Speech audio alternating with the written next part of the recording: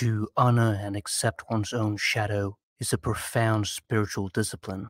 It is whole making and thus holy, and the most important experience of a lifetime. Robert A. Johnson was an American author and Jungian analyst, a follower of Carl Jung's analytical psychology. At the age of 11, he had a near death experience in a car crash and was rushed to the hospital. He found that the nothingness, the blackness, was also the ecstatic world. He saw the world golden in visions. When they saved his life and the vision stopped, he could not bear to live. In therapy, he was convinced to live because without the human faculty, he could not see the things which he treasured so much. Robert had a great difficulty with the outer world. At one point, he was known as Parsifal, an innocent fool. He experienced many slender threats between life and death during his life. Exploring the inner world helped him tremendously. His encounter with Jung was decisive. He wrote, Dr. Jung told me to spend most of my time alone, have a separate room in the house to be used for nothing but inner work, never to join any organization or collectivity. Dr. Jung told me that the unconscious would protect me, give me everything that I needed for my life, and that my one duty was to do my inner work. All else would follow from this. He said it was not the least important whether I accomplished anything outwardly in this life, since my one task was to contribute to the evolution of the collective unconscious. At the age of 54, and feeling lost in his life, Robert visited India alone. After a long and exhausting trip, and having lost his luggage, he went to his hotel and wanted nothing else than to sleep the whole day. He looked outside the window and was struck by the beauty of the sight. He experienced the golden world a second time after many decades. He was given a second chance. If you trust the inner world, it will take care of you.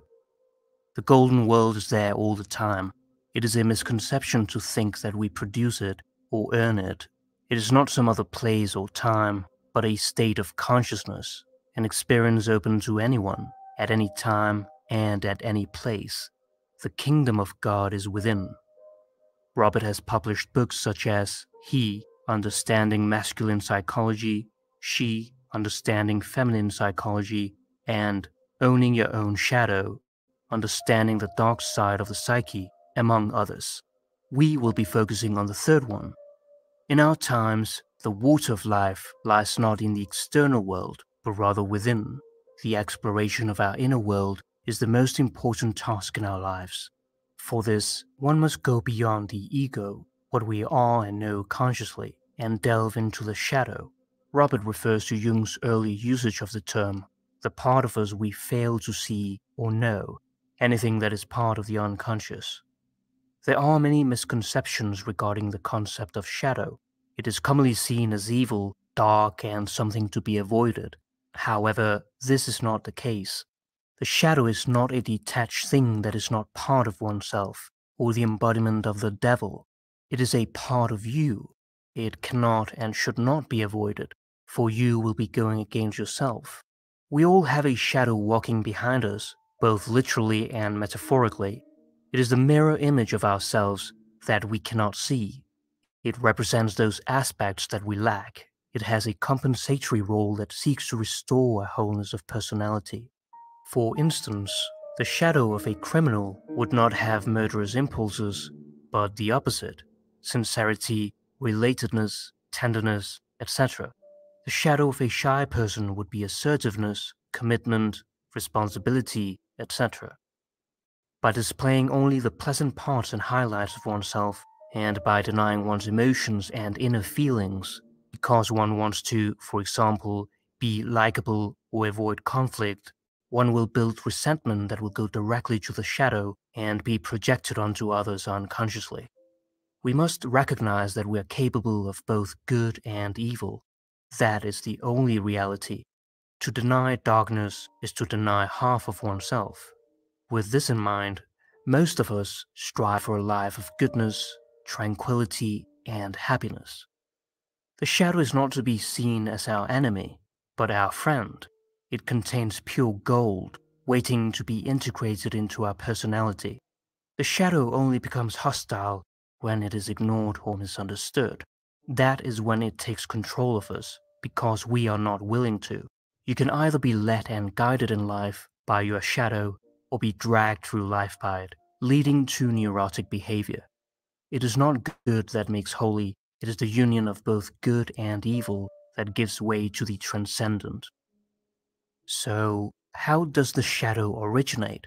Our refused and unacceptable characteristics do not go away. They only collect in the dark corners of our personality. When they have been hidden long enough, they take a life of their own, the shadow life. If it accumulates more energy than our ego, it erupts as an overpowering rage. Someone once told Jung, How do you find your shadow?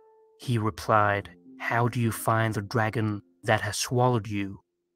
By definition, the shadow is a part of you that you don't know. You don't talk about your own shadow. If you can talk about it, it is already conscious and no longer shadow. As such, other people are more likely to see your shadow first, an embarrassing reality. We're all born whole, but somehow culture demands that we live out only part of our nature and refuse other parts of ourselves. We divide the self into an ego and a shadow because our culture insists that we behave in a particular manner. This is our legacy from having eaten of the fruit of the tree of knowledge in the Garden of Eden, gaining consciousness of good and evil.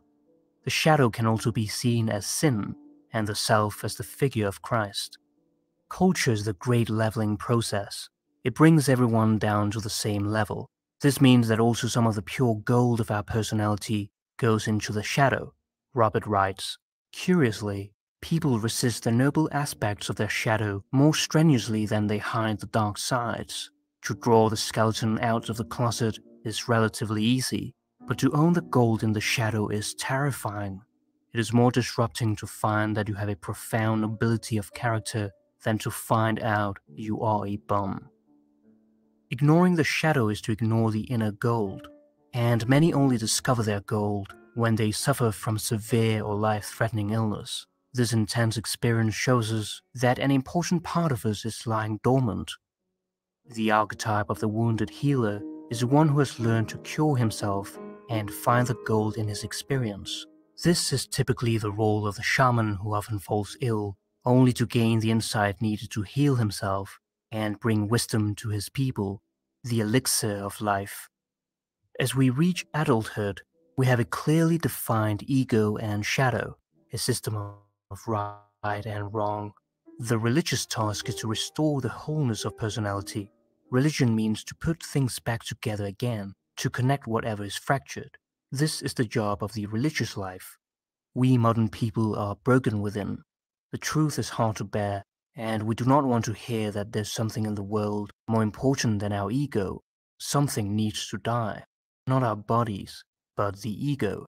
Robert writes, Generally, the first half of life is devoted to the cultural process, gaining one's skills, raising a family, disciplining oneself in a hundred different ways. The second half of life is devoted to restoring a wholeness, making holy of life.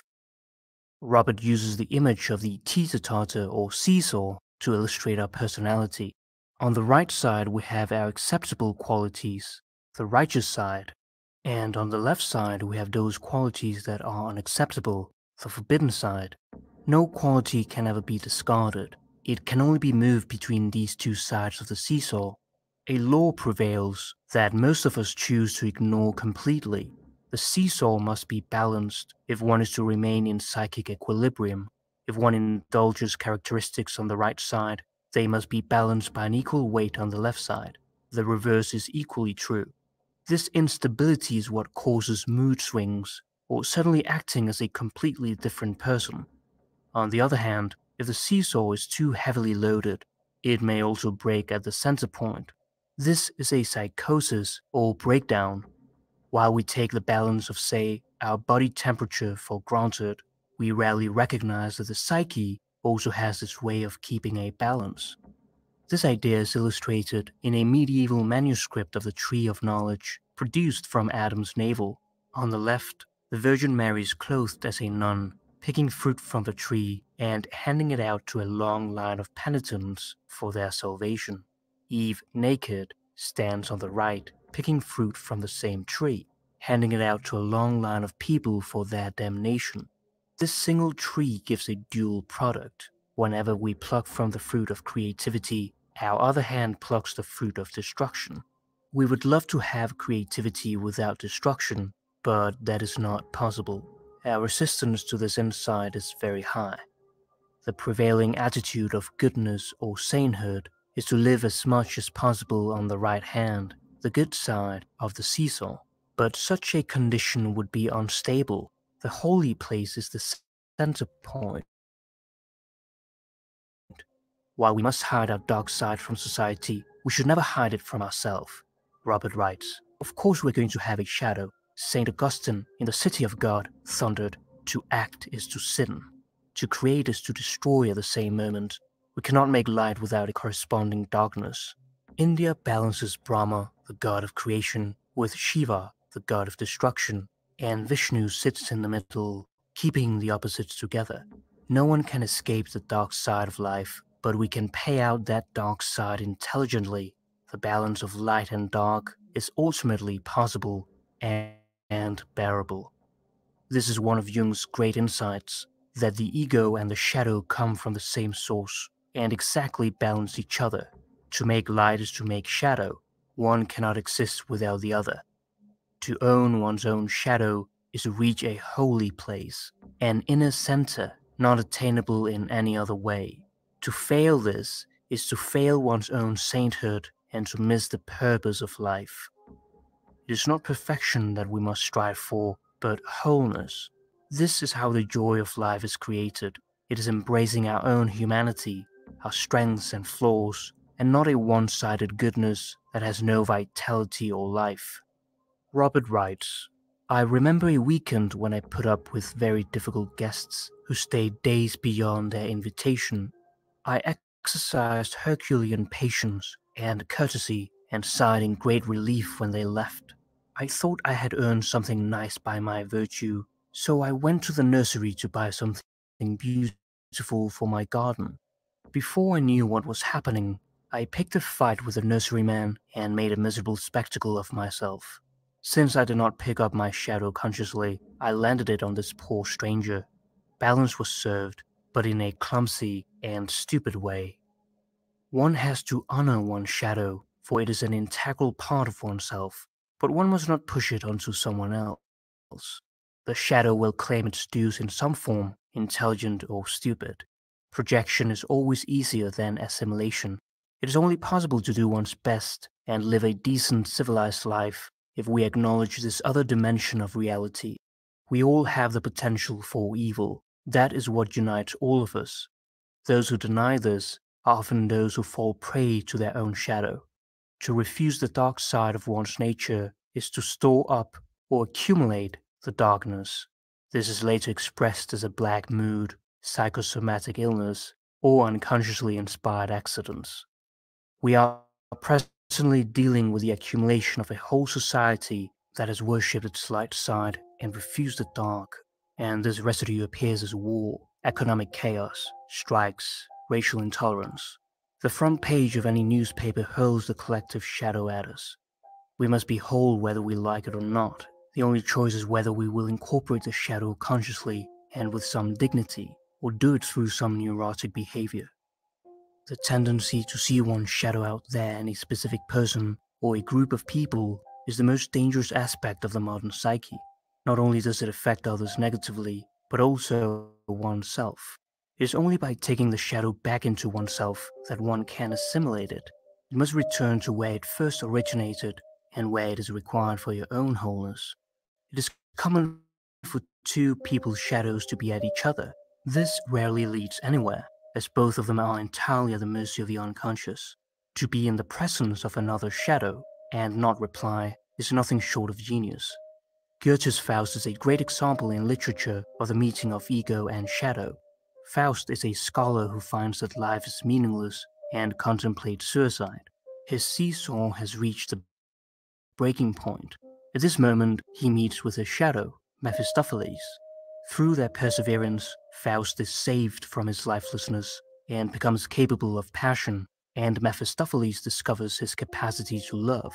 Love is the one word in our Western tradition adequate to describe the synthesis of ego and shadow. One of the hardest things to understand is that we often refuse to accept our noble traits and instead find a shadow substitute for them. People are as frightened of their capacity for nobility as of the darkest sides. If you find the gold in someone, he will resist it to the last ounce of his strength. This is why we indulge in hero worship so often. All our energy lies in our shadow, and ignoring it makes us feel lifeless, exhausted, and lazy. A confrontation with one's shadow fills one up with energy and stamina, which we can use for our daily tasks and work. Robert writes, A wise woman once showed me how to get more energy when I complained that I was exhausted before lecturing. She instructed me to go to a private room just before the talk, take a towel, dampen it so it would be very heavy, then throw the towel, wrapped up in a ball, at the floor as hard as I could, and shout. I felt infinitely foolish doing this, for it is not my style. But when I walked out to the lecture platform after such an exercise, there was fire in my eyes. I had energy and stamina and voice. I did a courteous, well structured lecture. The shadow backed me, but did not overwhelm me.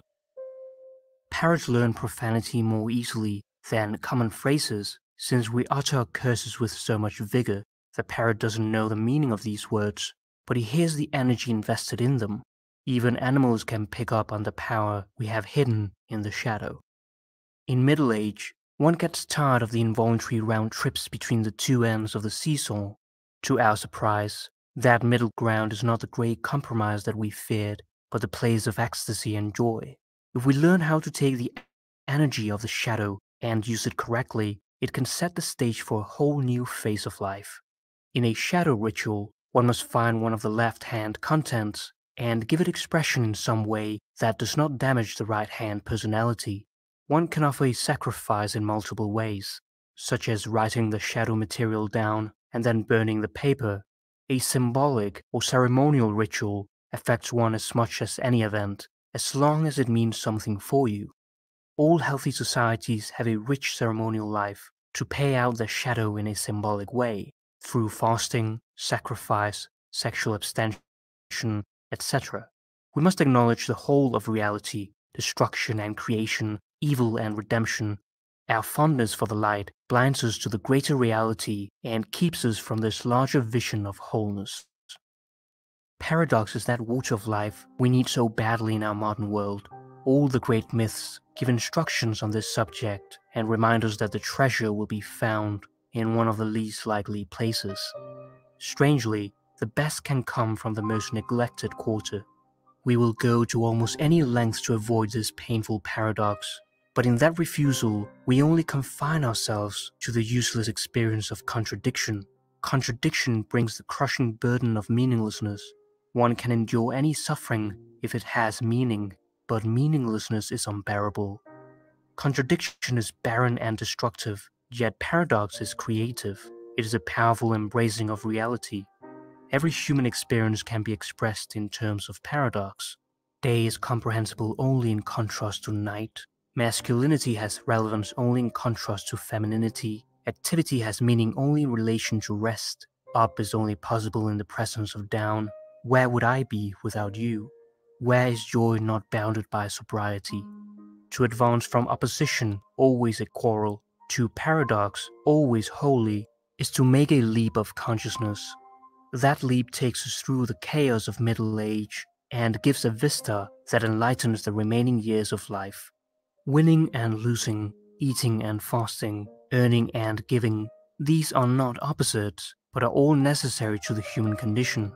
Every one of us lives in this contradiction. So, what do we do with this apparently insufferable contradiction? That is essentially the question that is at the base of every neurotic dissociation and every psychological problem.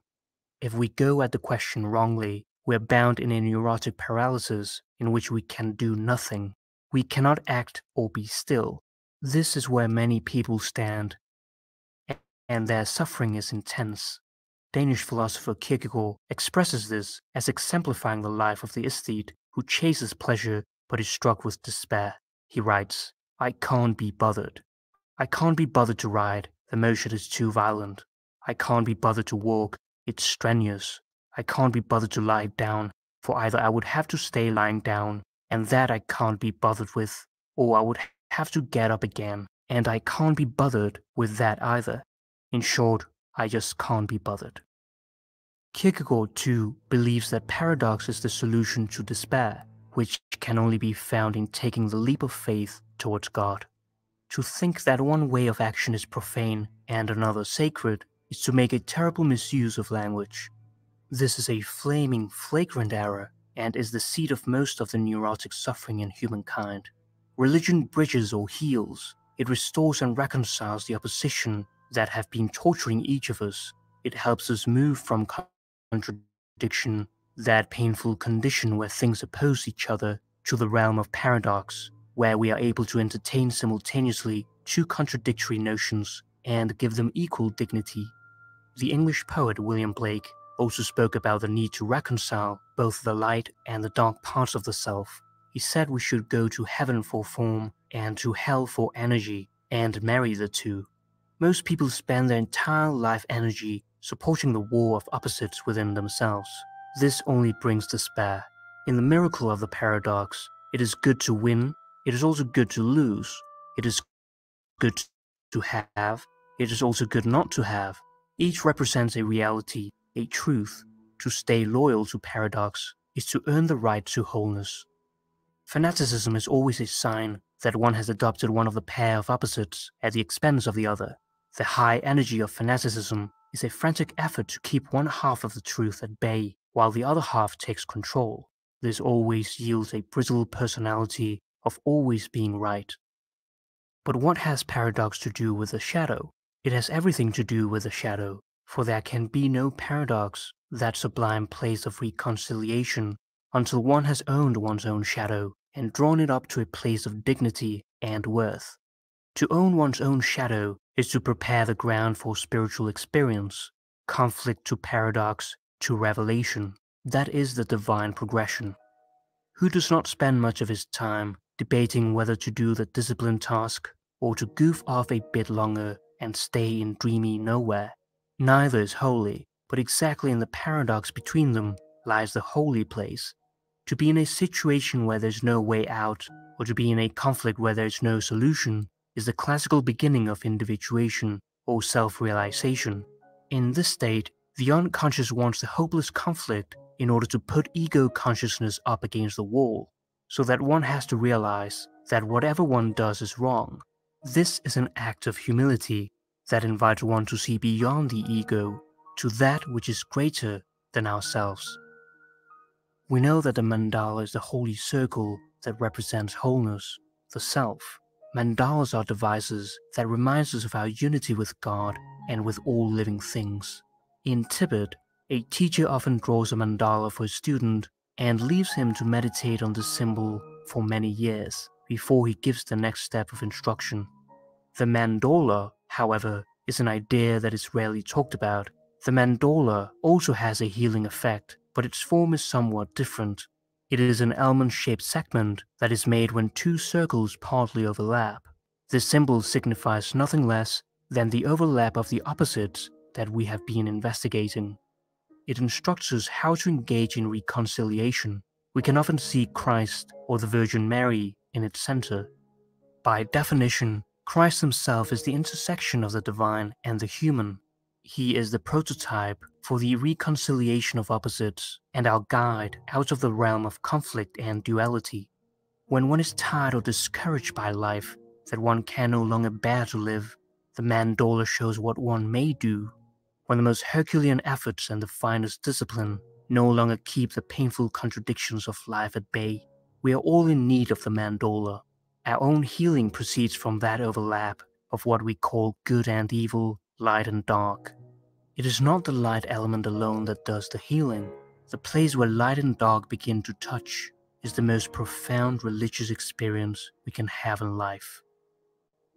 We like to think that a story is based on the triumph of good over evil, but the deeper truth is that good and evil are superseded and the two become one. When one is truly both a citizen of heaven and earth, one finally realizes that there was only one circle all the time. This is the fulfillment of the Christian goal. The two circles were only the optical illusion of our capacity and need to see things double. If one makes a mandorla in the privacy of one's interior life, it is heard for more than a thousand miles. People often asked Jung, Will we make it? referring to the cataclysm of our time. He always replied, If enough people will do their inner work. The acknowledgement of one's shadow diminishes shadow projection and helps to contribute less to the general darkness of the world by not adding to the collective shadow that fuels war, division, and strife. But we also prepare the way for the mandorla, that ultimate place of wholeness in one's inner life, the great prize of human consciousness. In the four quartets, T.S. Eliot writes, The fire and the rose are one. By overlapping the two elements of fire and flower, he makes a mandorla. We are pleased to the depth of our soul to be told that the fire of transformation and the flower of rebirth are one and the same. If you enjoyed this video, please give it a like, comment, or share the content. Support the channel on Patreon to help spread the fundamental questions of existence.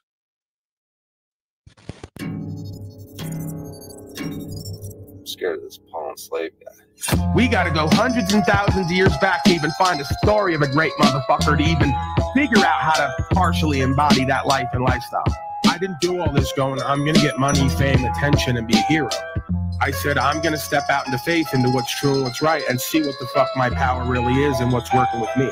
It's inherent hierarchical power and value system. Doesn't matter what everyone else says the power is and the value is. You do this walk and you're guaranteed a certain amount of power and value because it's rare, because it's based in truth. And the world is living a lie predominantly.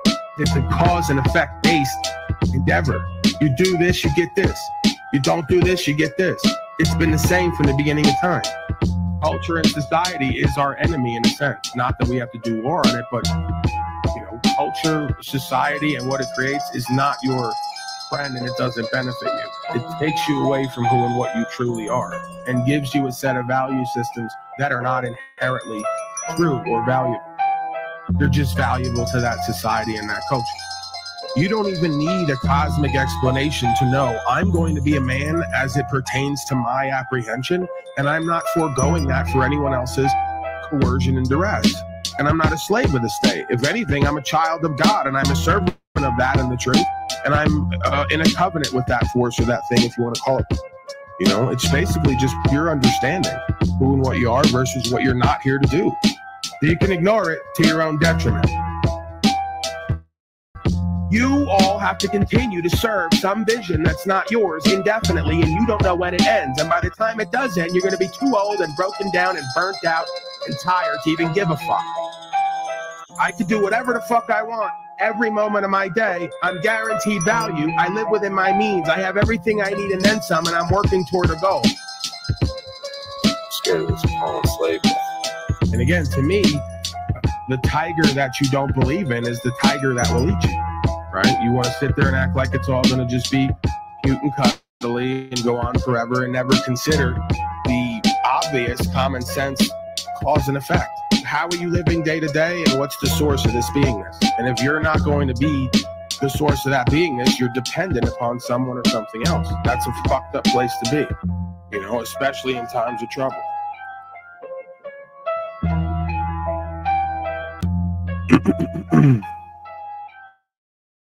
Greetings, folks. We're back at it, Indoor Command Center day. It's a bit blustery outside, so you know when it gets nicer, we'll be back out there.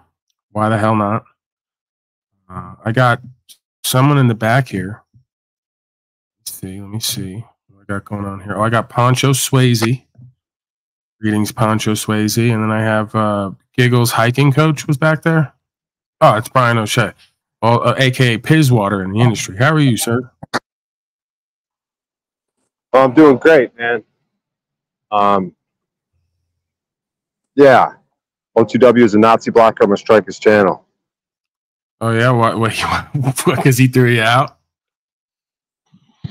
Yeah, Timmy, you know, had to like pipe up. Oh, Brian, he's so worried all day long about what people in the crowd think of him and his performances.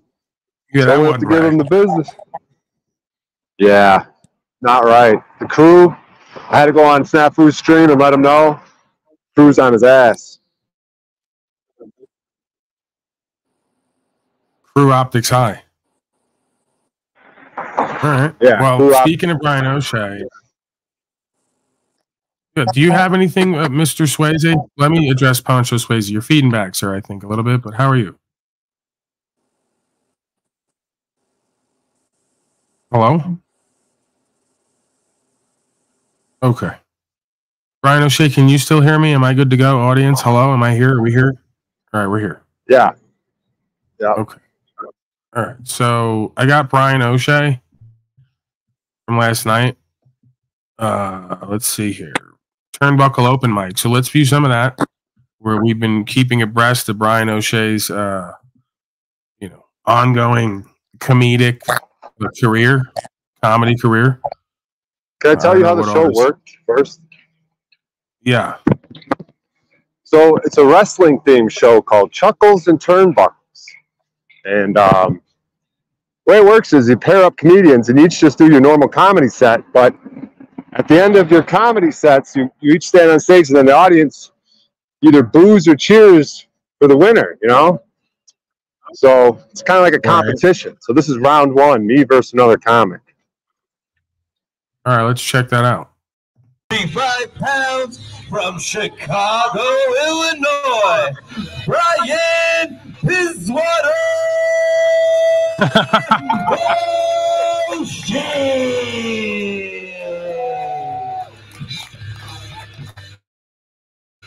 Old Bizwater. Yeah, give it up for the newly dating couple over by the fucking cooking shit. They're all clingy and she's hanging all over him. Uh, I think he's using her for a place to stay.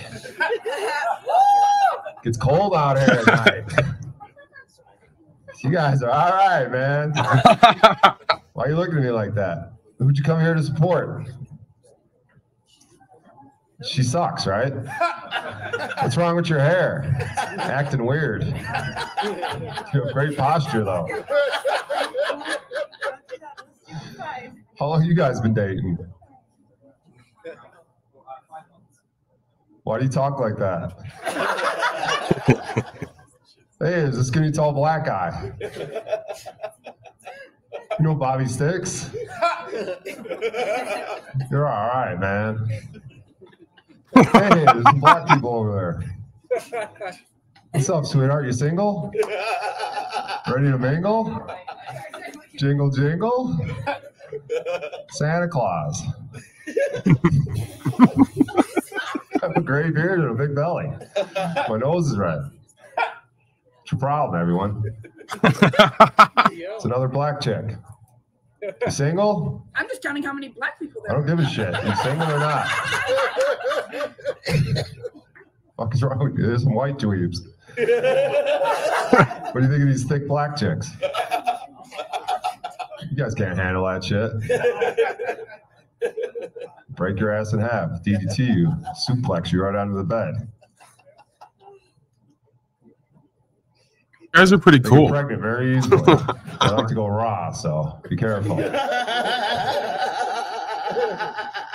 Mark Saffron's here.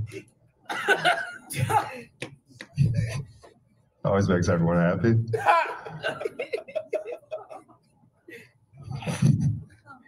What are you breaking eye contact with me for? Whatever her fucking name is. Yeah, she just turns away. Fucking hate her, dude. Hate most of the people, most comedians. Look at Will Will Hunsinger, dude. He's like too perfect. What the fuck is his problem? It's like six five, purple belt in jujitsu, great credit, great job. What a fucking piece of shit. Hate that fucking guy. I like to lose these guys, but I like Gizmo and his buddy. Just for some losers. No fucking no like uh what's the word? Where you like pursue things in life. What's the word I'm looking for? Like no ambition, yeah. Just do shitty shows forever. Not like Will Hunsinger. Like he's actually trying to be a headliner. Like he's got a plan. He gets pissed off when he doesn't do well.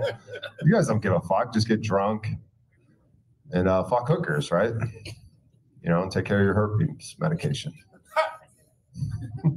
you guys seem like a lot of fun. Seriously, I hate you just as much. So you can look at me as much as you want. You know, go fuck yourself. You're a dumb fuck. And probably a lesbian. Gives a fuck? Oh, O'Shea, this is really good that you always get the guy who laughs at everything. Like I'm pretty much laughing at everything because it's cringy and awkward, and I'm like feeling your pain. But this guy, like, you, who's that guy you take with you to every venue that just laughs at everything? That's that's the best effect. That'll always work in any room. You know that guy? Uh, not really. I mean, he's a, I seen him around. He goes to open mics and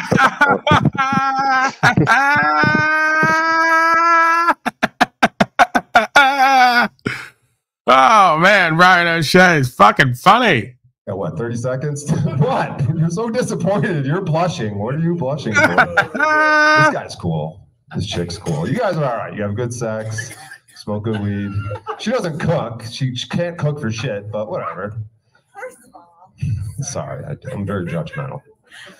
Very judgmental. I think I had fun. I don't know what the fuck's gonna happen. I think this is basically over, but God, what are you looking at? You're so angry. Like, what is your deal? Is your father? Like, what is your. God, I hate you. All right, I'll see you guys later. Yeah. Make some noise for Brian O'Shea. Or don't. He doesn't give a shit. All right.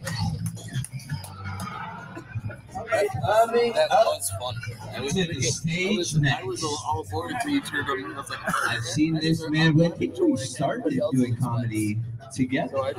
around the same time. Hell yeah. So Brian O'Shea, like, when do you start doing comedy? Because I heard that guy talking about people starting comedy. Like, when do you start?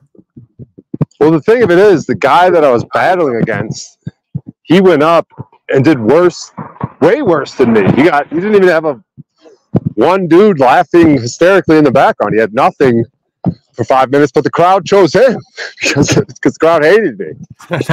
So right. they gave a big, like after his set of him just completely bombing, they fucking, well, who do you like? And then they completely lost their minds and cheered for him when it came time to vote. And then I got paid 20 bucks and left. And they didn't factor in the guy who laughs at everything. Right. They didn't factor him in because the guy had been leaning me. He goes, You're still going to lose. I go, I know. Because there was complete silence for the other guy. I should have filmed it. All right. Do you want to get back to your uh, police station video we never finished from yesterday, where you're kind of talking the cops through this crazy idea you have that we have rights and freedoms and can travel freely, and then they try to let you know, no, Brian, you're kind of confused. There's like a state of, and there's code, and you got to follow it because everyone else does. we get back to that? We never finished it. Wish Oh wait, you know what? Let's get to DeCastro update first. Let's get to Castro because I think folks really want that. Like that's what I'm getting. The vibe I'm getting. They want another Castro whispering in jail. He's up to fifty thousand now, somewhere around that. But he's not done yet. All right, we need more uh, contributions for the activism fund. Okay, so we're gonna get an update from him. Find out what's going on there. Find out how bad the prison's doing while he like cries at court and says he's really sorry, then hops on the phone to Brian and goes, It's really bad here, Brian. You're like, They're telling us what to do. They're making us sleep on bunks. It's craziness. okay, you know, I think um, first and foremost, I have to let the, the guards at this facility know that this is not a live stream and this is not a third party phone call. I'm a journalist giving a report to another journalist, which is clearly outlined and allowed in the CCDC handbook. Today is April 8th, 2024. My name is Chille DeCastro. I am a journalist who has been jailed for filming a cop. I didn't have a good day in court, and I was sentenced to six months in jail. Is that you, Emmanuel? Yes, sir. All right. have not broken the law. I've committed no criminal or malicious acts. I'm an innocent man in the Clark County Detention Center for being a journalist. So, with that being said, what's upcoming right now on Wednesday, the 10th of April, is an appeal bond hearing to see if I can be released on appeal on, while I appeal the case to the Nevada State Supreme Court. I think that the case most definitely will be overturned. As you have seen, uh, Brian from Here's the Deal has broken down my video evidence, and I definitely backed up. I'm not guilty of obstruction, but I wanted to talk today about the reasons why I should be released on appeal bond. So I wrote down 15 reasons, and I'll just list them to you guys so that you guys. Yeah, he started off this whole interaction as a constitutional law scholar. Once he gets put in jail, he all of a sudden becomes a journalist now. This guy's got a lot of titles and hats they're wearing all at once. Nope. I'm not actually doing a live stream or talking to Brian from the phone. This is a journalism report, okay? I'm pretty much Walter Cronkite at this point. Can have an understanding of what my lawyer. You just don't get argue it. They're not learning and they don't get it. This is not rejudicating the case about whether or not I backed up or whether or not I obstructed. This is about whether or not I'm worthy to be released on an appeal bond while my case is being appealed, and that appeal bond is going to cost between ten and twenty thousand dollars. So Why do you want that, you punk ass bitch? When they fucking dude, I was you don't think I was scared and didn't want to go to jail when they told me like way back over a decade ago, you're going to jail to do 100 days. You're doing 5 months. So when it's all said and done about 100 days. They go, "Do you want a fucking appeal bond or you want to play these games where you run around town and then you can come back like 2 weeks or 5 months from now?" And I go, "No. We're starting today. Let's go. I want to get it over with. If you're going to do the time, do the time. Why are you taking 20,000 of these people's money and putting it on you being let out only to have to go back and serve the time? You're that fucking scared to just sit there and get it over with? You're going to run from the inevitable? I just don't get it.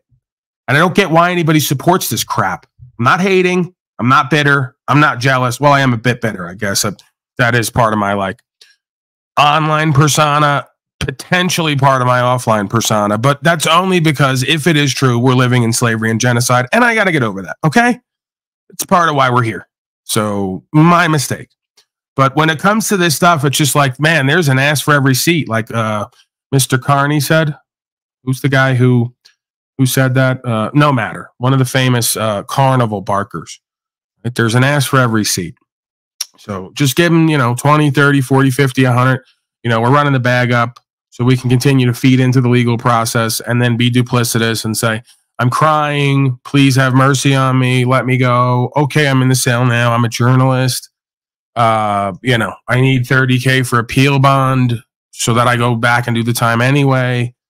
It's just, I, I just don't get it. You, you, you- you're not going to do this game and this walk and expect not to do time at some point. And when you do, wasting everybody's money to play lawyer games and appeal bond games is probably not the way to go. Doesn't really get you any respect. uh, humbly as I can ask, please go to my GoFundMe, and if you can put in five or ten bucks, I really appreciate it. I'm not doing it. My website was down I'm not doing it. I'm not encouraging anyone else to do it. To be Hank with you, to be frank, I probably wouldn't encourage folks to do it with me. So I'm not going to do it with you. You guys can say whatever the fuck you want. I've been arrested over and over again at times. No, this audience never heard me come out and say, please give me GoFundMe and give me shit. Did they do it on the strength of, of, of who and what we are and what we do? Yeah. But I didn't come out and beg for it and ask for it. You do what the fuck you do. Whatever's meant for you shows up. If not, then you ride for the cause. That's how that works. So I'm not giving you shit. I'm not giving anyone anything because I'm not asking for it if it happens to me because we do what's true and what's right because it's true and what's right. And part of doing what's true and what's right is accepting the consequences that sometimes you may get killed or put in a box. You know, the Christed being didn't come out of the fucking hole and then, you know, months or years later, whatever the timeline is, really doesn't matter. Have a cross built for him that he had to carry and go sit on.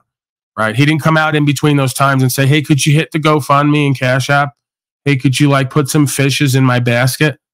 You know, he goes, "No, I'm doing what's true and what's right because it's true and what's right. I got my own conscience and self-respect and integrity. I'm riding on that with the Holy Spirit. Whatever is going to happen is going to happen. That's true faith. You folks don't have that, and it's sickening. You're, you're already up to almost fifty thousand. You're going to keep begging people online every fucking couple days for more, more, more, more, for you to do less, less, less, less, or for you to do too much extra. I just don't get it. I don't get how you guys have the fucking balls to show up and do this shit year after year. right? With all with all the simulation in play and all the consequences and sacrifice and where this all goes and what this historically means, the implications. I can't believe you guys have the balls to do this. It's like you just don't give a fuck about your legacy and your integrity and your reputation and credibility. You really just don't. It's really just all about your ass and your comfort, huh? been days now, so I haven't sold any products. Uh, I Fuck I'm gonna lower you. The hoodies to fifty dollars. You can get them. right Sick of you now. motherfuckers. I'm sick of all you inauthentic corporate beta male motherfuckers who act like we give a fuck about you not being able to sell products. That means you suck or your product sucks. Because if you didn't suck and your product didn't suck, you could be in jail or in a fucking hole and your product's going to sell more than ever. Go ask Michael Jackson what his last album did the day he fucking died. Are you retarded? You yeah, I'm sorry. Rhetorical question. You must be fucking retarded. JG, your thoughts? Heat wave. Heat wave. Okay.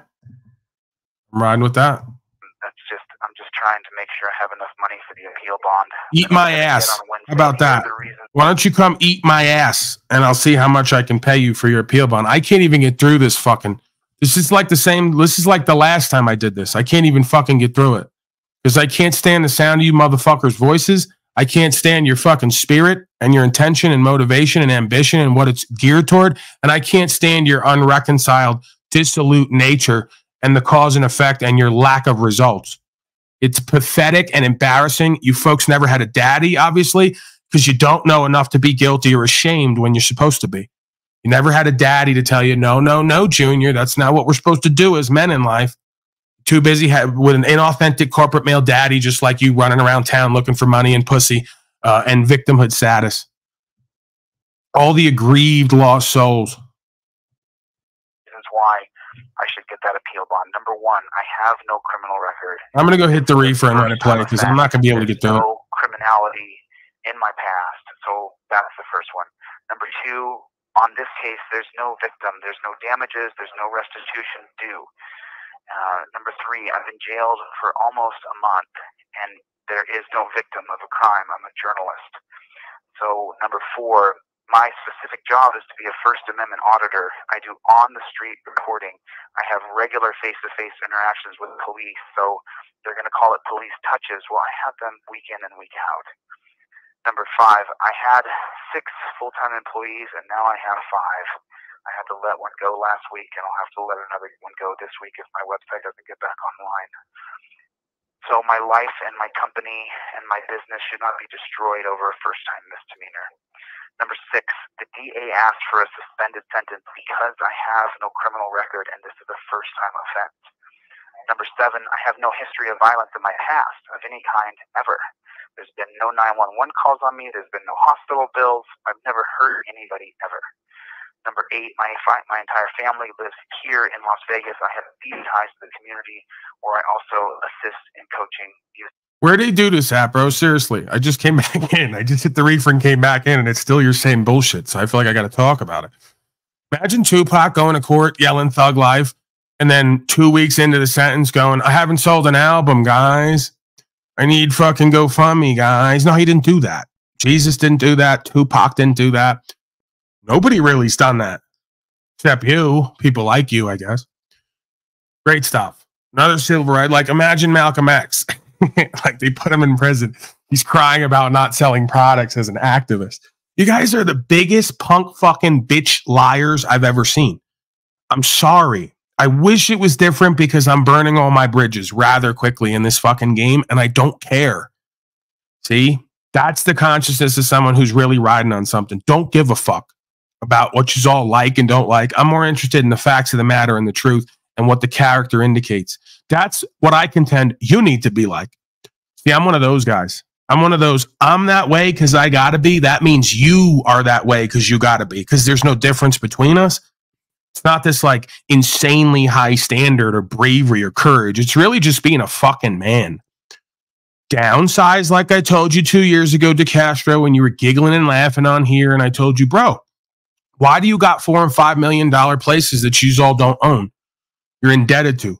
How are you going to be an activist and stand for rights and freedoms, or also just be a philosophical, spiritual man on any kind of process and have millions of dollars worth of properties you don't own? It doesn't work that way. It's easier for a, a, a camel to get through the eye of a needle than a rich man to get into heaven. Isn't that what it says?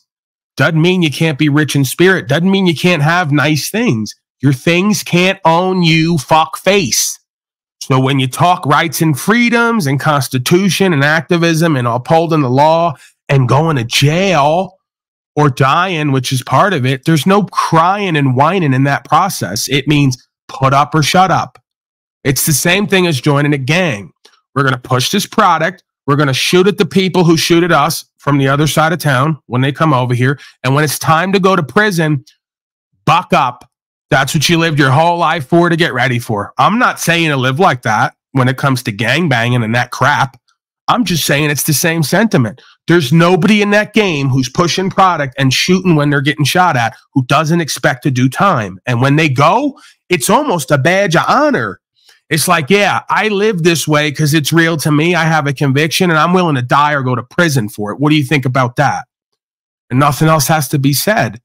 If you're going to do that for colors and blocks and product and bullshit, you probably should be doing that double time for what's true and what's right and the law of this land. There's no crying in that. There's no whining in that. If you want to cry and whine in that, you do it on your pillow at night when nobody's watching and listening. You do that with God and your, your own conscience. Right. So we don't get into this game of life, let alone rights, freedom, principles, spiritual faith, and expect not to suffer and die. That should be expected. What you're going to do from now until then is going to define you on some level. This ain't it, bro. And again, I may have to get shown something. You know, maybe this is going to have to happen to me, and then I'll be in there doing the same shit. And then you can all do the, well, Paulie boy, remember when you said, and now you're doing this, and maybe you got to humble yourself. I'm just saying I've been there before and it didn't occur to me. And I, I want to believe it's because I have some level of faith and integrity. Maybe I'm just that narcissistic and egotistical that I want to cry and whine and I want to reach out when I go to jail, but I don't because of how it's going to make me look or how I'm going to be seen. I really don't think so. It just doesn't occur to me. I go, I'm not, I go, if anything, I'm thankful and grateful for the audience and the support and the community and all the rest of it. I don't sit there figuring out how I'm going to use them more to get out of what the fuck I've created that literally made me on the world stage or in the eyes of God. You could you could argue both. So yeah, I don't know. I guess take take that for what it's worth. Do something with that. I'm trying to help you. I'm really not trying to disparage you or demean you. Um, I just think that you've demeaned yourself in this path and this walk by clutching for worldly shit that you got to give up in order to be given everything back. This ain't the way. Well, who am I, right? Youth wrestlers. Number nine, as a First Amendment auditor, I have over 500 face to face interactions with police in over 20 states. So this is what I do. Number 10, I have a warrant in Ohio for trespassing during a peaceful protest. However, I ran out of money when in Ohio. I had to leave and come back to Vegas. However, bro, I got to we got to go again now. You don't run out of money standing for rights and freedoms. I didn't have shit Eh, like like like I had about 10 to 20 stacks put to the side. You could argue for savings that, you know, I was living off of whatever weekly minimal, but I didn't eh, that's not what this is about. Right? Like you could always do what's true and what's right and uphold God's law with the word of truth. It doesn't cost a motherfucking thing. If you need money to do what's true and what's right, you're working for the other side. Hello, holler if you hear me. One has nothing to do with the other. You may get benefits and privileges and value come through for doing that and standing on that, but one is not necessarily um, indicative of the other, right? Like it, it may make you as a value or a value system, but you're not necessarily entitled to that. So you're entitled by God to uphold the law and do what's true and what's right. If value comes from that in and of the world, all the better for you. If not, you don't stop. That's what defines you and gives you your truest resource and value. If you stop that, well, then you got to start doing this grifting, fraud, and begging, right? And you don't even beg right. This is why I say these folks don't pimp right and they don't hoe right. You folks don't even beg right. You pop shit, you act like you're the man, you're running around with all this fucking value, living beyond your means. As soon as the story gets real, now you want to cry in your fucking milk. The time to beg was before.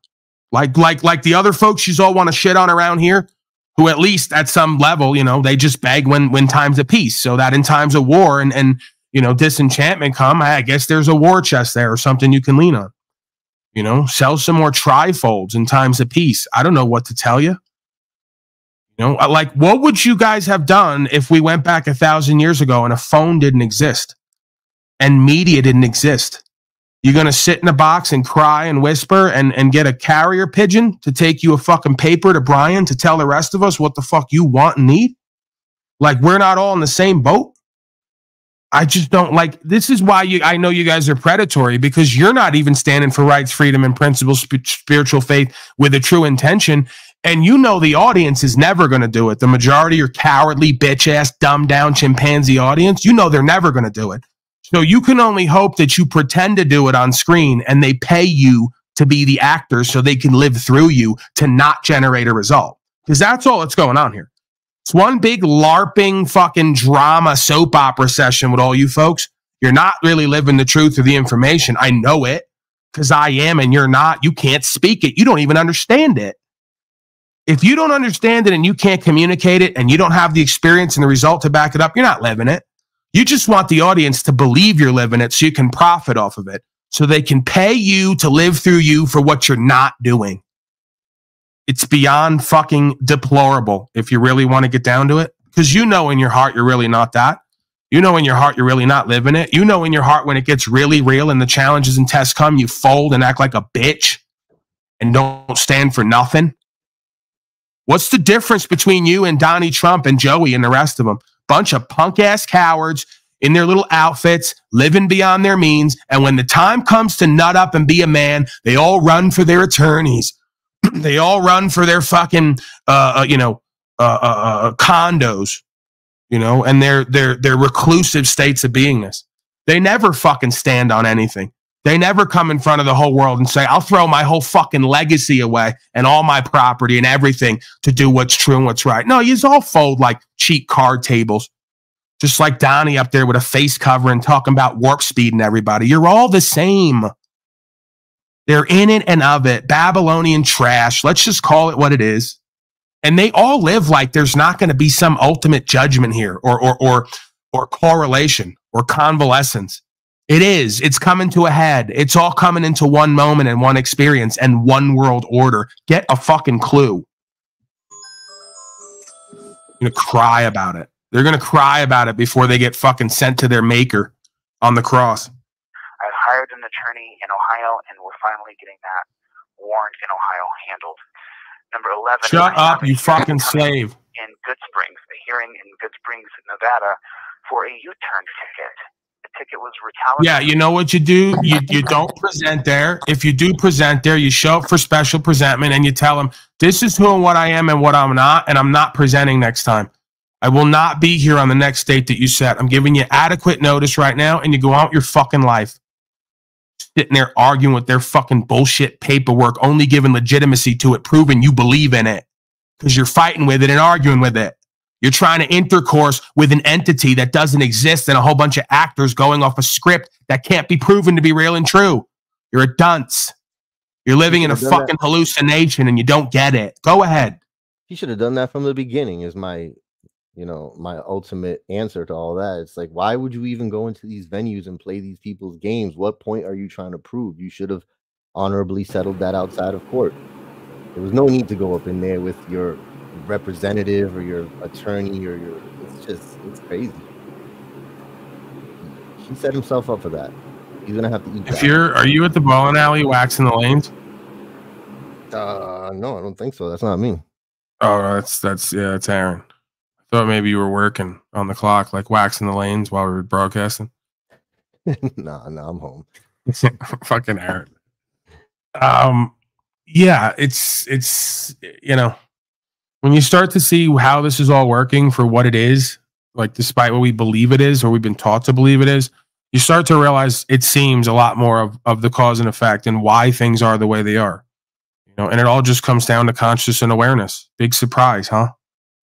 The more unconscious and unaware you are, the more likely you are to be caught up in someone else's illusion or delusion and claiming to be on the right side when you don't know up from down, left from right.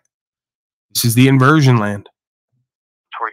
After I pulled over to discuss First Amendment rights with the police. I've already paid the fee to fight the ticket. You don't want to argue First Amendment rights with the police. You don't have any. You have natural rights from God. You're not a party to that Constitution. At best, you can use it to bind them because they swear to it. You can't claim access to the rights that are in there because you didn't sign the document and you're not named in the document. You don't need to be because in the document that binds them, it says we get our rights from the Creator God, dummy. So keep arguing civil rights, and it just proves you're a civilian. It proves you're part of the civili cult, and it proves you're in a militarized structure and hierarchy, body politic, and you don't know it, and you don't wish to know it because you think it solves it mumbo jumbo. It's not. It's chain of title. It's command. That happens on August 20. Command input slash dot dot slavery. I'm gonna have to start speaking code like like like robot language to these humans they understand common sense. who I regularly teach to be nonviolent. Who are you teaching? Who are you teaching and what are you teaching? Every dunce out here who has a feeling and a thought thinks they're a fucking teacher but can't live the information. You know how many people I meet? They claim to be counselors, psychologists, teachers, whoever, whatever. And they just completely neg- neglect the idea that to do what they do, they have to be mind and heart controlled. You're in and of the matrix and a system, just like the guy who told me I'm in an intel. Uh, intel short for intelligence. If you don't have godly supernatural intelligence, you're not actually an intel. You're just exchanging information with other dunces who can't actually perceive properly. Okay. So, what are you teaching when you don't even understand the foundations of philosophy and law? Teaching other people to be mind and heart control followers and repeaters and parrots like you, not know how to think? Just keep repeating what to think, but not know how to think? What are you going to spit back some kind of code and Supreme Court decision to a guy who's already got you pimped? right to assembly, speech, petition, and press. And number 13, I am innocent until proven guilty because I have another upcoming case on May 1st in Las Vegas for obstructing, and I'm not guilty of that case just because I've been charged. They brought it up as though, oh, he has another case coming up. Well, I'm innocent. Yeah, they're establishing a pattern of behavior that you have a pattern of behavior of running around, interfering with policy enforcement, uh, ensuring contracts of surety with legal entities. So they've got you pimped because they created an AI overlay. They taught everyone to believe in it, and you can't interfere with someone else's belief. Even if you happen to know it to be wrong and untrue, you can't interfere with it, nor can you interfere with the contractual obligations. So they're establishing a pattern of behavior and credibility. Mr. DeCastro says he wants to get arrested to boost his YouTube channel. Mr. DeCastro says his YouTube channel is all about making money. Mr. DeCastro regularly interferes with contractual obligations of policy enforcement and policy uh, followers who are all contracted as legal entities who've, who've neglected their natural rights for benefits and privileges. They, from their perspective in their system, you have no business doing what you're doing. And they don't believe it's for honorable reasons and good intention. They believe you want to be a carnival barker and you want to get attention and you want to use the system and the quote unquote injustice in order to make a name for yourself so you can be known and get paid. And I happen to pretty much see exactly what the fuck they're saying. Whether I accept what should be done to you by their standards or not, I don't think anyone should be put in a box who hasn't caused loss, injury, and harm. With that said, the God of this world does because it loves fucking with you. It loves checking your bitch ass ego. It loves getting you back under the God of creation, mirroring to you who and what you think you are. And it's working perfectly. It's funny. my estimation. he charged forward, waging war, and now he wants to run back, waving the white flag. It's like, bro, you you know, you became their combatant and built yourself their dossier against against yourself from the beginning by doing what you were doing. So now you're gonna Right. You got two options now. Either it's name, rank, and serial number, kill me quickly so I can get on to my next experience, my next metaphysical incarnation, or I will learn to serve the God of creation while being a political prisoner of your little worldly group here. Mm-hmm. There's nothing stopping you from bear witness and testimony and becoming a servant of the Most High in anybody's custody. I would know. but you're not interested in that because you don't have a servant's heart. You have an infidel's heart. You're greedy, you're lustful, you're desirous, you want more, more, more, and you keep doing less, less, less, or you do too much for everyone's own good. How about just doing what's true and what's right and what's necessary? Pour and then stop pouring. Go ahead, Aaron. I saw you leaning in there. Did you have anything or were you just kind of okay? All right, let me get back to it. Let's finish it up here. until proven guilty. So it doesn't matter if I've been charged with something. I've been charged with things lots of times in my life, but I don't have a criminal record besides when I was a teenager. So those are the reasons why I believe that the appeal bond should be approved on Wednesday at 9 a.m. in the Justice Court in front of Judge Levitt. People are asking uh, what the hang up is on putting money on your account, like for buying you uh, a meal or whatever. Right now, apparently on their website, they're saying that they can't accept that right now. So I was put in the hole for live streaming a phone call with another journalist named Brian from Here's the Deal.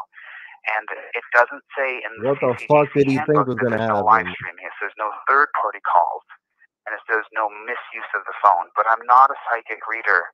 And with all respect to the guards and to the staff here, You just don't get it, DeCastro. You still just don't get it. That it's not about what you decide it is. And if it is, well, then ride on that. Stop whining. They don't consider you to be a journalist. They consider you to be property of the state of Nevada. You know why? Because you want to keep putting yourself in the legal person jurisdiction and you want to keep signing bonds and going into bondage and human trafficking, like the beginning of time. You want to go into the court, which is a church, right? And you want to do trading in the souls of man by doing bondage. Whose fault is that spiritually? That you want to keep paying and giving them uh, death notes with non money, non lawful living money, so you can fucking bond deeper with them and be under performance bond and obligation of Shaitan. You're no different than the folks the Christed being took the whip out on. You're at court, which is synonymous with church because they used to happen in the same building and they mean one and the same in etymological terms. You're in the court, which is the church, trading your own soul for fiat currency and calling it a bond, which is bondage. And I'm supposed to feel bad about you getting slaved by the devil, your daddy? No. I'm not I'm not the god of creation on the highest level I might be. Here I'm an incarnation and I'm subject to the whims and rules uh, uh, uh, of this game, right? So it's either you're riding with the creator who brought you to the dance or you want to ride with man's law and legal system and all of its trading and bondage. In which case, you're subject to the devil and its whims. It's not going to give you safe passage. Show you're riding with the God of creation, what's true and what's right. You got a conviction in your heart and you're a man of faith. And I bet doors will open for you. If not, hellfire. That's what I've experienced. Can't tell you anything but my own experience. And I'm not a godly religious man, quote unquote. I, I wasn't me. I'm an East Coast New York gorilla with too big of an ego, as they say, for my own good. Boy, does that have to get checked and humbled at time by whatever this is. Conscience, I guess, locally you could call it. In my in my experience, I've been able to walk amongst the most demonic people and and not be in harm's way because I know not to get in their way. You know what I'm saying? Like I'm not there to interrupt whatever activity they got going on as long as I I know I don't have to participate in that activity. And I've never found myself in harm's way being around or in the environment or in the I wish the Mr. DeCastro would. Uh, I'm listening to you, Manuel. I just, I, you know, you know me, bro. I'm chomping at the bit at times. I wish Mr. DeCastro would try to sue me and bring me to court with the performance he just put on there. Oh, we'll have some great fun. And it's going to cost him a gang of fucking money, a big bag of money, and it's going to cost me absolutely nothing. Because my time, energy, attention, and my understanding, the knowledge itself is my greatest resource. I can spend that all day. See? So go ahead. We can do that. I I gave someone critique about how I believe they should handle the situation and where they've gone wrong. They want to use the court to further ambulance chase and do malicious prosecution. Great. And you're going to watch me go in there and whoop him from one side to the other. I don't care what attorney he drags out there. I'm going to have my way with him too. I'm going to sit him right down. I'm going to say, does this man have any firsthand knowledge of the events? No, then he can't speak. I don't care what you consider him representation or not. Mr. DeCastro has a perfect time speaking for himself everywhere else. We're going to do it here today as well. So swear him in. Okay. It's going to be mono e mono. Mm-hmm.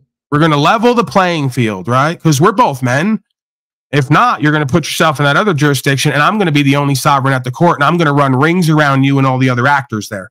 And you're going to watch a king run a court, and you're going to watch me put everyone in proper position. You're going to watch me correct the record and the facts of the matter, and then you're going to watch some folks compensate for running their mouth because I would never be a vengeful, retributive man, nor would I seek someone to be in prison. But, you know, since you're getting all this money and want to run your mouth, we can compete in the commercial realm and you can compensate since this is your business, right?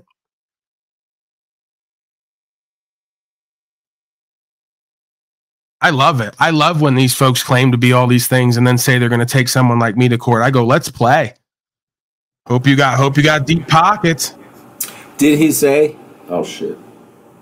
Did he say, did did he say that he wanted to take you to court? No, the Where guy's did that saying that, usually that you got to fix your mic because you're, you're buzzing. I don't know what that is, Aaron. I want to hear from you and speak with you, but it's going crazy.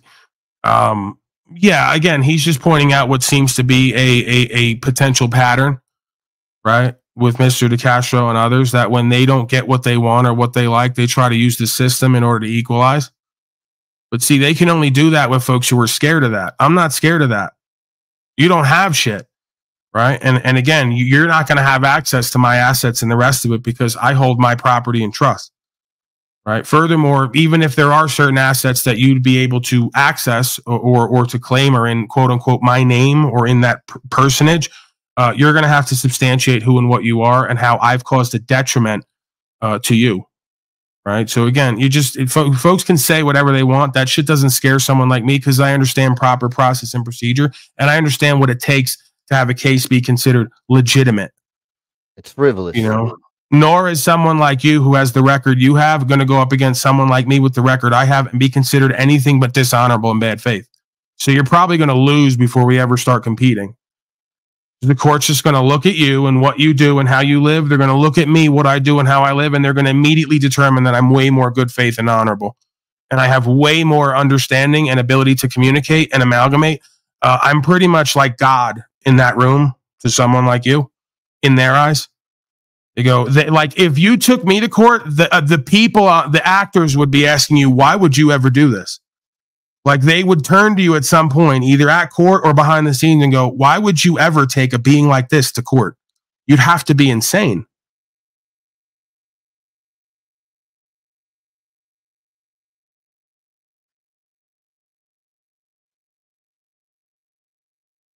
Yeah, it would be definitely super silly of him to take that to a claims court. I mean, it would just, it would be Yeah, they got enough trouble upholding their own rights and the law rather than trying to drag the silver and gold tongue gorilla in for some frivolous charges that don't amount to anything. I might wind up owning your whole fucking estate. You want to play with me? You want to dishonor at the court? See, I take dishonor very seriously, right? So, like, it's not about ego. You want to go to the court and lie and play games? I'm going to get you on record, and then I'm going to tell administrator, I'm going to say, I don't seek anything. Administrator, I'm going to let you decide what this person needs as far as punitive damages and compensation. I just turn it right over to them. Soon as I'm done running court, I confer jurisdiction right back to them. I don't want anything done. I'm not even claiming I need a dollar. I'm gonna let this third party impartial administrator uh, decide what he thinks is appropriate, and he's gonna take everything you have and give it to me. Everything he's legally able because you want to play in that realm in that game. I don't. I'm gonna keep myself right out of that jurisdiction, and then at the last moment, I'll confer with them jurisdiction. Once I have you beat, and then they're going to decide based on honorability and you having an ego problem that Paulie Boy is going to get three quarters of your shit, whatever the maximum is. Because obviously they can't just put you into ruination and put you out in the street. So there's going to be guidelines and maximum. And I mean, if I really want to, I could just appeal to. I wouldn't because it would just prove that I'm like you and that I'm willing to play games. I'm not. I just put the clear facts and record on the matter. I don't build it up. I don't minimize or maximize it. I don't claim the victim. I don't claim I've suffered. None of that. I just go, this is what it is. Now I step back, do what you please to get this person's ego in check. And, and it always comes through. That's how this universe works. Timmy, your thoughts before we get back to DeCastro? DeCastrated? Yeah, Mr. dude. DeCastro? Yeah, it's it's fucking hilarious, man. It's like, uh, could you, you know why, you know why these folks would never take you or somebody else that's fucking awake? Why is that? You know, we never see that. Why is it there's never any public cases with a man that's fucking awake? I wonder. They don't want it. They don't want it.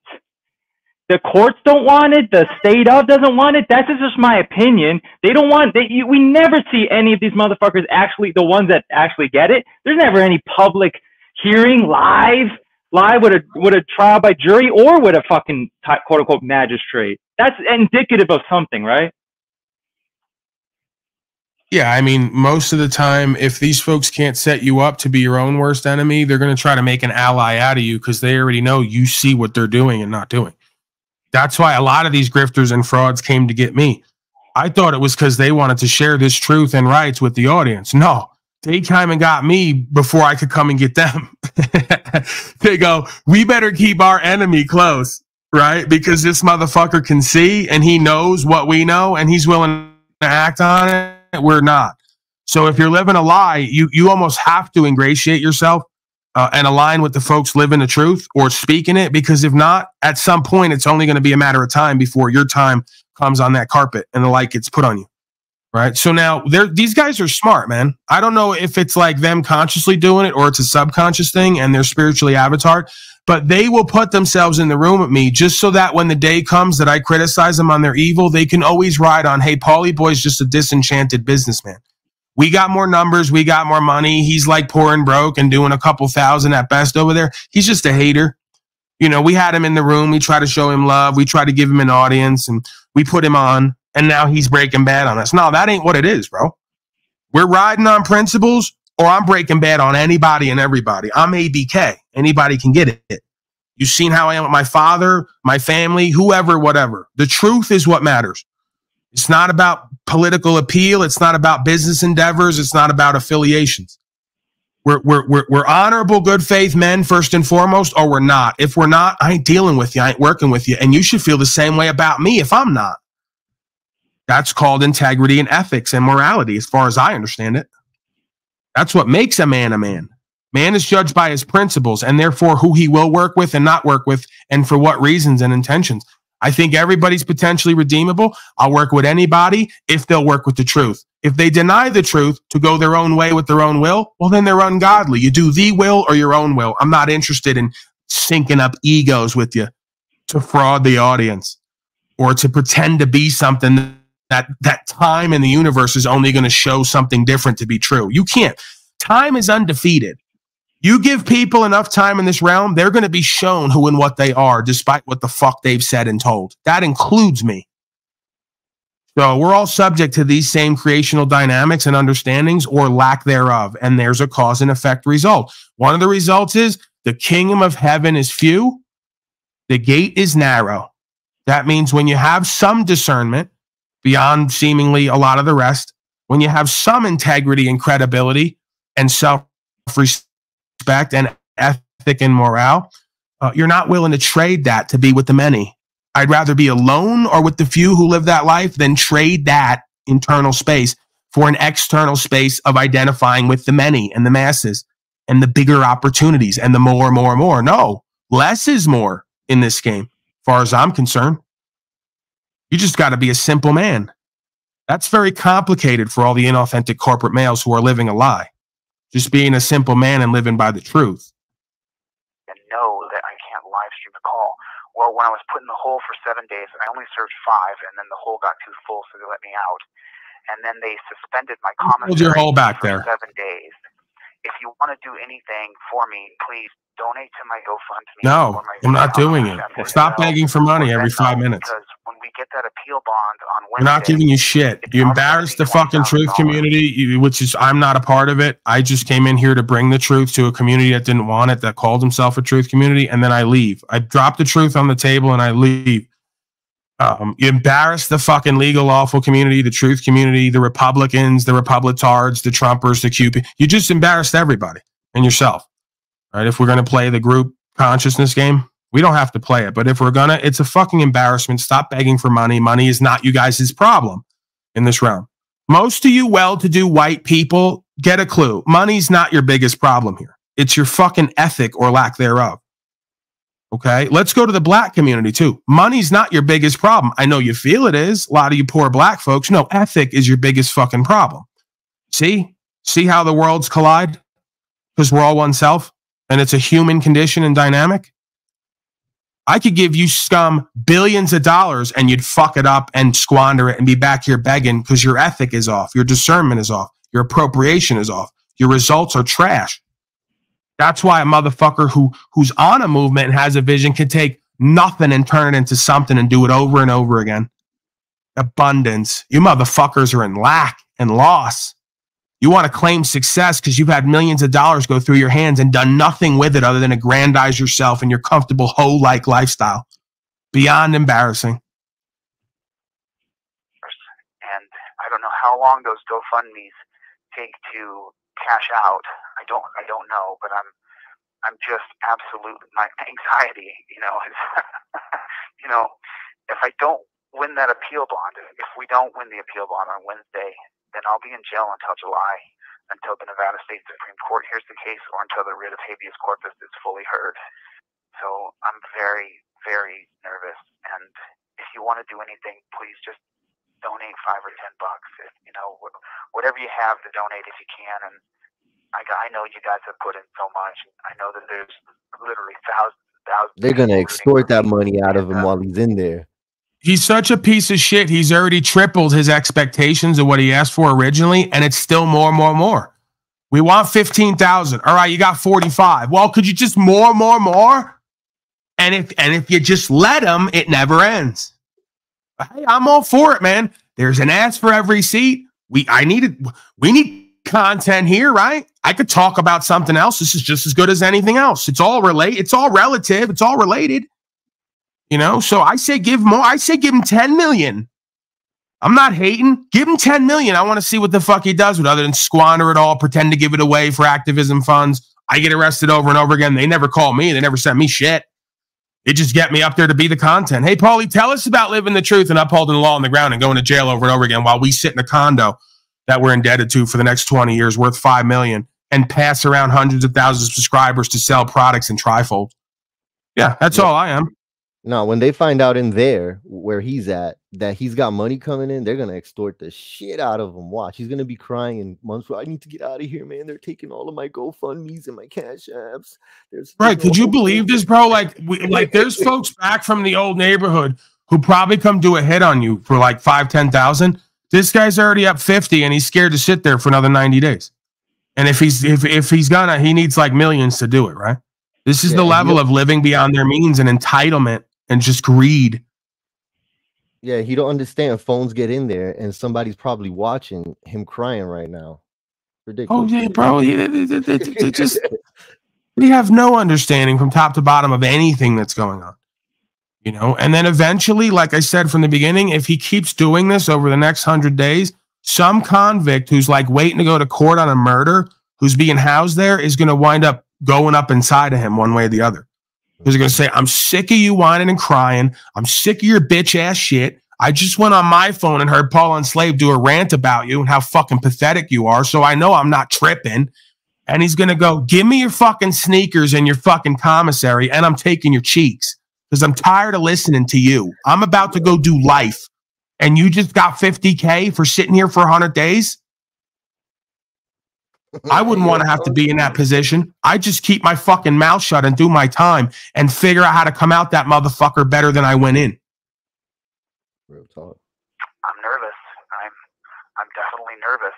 You know, I'm I'm not sleeping very much. I'm sleeping, you know, a couple hours here, a couple hours there, and I keep waking up dreaming that my appeal bond went one way or the other, and I keep dreaming about my dog. And a very special friend to me gave me a quote the other day, and they said from Nelson Mandela, when I left that jail, I left behind all the bitterness, resentment, anger right there at those jail doors. Because if I had not left them behind there, I would still be in prison today. You're not And Nelson, you that's my uh, that's my mentality as well. I'm gonna get out of here and I'm gonna leave all this behind. I'm gonna I'm gonna forgive, and I've needed to forgive some people for a long time because uh, I was holding on to grudges, and I need to forgive some people, and I need to move forward, and I'm gonna forgive this, and I'm gonna move forward, and I'm gonna work on getting that NRS code removed that put people who have misdemeanors in lockdown for 23 hours in a solitary confinement cell. You get a bunkmate, but it's it's hell. It's total hell.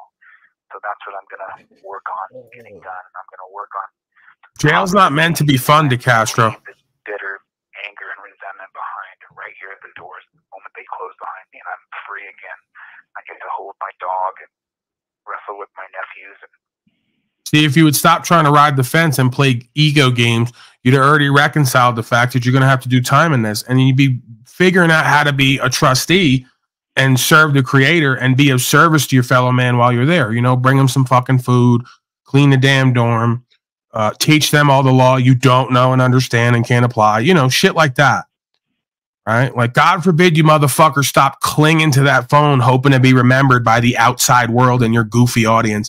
You're so desperate to still be seen and heard and just be remembered and known. I know, bro. I get it. We all get it. But then at some point, you got to check that shit and go, I'm just a man. I'm no bigger, better, important than anybody else. And if I'm here for what's true and what's right, then I just need to focus on that and becoming better and doing better and being a service to God and my fellow man while I'm here. Nah, you want to get on the phone every five minutes, crying and whining, make sure you're seen and heard, that you're remembered, that people are giving you shit and validating you. Cut the bullshit, bro. I sat in jail for 100 days. I told my father and everyone else, don't even fucking come up here. There's no point in even coming here. Don't call me. You can't call me anyway. I'm not calling you. We're going to get through it. You want to come up here on your own volition? Fine. I don't need it. Subject you to this crap. We already know what the fuck it is. I don't even want to look at you and hear it. I'm here. We're out at some point. We're going to do better and be better while we're here. We're not going to get in this fucking game of loss and lack and abandonment and validation and clutching and crying. Just cut it the fuck out, bro. If you had any kind of humbleness and humility and compassion in you, you'd look around at the motherfuckers who are in there who haven't been out in years, haven't left. Last time I was there, I shut my fucking mouth because I was there for traveling without a license and I was leaving. There was people there go, we've been here two years and we don't even have a date. Why are you crying? You got all the attention you needed. You fucking tripled up on this endeavor. You're going to get a big bag to sit there for 100 days, and it's never enough on any level, huh? While the rest of these folks sit in there with families and children and rot, don't get a court date. Many of them there for fucking drugs or whatever because they're harming themselves. They're down and out. You don't have any of that.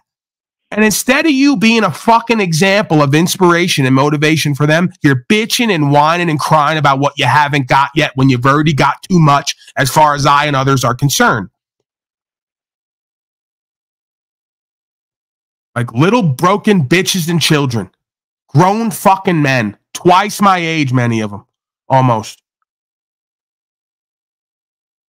Instead of preparing to die, they're still clinging on to this world and what it has to offer them and their fucking grandiose sense of self and ego. have dinner with my family. You know, Yeah, because that that's my question is if you are innocent and you haven't created a victim, how many other people are locked up behind bars who haven't created victims? There are a lot. You don't people give a fuck right about them. Why are you acting like you do? Country that haven't committed a crime yet, they're behind bars. Yeah, you know, there are a lot of people in here who have completely victimless crimes. There's a guy less than 25 feet away from me. He's 20 feet away from me. He got pulled over and he had a blunt. He had This man played with the uh, hornet's nest, and now he's crying that he got stung. he got pulled over. he, was completely sober, but they confiscated the blunt and they gave him a DUI, and he's in here for DUI. There are about 10 men in here for domestic. Right. And the majority of them, after a while, are going to be done hearing you bitch and whine and complain. Because they're going to go, You did what? They don't understand what you're doing. I could argue, I don't, I, I do understand what you're doing. I don't think you understand it. And I know them people next to you don't. They're going to go, What? I got dragged in here driving home from my slave job with a blunt behind my ear, not doing nothing. You're running up to cops, putting cameras in their face and telling them what they're going to do and not do. They're going to think you're a fucking asshole, especially if you keep whining and crying and complaining. You're going to wind up being hated in that place. You just, you just don't understand inherent hierarchical power and value systems or tribal systems or really anything. You know? Instead of this motherfucker supposedly teaching everyone else how to get out of jail, he taught everyone how to go to jail harder and faster than ever before. and he's going to cry about it while he's there. To a bunch of folks who don't give a fuck because they're in there for longer and for way less, minding their own business and being slaved on. And once they hear you got 60,000 and you've been there two weeks, they're going to start looking at you as something to eat. This is what you all don't get. You better hope they keep you in that hole or in PC because if you start getting around some real motherfuckers who are hungry and inspired and don't really have as much ethic or morale as Paulie Boy, they're going to start looking for what you can offer them, Talcott style. What do you have to offer me today? Because I had to listen to you bitching and complaining all fucking day, crying to your boyfriend Brian, shaking on your bunk, and I haven't left in two years, and I'm hungry. Papa's hungry. Hey, yo, what do you have to offer me? Hey, yo, Bunky. Yeah. You're going to have to come up off something, bro, because I'm tired of listening to you all day, every day. I'm tired of you sitting in here while I'm going broker making money. They don't even understand how jealousy and hate has two fucking sides to it. You're being jealous and greedy and selfish, and someone else in there is going to be the same way. And they're going to say, please donate to DeCastro's fund because we're going to clap his cheeks and take a third of his commissary every month. So please keep hitting the link. violence. And I've asked all of them what happened. And some of them said, she called 911 and I went to jail. A couple of them told me fishing match and she called 911 and I went to jail. One of them told me I smacked my wife. so I don't endorse smacking your wife. That's for damn He sure. cracks up at that. There are people in here who have He just indicted himself. that have been in here for weeks and weeks and weeks. I don't know what the cash cow system is here, but I do wonder. I'm sure Brian can find out the information. I wonder how much it is to put a person, a human being. I don't call these people inmates. I don't. I call these people humans. I wonder how much it is to put a human in a bed. Not just money, you ding dong. yesterday in the Las Vegas Sun, there's a huge front page article that says the CCDC is not reporting deaths to the city council and to the commissioners like they're supposed to do. And there's no teeth to enforce the, the law that the, was passed at the legislature. So that's scary as hell. But um, I hope and pray that I'm I can just survive this. That's, that's, just survive this and pray for Wednesday. And uh, Yeah, well, that's that's Brian? That's pretty shifty to me. I mean, there's no desire for accountability or transparency. Anything goes, and the sky's the limit. And all you got to do is follow the money. If there's a money trail, and if they're hiding it, that's This is why I don't trust none of you motherfuckers, and I'm glad it always goes bad before it goes bad, if that makes sense. Because it's not bad to me. It's just words and then realizations. It's, it's bad to you guys, but I can't trust any motherfuckers because you're really not down. This is what I mean. Like if I'm riding with DeCastro and Brian or whoever else and we're traveling freely, whatever it is, soon as they get knocked, they're going to go to whining and crying and signing papers if they can get out of it. That's who and what they are. But you should hear them when they're in private conversation. Oh, they're the biggest, baddest guys. Paulie, you should do more. I go, I should do more? What are you doing? Oh, I'm at city council. I'm filming cops. I'm running for governor. I go, I think you're like, you want, you're desperate for attention and validation, and you're going to cause your own undoing, grasping for shit. That's not meant for you. It's not meant for me. I don't want it. Right. So they just keep grasping in their ego, you know, and it undoes them every time. And rather than then humble themselves with humility to what the creational force wants of them, they just keep doing their own will, doubling and triple down on it. And I go, you guys are, are hilarious. How you pop all this shit in ego and then you cry and whine. You know, and then they wonder why I never really talk to them. I never answer back to them. I never really get that deep in with them personally. Because I already read them just like the creator, just like that judge on the bench read your heart, knows who and what you are, doesn't trust you. You know, you're you're not you, you can't even hoe right. If you were really who and what you were, you'd get all the way into that fear you live in as an infidel and you'd put the costume on and just be one of them. I think that's really what you want. I think you folks are really upset that you couldn't join the team and be one of them. They won't have you for whatever reasons, or you just can't nut up to how you're going to look and be. So you try to ride the line. You try to pretend to be on some light side, you know, when really it's your will and your ego that's running the whole program, just like on their side. The difference is they have a reason. Again, we're back to folks who don't know themselves and can't govern themselves, must be governed in the world some way, somehow. It's almost like a law, you know? Your thoughts, Timmy? Any thoughts on on this this nonsensical uh, dynamic of like spinning or spiraling or just pendulum swinging from one side of the black to the white and never seeing the gray area or middle ground? Yeah, I mean, I always like to go to the extreme and and find out what somebody really wants. So, you know, that's why I like to ask folks, well, what would you do if you were uh, the quote unquote God in this situation? What would you do if you get pressed into this situation? The guy's telling us he wants to be the governor, right? And so, what what would he do different, right? He wants to be the governor, and then and, and then do what? He's gonna he's gonna have uh, honorable cops. What does he understand about honor? So, I mean, it seems like he just would he just wants to be the one with the power. These folks are the tyrants they're complaining about and attempting to fight against while undoing themselves in their greatest power. So, uh, someone just said something that, oh, yeah, broken system, broken trust. Showed me a video just yesterday. Apparently got a dismissal. They say it doesn't happen over here. It happens regularly. Why is DeCastro, why am I not selling trifolds? Is the question. When I'm constantly having folks come here go, we do what you do, we learn from you about your experience, we apply it to our own self, we speak it, we live it, and then sometimes things go our way.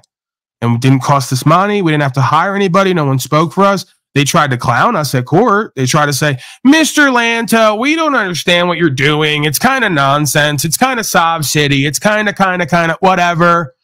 You're not getting me off my square. I know you want to like get me an inferiority complex and you want to play superiority complex. You're inferior to me. You're a servant of me, not the other way around. I don't have to believe or understand what you say you do. This is my perspective. Like it or love it. So when you stand your fucking square and they know you got a conviction in your heart and you're not willing to play their bullshit games with bullshit rules that can't be understood even if you tried, it tends to be it works out at times a bit different than what you all expect.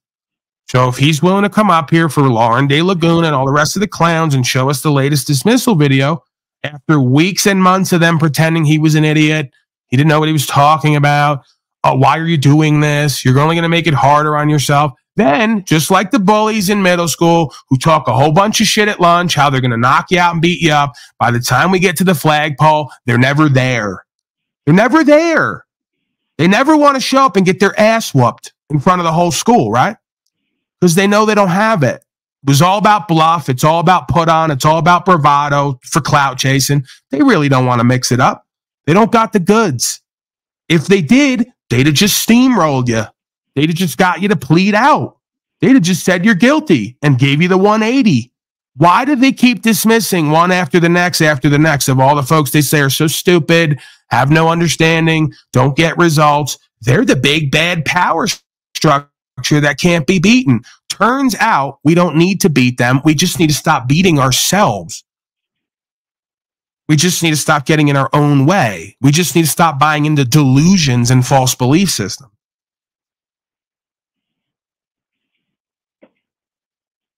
That's pretty bad. Well, you know, I don't think that the guards are actually killing people um, because there's cameras on all the sergeants. So I don't think, I mean, I think the way people are dying is the lack of giving them their medication. I think that's the number one way people are dying in here. I think people are dying in here from heart attacks and strokes. Remember, when I came in, they checked my blood pressure. You guys all know I got my blood pressure down to 135 over 85 consistently, day in and day out. Sometimes it was 132. A couple times it was 120 over 85, over 82. I got my blood pressure down by exercise, cutting salt, quitting caffeine. Yeah, right. These folks don't understand. They never watched those movies of the guy that they would depict as the guru, non guru, who could always speak the truth and reverse the dynamic on you and get out of it. You know those guys that they have like in those movies, you know, like they can't get this guy pigeonholed and pinned down with our crap. So all you folks want to run into court and prove how you're competent. And then when they go, we're going to give you a psychological evaluation to prove that you're competent. And I go, oh, I don't want that. Uh, well, why waste everyone's time? I'll tell you right now, I'm not competent in this venue. I'm not a lawyer. I'm not a legal counsel. I'm not part of legal society. I'm far from competent in this venue. I don't need to compete with you. That's the best part about the law. I just need to know who and what I am and what I'm not, and who and what you are and what you're not. See? No competition necessary, therefore, no necessity to find out if I'm competent. Because I'll already admit I'm not competent at legal process and I'm not a part of the legal society. That should make it very simple on what we're going to do here today. Right?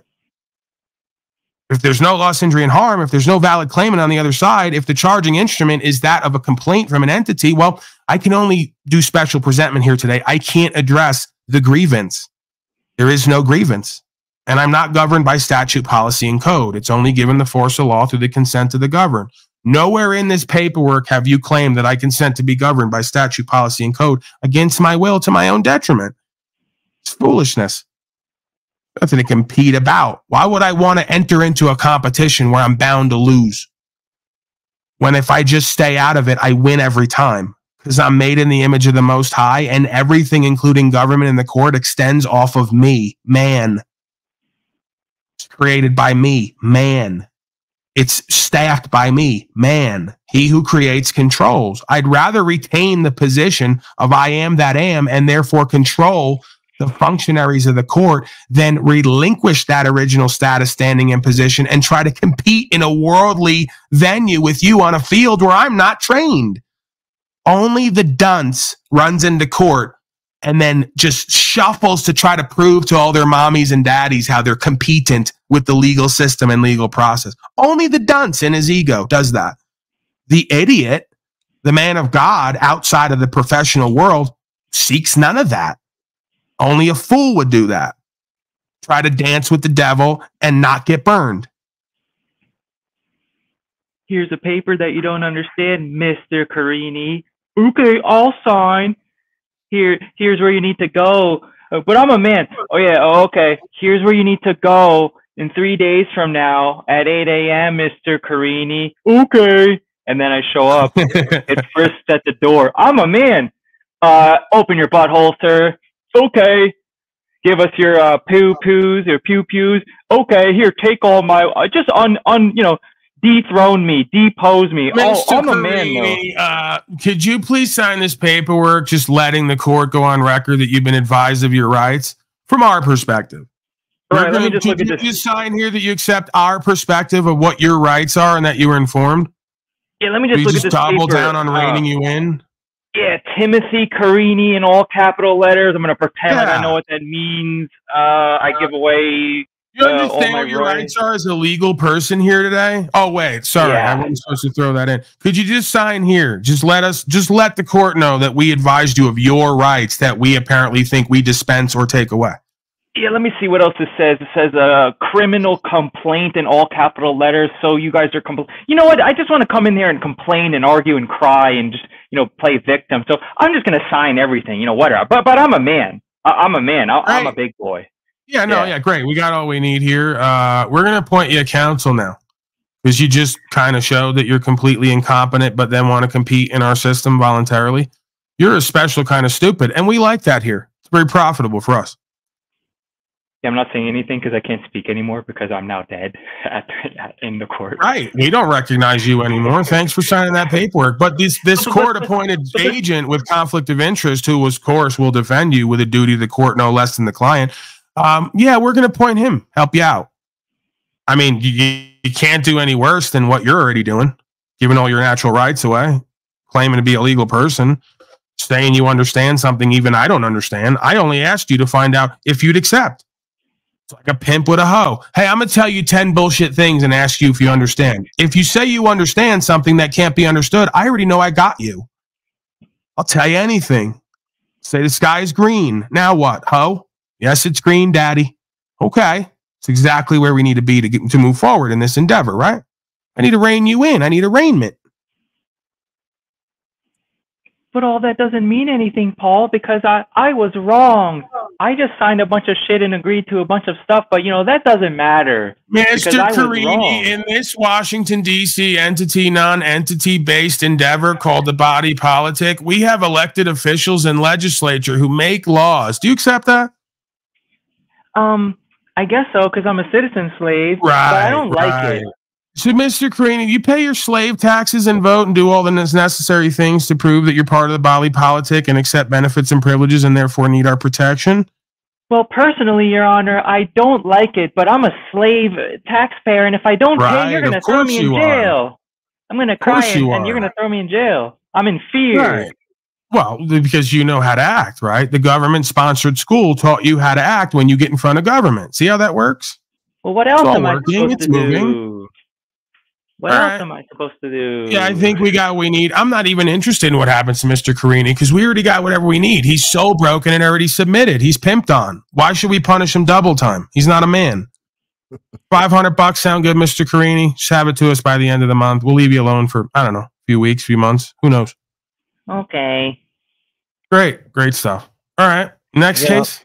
hmm I'm here, a third party interviewer. I'd like to know the facts, and I'd like to know who bonded. the Sir, who are you? You have no standing in this case. I don't recognize you. Are you on this docket here? Are you Timmy A. Carini, all caps uh, entity? You're No, not sir, that I'm being, the- are you? You're not the legal sir, I'm counsel the- that being? I am the Shut up now, slave. Sit down. You're in this court. You will be put in contempt. I'm just dying and itching to slave up a second person here today because that just went so smoothly and so well. I kind of need to act out now. Will you please be the person that I get to act out on? Yes, Your Honor. All right, lock him the fuck up. Because, you know, the Carini thing went so smooth and so well. And I feel like folks are really not in this room understanding the power that I wield. So, in order for them to understand that, they're probably going to need to see a sacrifice up close and personal. Go ahead, uh, bailiff, Mr. Brian O'Shea, uh, my bailiff there. Please drag off Mr. Emmanuel in front of all the other slaves, horrified. I'll speak to him in like a couple minutes and let him out, but I want them to see this. Get over here, Emmanuel. Right. All right. Mr. too- Emmanuel has been dragged off into the back. Um, and that's good. That's good theatrics, right? For everyone else here witnessing. I'll be right back there in like five minutes to talk to him. I'll let him right out. We'll do the paperwork. You know, but you got to put on a performance here. It's, it's, it's about maintaining the position, you know, and the power. Now, he, now here's me after that on my live stream. I didn't do anything wrong. I complained to the judge, and the judge complained to me, and then he said a bunch of mean stuff, and then force me to pay five hundred dollars or say I would be in contempt and be dragged away by some piss-smelling pig, and that's just ridiculous. So I'm just Debbie? gonna complain. Debbie, yeah, Debbie. Uh, some of our property is in the back, whining over the phone. Could you please have it restored uh, in the in the as it were hole, as they call it? Uh, just please have it stored there for its own safety, because see, the property we now have out back doesn't understand the dynamics of like law, order, legal society process. He might get himself in trouble, might get himself harmed. the Constitution says something about this being not right. Oh, the Constitution outweighs my own discernment and my own contracts. Is oh. there scholarly property in the back whining? I love when scholarly property, Constitution scholar property whines like that. some paper that I've never seen or con or contracted myself or signed says that I have some right. I can't really live. Hey, Debbie, Oh. uh, could you prepare the single cell in the dark for George Washington here, one of our founders, Mr. Mr. Scholar, constitutional Before scholar? I Yeah, go, just get it warmed up. to for- my donate to my GoFundMe, please. Somebody make a GoFundMe immediately and hire more lawyers for me, please. Oh man, yeah. Please do donate because we're gonna make sure we take at least a third to half of whatever he gets back to the system. So go ahead, please do that.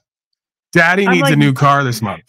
I'm like Nelson Mandela. I've been in jail for 27 minutes, and he was in jail for 27 years, but it's basically the same thing. Oh, more donations. We have the best racket going ever. Like I just get my Jewish lawyer cousin who also works for the court to just come in here and defend in quotes Mr. DeCastro. And it's like another 20, 30 K.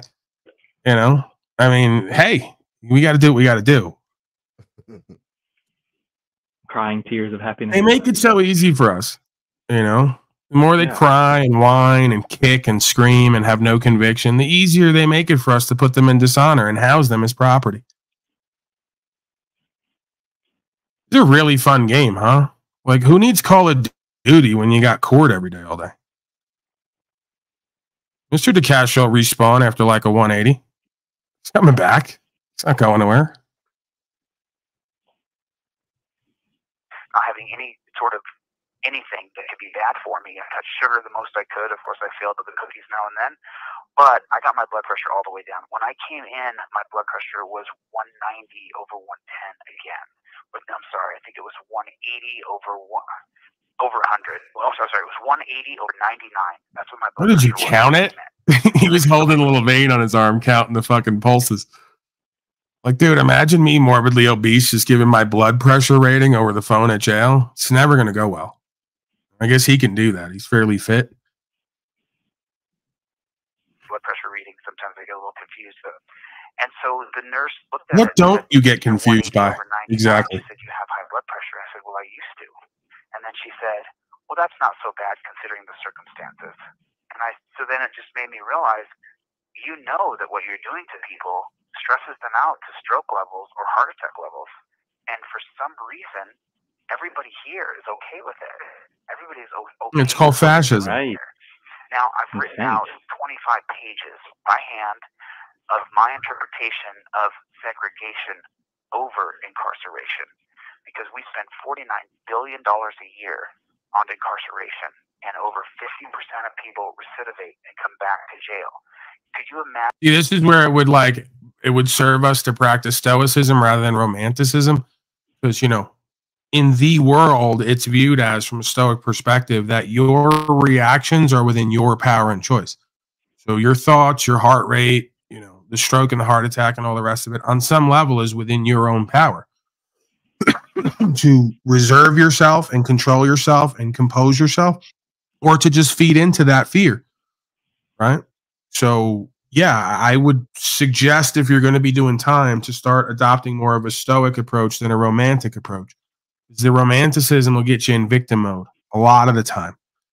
You know, it's just not going to be beneficial for you. Whether you're right, wrong, or indifferent, it's just not a good perspective to take on to do what we do. It would seem to me. Imagine sending your dog to a dog training Charlie. school and then Charlie the dog. back and it bites even more people. And when people get out and they recidivate, what does that mean? That means that you, your family, your brother, your sister You have one minute left. is a victim of the person Wrap it up. recidivates. I don't know if that's the proper pronunciation, but you know what I'm talking about. So I wrote a 25 page essay on it yesterday on on segregation over incarceration, and it's very in depth. I'm going to publish the book when I get out of here. I've taken hundreds of of, of of perspectives that I think could make a system that doesn't have recidivation, where where there's no more victims of crime, and that's my overall goal.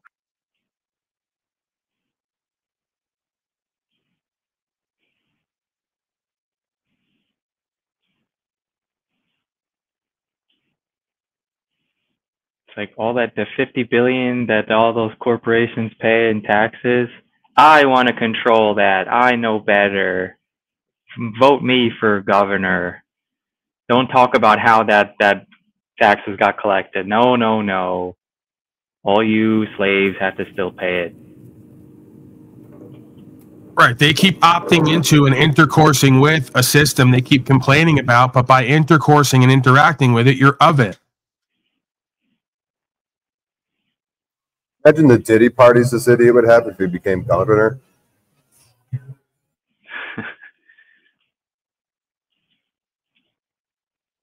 Wait, wait, wait. I just I stepped out for a second and came back. I guess I heard it was over. I was listening like over the top. I didn't hear him say that. Is he begging for house arrest now? He's like, I'll do the time anywhere. Just you know, as long as I don't have to be here, just bring me to my condo. Put the put the thing on me, slave me from the condo so I can still broadcast and get my fundraiser money. Bro, they don't care. Why do you think they care?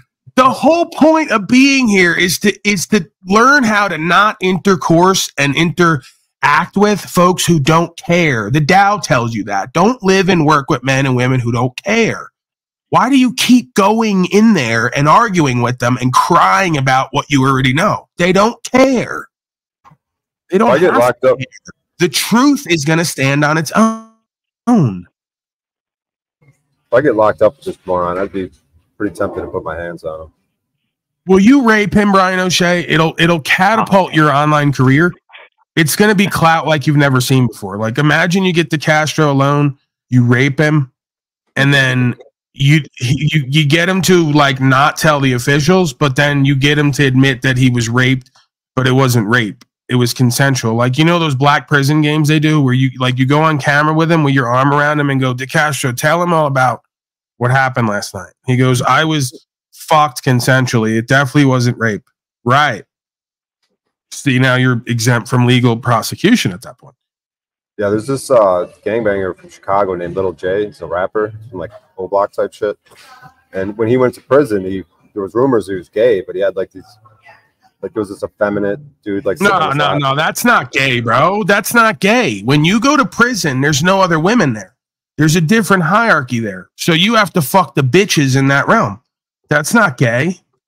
Okay? This is what you need to understand about being a dog, right? Dog will hump the couch. Dog will hump another male. It's not gay. Right? Right, There's so no like there's no romanticism there. You're not dating a man and going to like candlelight dinner in the cell. Some bitches got to get fucked, male or female. Just It's part of the order and hierarchy. Everyone knows that. Right. I want him to be like real effeminate, or prance around and shit, sit in my lap. Yeah, like you cool. fuck him for power and for value. You don't fuck him because you're like into him and want to like love him and date him.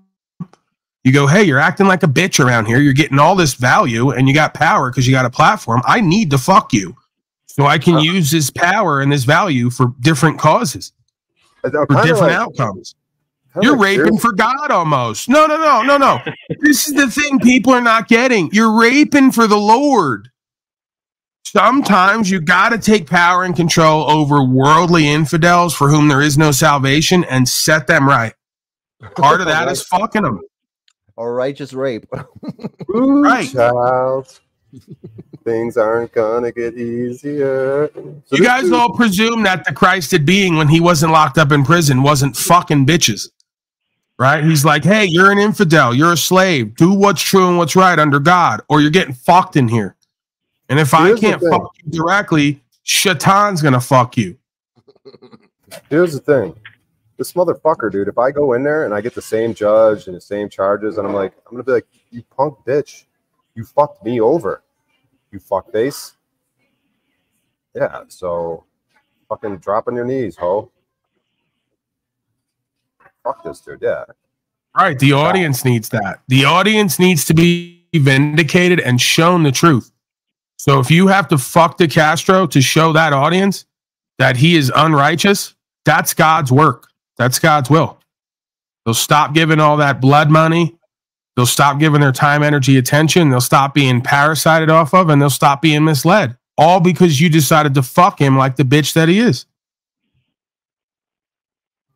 Fuck me, I fuck you.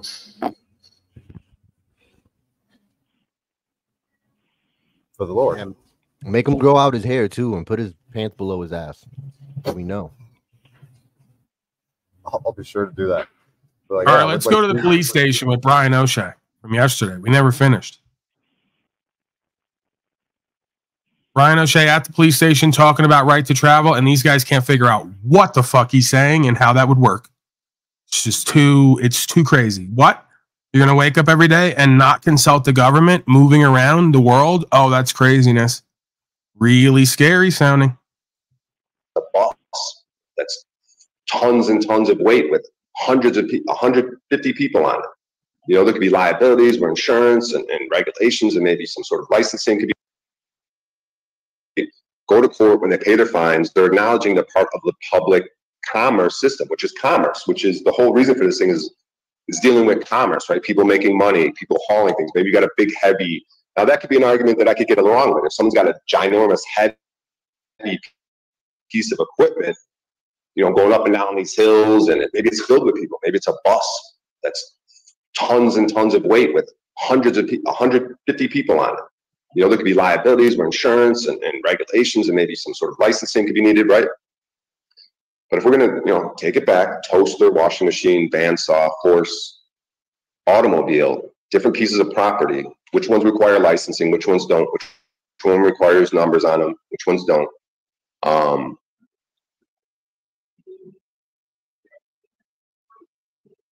and and it's getting back to you have so many other people that go along or that that voluntarily because it's all voluntary at the end of the day. When you guys ask people, do you understand? You understand? And you commit, supply? Do you commit, um, submit, comply, obey? Are you going to submit, comply, and obey to the officers? When when they do that, they're acknowledging that they're going to that they're being part of your public system, right? When they do these things, they're when you say, "Do you understand? Do you understand why I pulled you over?" We want to make sure they actually understand the reason for stop.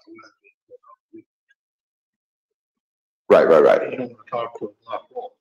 Right, but it's a it's a it's a key phrase. I don't even know if it comes up. I was the reason I'm hammering on that word understand is because I've been through, you know, I've I haven't presented IDs, right? So I'm very familiar. You know, I've had my car towed. I've been arrested for not presenting an ID, right? And, and the charge was obstruction of an investigation into why your plates are expired. You know what I mean? Uh, that, that sounds silly to me. I mean, you, you could just write up the paperwork. You got the then You got you know, there's names attached to things like the fact that I did that. I don't hand over an ID as a as a uh, expression of civil disobedience. You know, to, to, to say I am a private person. You know, and I know the reason why that it, it blurs lines because the numbers are on my car, which signifies to you I'm part of the public system. That this vehicle was at one time registered, and it's it's like delinquent in its registration. So so so to me, a more neutral position would be no plates, right? Which is what I'm close, which is why I'm having this conversation, because I'm very close to just taking the plates off. To let you guys know that hey, I'm clearly signifying arrest, ar- no arrest, toe, no toe, obey, no obey. I'm willing to go do it, go through it however, lock me up forever, kill me, do whatever you gotta do. But I'm gonna stand on my principles and my conviction that hey, I want to be a private, free American person the way we're supposed to be, just like if I was on a horse. I don't need some other man coming up to me, no matter what he's wearing, no matter how he's armed, saying, Hey, are you able to ride this horse? Uh, where's your horse's uh, signifying numbers? You know what I mean? That doesn't feel very free. If you're not able to speak freely, not able to travel freely, you may not be free. Again, Mr. Lantau, I'm going to talk to you like Slavenoid. Mr. Lantau, he's not going to say this, but there's no such thing as factual evidence. evidence is the lack of proof. Proof doesn't require evidence. That's why it's proof. Evidence is not proof. So there's no such thing as factual evidence. You can provide evidence of a fact, that is not proof of a fact. You see how that works? I know that's like that's going to throw everyone in a fucking loop when you like ride the middle and you just don't go from one side to the other. Right? It's like they don't need factual evidence because it can't be provided. There's either proof or evidence. And if anything, there's factual or formal proof or evidence of a contract that you all have acquired a status and receive benefits and privileges, and therefore believe you're a co trustee and therefore are governed by that public trust code. Right? So there's plenty of evidence to that fact of that matter. Brian O'Shea just illuminated the evidence. You're riding around with public state of tags claiming whether you know it or not, or the officer knows it or not, to be involved in some commercial proceeding. It's just what it signifies, it's what it denotes. I'm not interested when anybody understands or believes or not. So the formal or factual evidence, as you put it, shows that these folks, on some level, common practice, which has become common law for the people who live on the land, whether it's universally sound or not, or sound in the principles of common law, the common practice and common ethic has become fascism.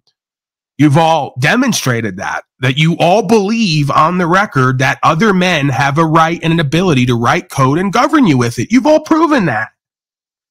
We don't even need evidence to that. You've proven that, you believe that and accept that and operate from that premise. If you didn't, you wouldn't. So you see where I'm going here? Now, if you think that these people on the lowest level understand any of that or care, they don't. If you think on the highest level they're ever going to tell you they understand that or tell you what's going on, they're not because they would undo their game. This is why a cop will arrest you, charge you with a dozen things. By the time you get to court, let alone trial, because nine out of 10 times they're not going to take this shit to trial because they already know you understand a charging instrument, the nature and the causes, the jurisdiction and the elements of it, which is more than just geographical. There's subject matter. Uh, you know, again, somebody in administrative capacity who understands dual jurisdiction is not going to push the issue with someone like that because they know they've beaten them before we started. They can't arraign you. They can't rein you in. They can't get you in their jurisdiction. At best, they can get you in their presence to present special presentment. There is no appearance. There is no arraignment. There is no bonding and bondage. There is no accepting of the surety for the legal entity, the fictitious entity, you could argue, doesn't exist on the charging instrument. And I'm not going to create a joinder between my body and that legal fictitious entity through a surety bond. No, I will not. So they know, like I know, what the game is and how it's done. They're not going to tell it to you, and they're going to make you sound like you're an idiot when you go to try to challenge it or speak the facts. And then they're going to defer to what they have on record, which is a whole list of actions you've done or not done that proves, or at the very least, shows evidence of you believing you're in contract with United States Corporation and have to follow its codes. When the whole purpose of U.S. Code and the Supreme Court is to govern the agents, not the men and women who they serve. So that could never be legitimate, even if you believed it, because that's not how it works. Well, it does because they amended the Constitution for public safety. The problem with that is they can never identify a direct threat, nor do they have a third party impartial witness or claimant who can testify that somebody breached the peace or was a direct threat. All they have is agents of the state in the room playing all positions. It's illegitimate and fraudulent. Doesn't mean their system technically isn't sound, doesn't mean they can't steamroll you uh, but they're not even doing their technical process and procedure from their perspective, let alone from a lawful perspective. Because they're just so used to slaves filing in there, doing what they're told, pleading out, paying the fine, and walking off. Fascism has become the rule of the day.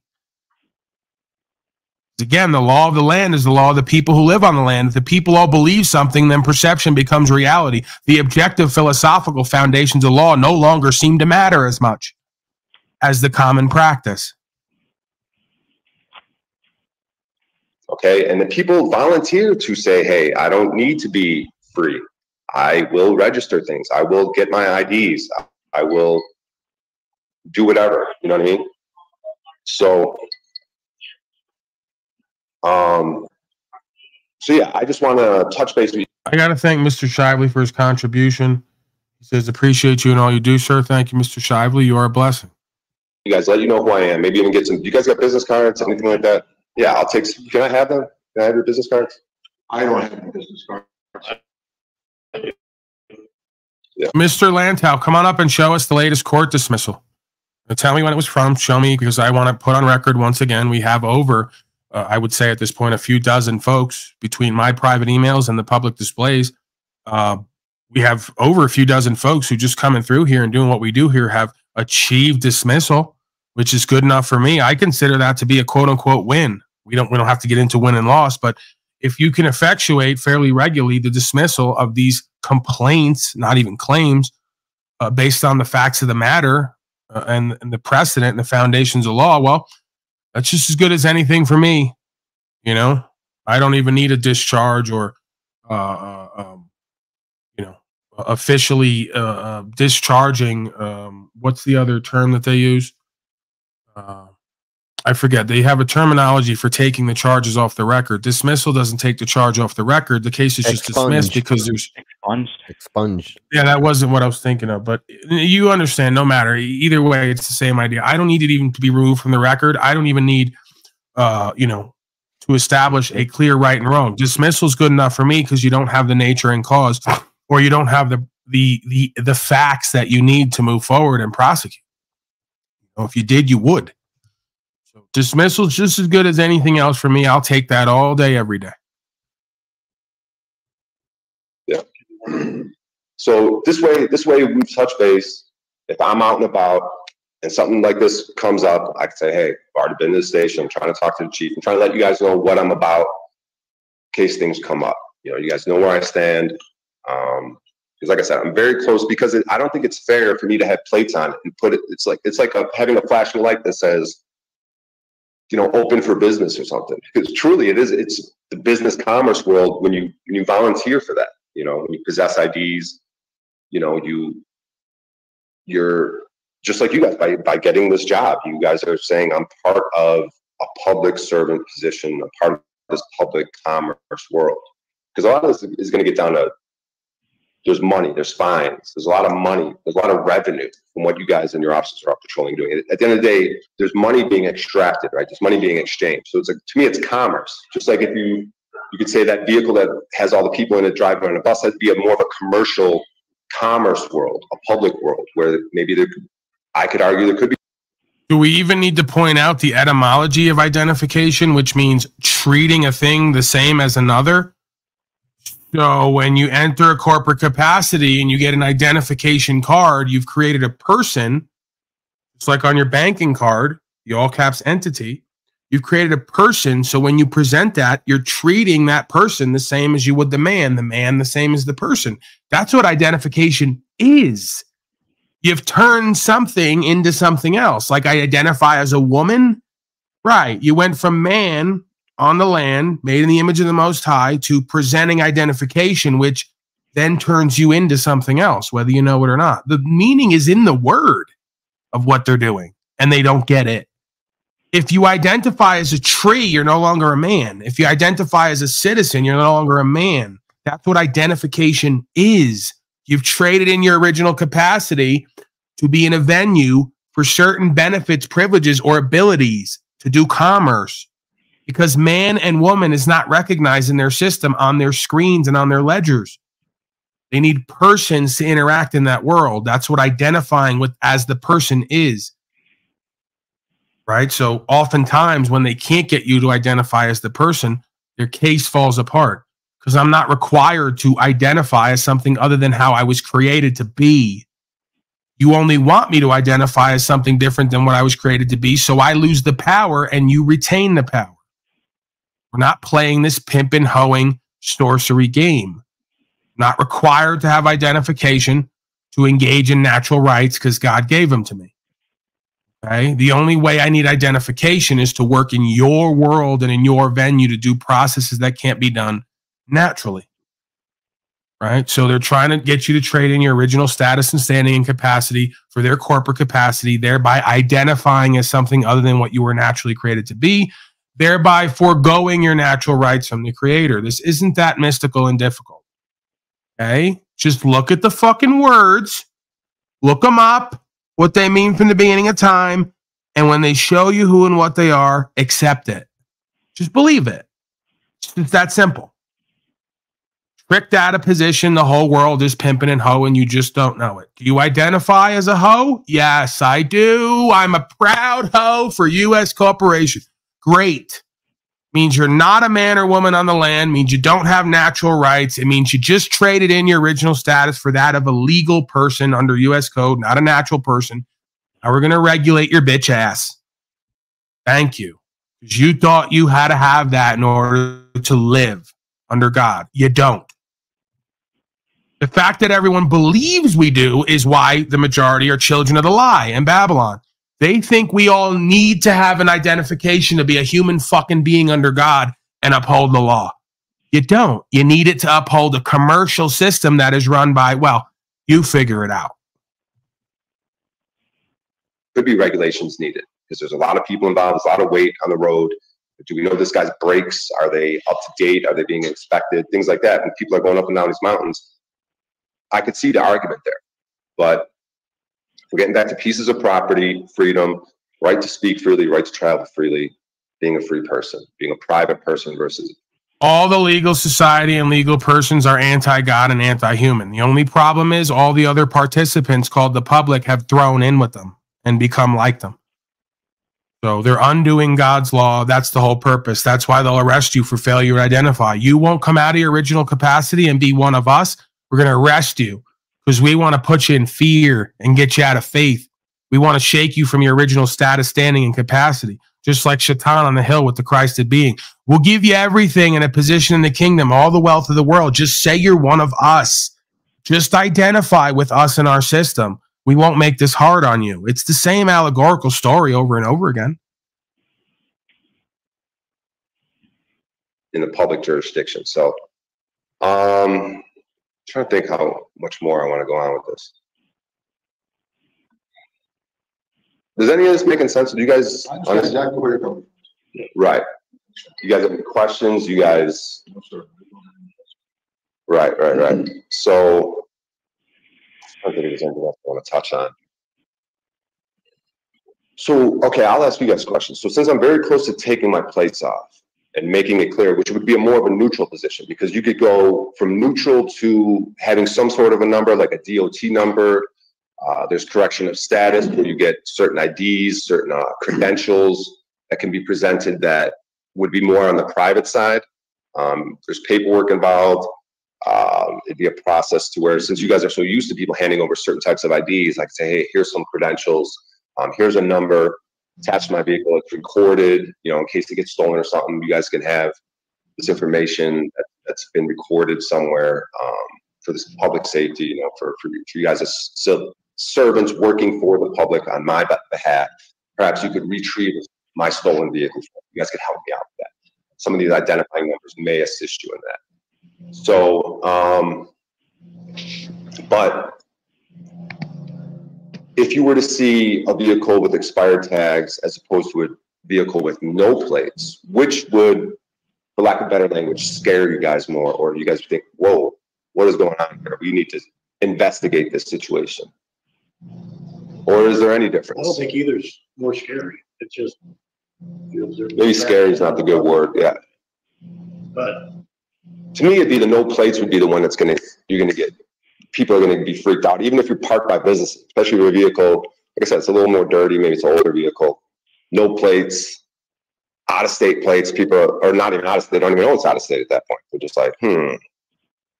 This isn't the vehicle, you know, something's different about this car than what we normally see. It's a little dirtier, a little banged up.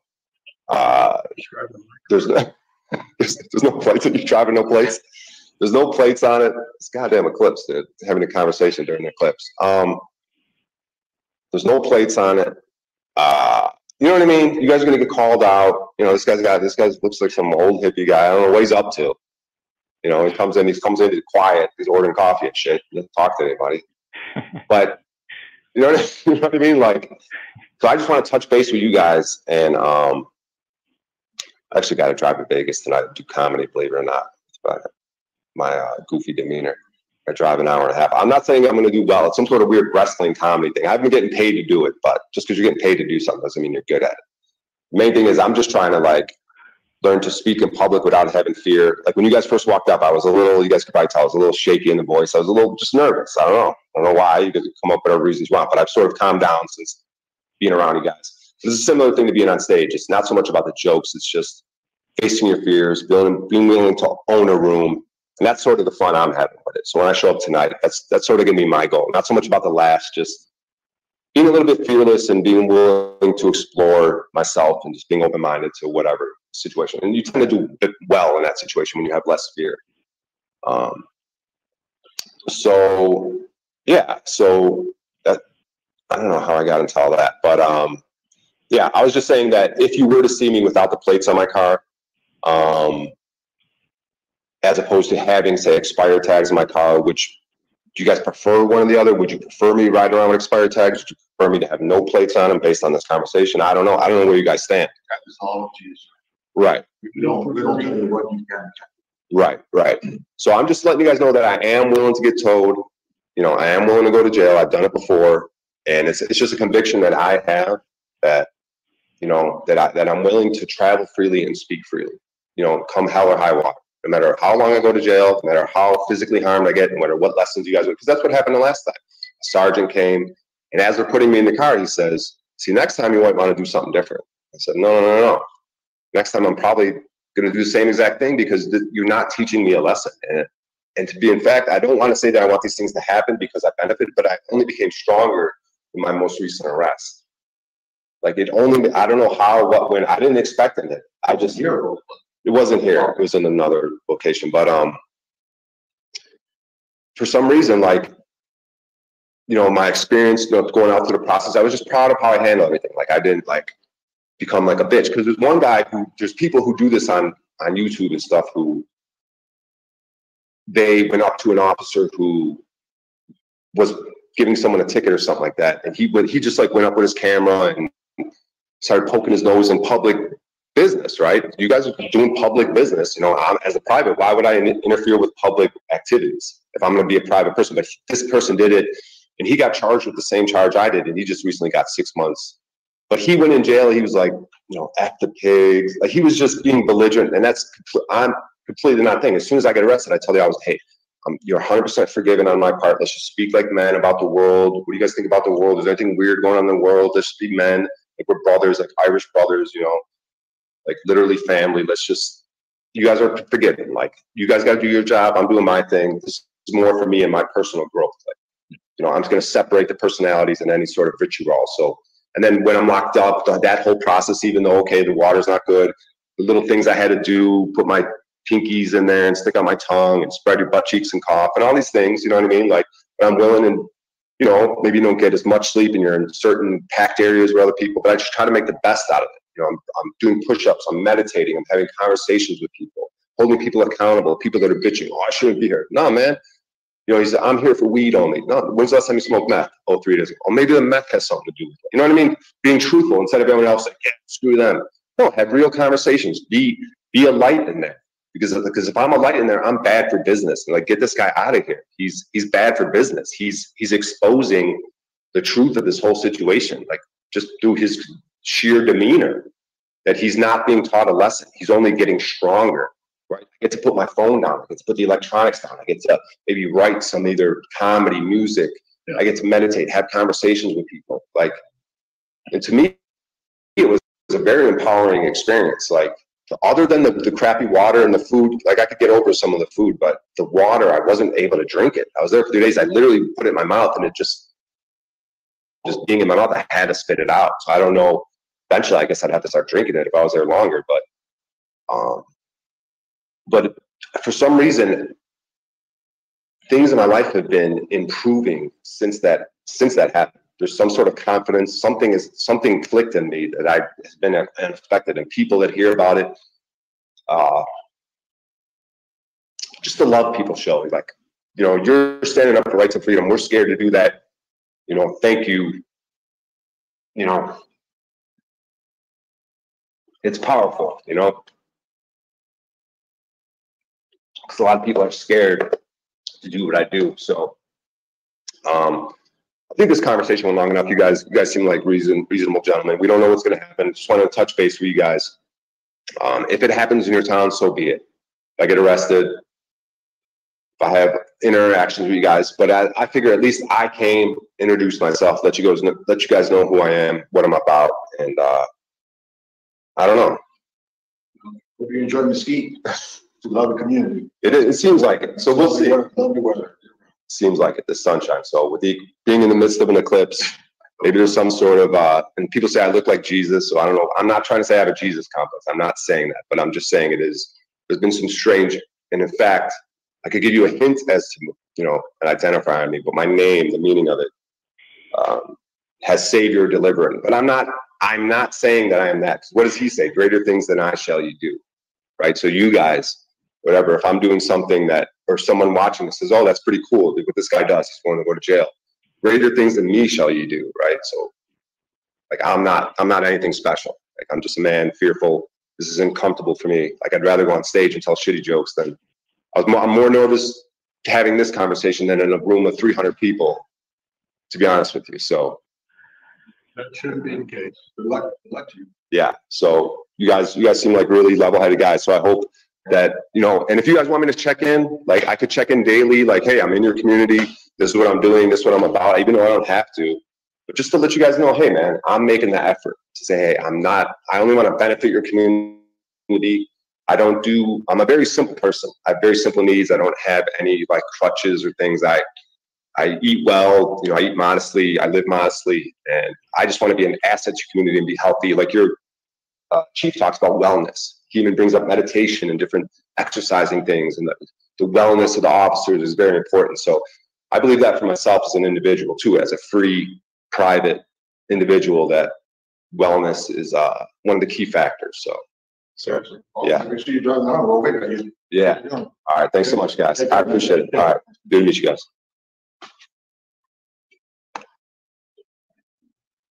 So like you're working it out. you know, I'm not going to be critical of of the this and that. You're you're getting FaceTime with these folks. You're working it out. You're feeling them out. You're taking the temperature, and you're getting them on record. Um, I'd prefer if you'd stick to the facts a little bit more. You know, let them be endeared to you. Talk about who and what you are, but get them on record. Hey, bro, if I'm riding around here and I don't have this crap on the back of my private property, are you going to stop me? If you stop me and you see that it's good old Brian, are you going to fucking kidnap me? Are you going to take the property? What are we doing here? You know, because I, I, again, this is about getting them on record to cover your bases. So, like now, if they're to stop you and arrest you, you could go to court and say, Hey, I went to the police station and I told them I'm going to be riding around without this crap. They said, Great, we're going to wave at you when we're riding around. That's what he just said. So if you just make that a little bit more clear and get an answer from them so they can get put on record and if anything comes up, you can substantiate you don't know why they're doing that. Because you went there and the two guys in charge that day there said when we see you riding around without anything we're going to wave at you. We think you're just the greatest guy ever. So i don't know why they'd be stopping me and doing this now. This is the point of getting it on the record to cover your bases and be able to present that as evidence at court uh, evidence the- of a verbal contract That's why the the written word stays and the spoken word flies. So, you know, you could you could perfect what you want to say to those people every time you go through those doors, but it'd be a lot better if you perfected it in writing and just sent them certified notice of what your intentions are when you're in the public. And then, you know, every time they pull you over and say, "Hey, did you get my notice at the precinct, at the local precinct?" and they check, they're going to say, "Have a good day, Mr. O'Shea. Be careful out there for your safety." And it's as simple as that's what I've encountered when I've exercised it that way because it's a matter of principle. Notice the principle. Yeah, I mean, again, there's a middle ground. Part of it's establishing relationships, part of it's being seen and heard. They get a feel for you. And then part of it's just putting your intentions on record and then asking them courteously before that beforehand, what are we looking at if it comes down to an interaction here? And trying to get them some way, somehow on record. Either gonna say, No, Mr. O'Shea, if we see you around this town without the proper markings and the proper identification, we're going to arrest you and we're going to charge you. They didn't say that, right? So it could go either way because you really didn't hold them to an answer of what we're going to do if they encounter you. But I could argue at court that he just said, after all that presentment, which the whole main point is, I'm going to ride around without anything. You said, they said, great, we're going to wave to you when we see you. So anything other than that treatment is going to come off as odd and bizarre to me. If And it they happens, object- if they do object, you have your notice of non-response. to That's what I was going to say. It's, Yeah, it's go ahead. tacit agreement. Yeah, you Not you have tacit though. well. I mean, I don't I don't understand that terminology, but I just understand the principle that if you sent them notice and they didn't give you a response within 30, within 30 days, you can send them another notice saying, "Hey, you agree to this." And I haven't gotten any response. You have 10 days to respond. After those 10 days, you take th- that notice to your notary, which is your your witness. The second win that's one of your witness. The second witness is the post office certified mail. When you send it again saying, "Hey, we agree to this," now it's on the record. So when they take it to court saying, "We don't know what we don't we don't um recognize his law," well, guess what? Ignorance of the law is not an excuse, and the judge is going to recognize it as that. Period. It's just a matter of principle. You've established a contract with them, whether they know it or not. Well, you have the evidence. You've created your paper trail. You've created every exhibit along the way to, to prove to these people when they created an impasse with you to say, hey, I have my remedy in my back pocket, and here it is. I don't disagree, but jurisdiction is spoken word. So I establish my jurisdiction, the jurisdiction to I of what I participate in by speaking it. And if I record it on a video, then that is as good as on paper. And I get their reaction and uh, their feeling and their state of mind live um, is, uh, in my opinion, even better than their non-answer to my notice, even though I agree with you about the written notices. But if it's in my local area, then if it's on I if it's on video, with right? like perfecting it in the word, you know, in the spoken word, but like if if you got it perfected in in the viva voce like they say in those venues you know then you could just walk up in those venues and handle that in viva voce and have the paper trail to supplement to supplement everything and just walk out of there victorious every single time there's because you've stayed in honor every single step of the way you haven't created uh, uh you you didn't come off as the belligerent combatant out in public you're not a threat. You've given notice of what your intentions are, and nobody rebutted them anywhere along the way of that record. So the record has already been established outside of the court in private. Yeah. You've established a law. You've written a law into the record saying, I, Christian, uh, can take my property VIN number and no one else has any claim or right to it on these public roadways in the course of regular business, which is outside of commerce, so to speak. So, however you want to voice that or word that, you know, each individual has their their little fingerprint fingerprint as to how they want to voice that, and put it on the record. And if nobody rebuttals it, then there it is. You know, there shouldn't be any more argument past that. And if somebody does pull you over trying to push their beliefs upon you, you've already established what the law is. There is nothing to argue on the side of the road. And you're establishing that with the the head of whatever, however their organization works, correct? But through the principles, you know, you have your Yeah, you, yeah. it- you use the notice every they pepper you and flower you with notices all the time every day, and and we don't respond to them with any other way with fiat. They like when we respond with fiat, right? But then when you respond by responding with the written word, saying, "Hey, can you prove your claim here? I'd I'd love to accept this. However, I don't see where you have the right to claim, collect, whatever, and you have 10 days to respond to this. If not, I'm gonna have to conditionally decline this this offer to contract. I'm gonna have to respectfully decline this offer to contract. And if they don't respond and say, hey, well, you know, I sent you a notice for an offer to decline. Did you, you know, I'm presuming you got it. You haven't responded. That's my that's my notice of non-response. If they ever want to take this matter to court, I have everything I need to secure my party because I did everything as a creditor.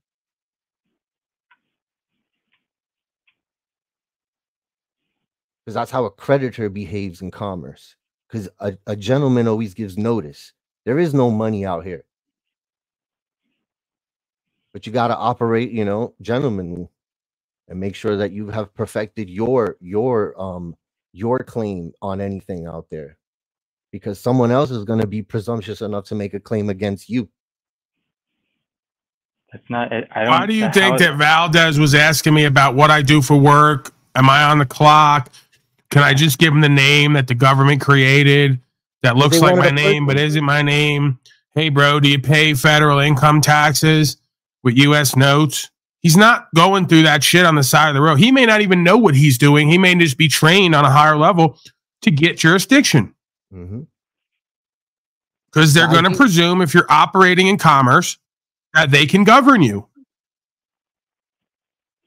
you don't you could have a license but it's you don't have to willy-nilly give it to them every time they ask for it they don't want to speak to the living man they want to speak to that You can have a license and don't have to sign it. I'm thinking about going to get all this crap and just not signing it and not giving them any debt notes. well that's And exactly they can't what I- take my body and the property anymore. I have all this crap, but I didn't sign it. Now what? You can't compel me to sign a document and give me legal advice at the DMV. Suck my dick. You're gonna you're gonna discriminate against me and deny me the benefits and privileges that you're required to put forth at the expense of slavery. There's a way to effectuate anything, man. No one forces you to sign those documents. No one forces you to sign bond and bail and release paperwork, as Mr. Wizard used to speak about here when he was in good standing with this court, where he dishonored himself in the truth, trying to bullshit everybody and insult their intelligence. Yeah, the way I signed my my license, the agreement with the state was once I understood how all this worked, I started putting it into practice. I signed it. I didn't even sign it. I just wrote UCC 1-308 all rights reserved. And then I attached to that application my affidavit of corp of denial of corporate existence and signed that as the living man. And they accepted it. They didn't return it back to me. They took it. I got my license You know, I have a request for Joe Moore since he's down there again after almost two years. Because the last time I heard and saw from Joe Moore, he was disparaging me and my character on Mr. Slavecott's pathetic broadcast. So I'd appreciate if he would act, at least act like a man if he's not one, and come on up here and have a back and forth with me, a colloquy, if you will. Right. Let's have a discussion, if nothing else, about what kind of sentiments you hold on to regarding myself, or how much of those sentiments you've let go because you're back here trying to intercourse with the day's affairs. Could we do that resolution process? Could we create remedy here and resolution for a problem you and many others hold and have that I don't? I mean, if you're going to be here, why not, huh? Let's just like create good standing, as I just spoke about. Like, why leave it open ended?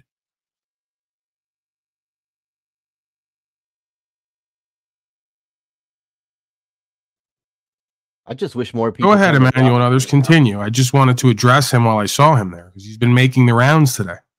I just wish more people understood the simple principle of giving notice. And if they did it more, it seems kind of like willy nilly at first, so some a, a kind of a whimsical thing, like you're just sending it out and not getting any response, and you, you kind of expect a response. But the thing is, you don't need a response. The the notice of non-response is the agreement.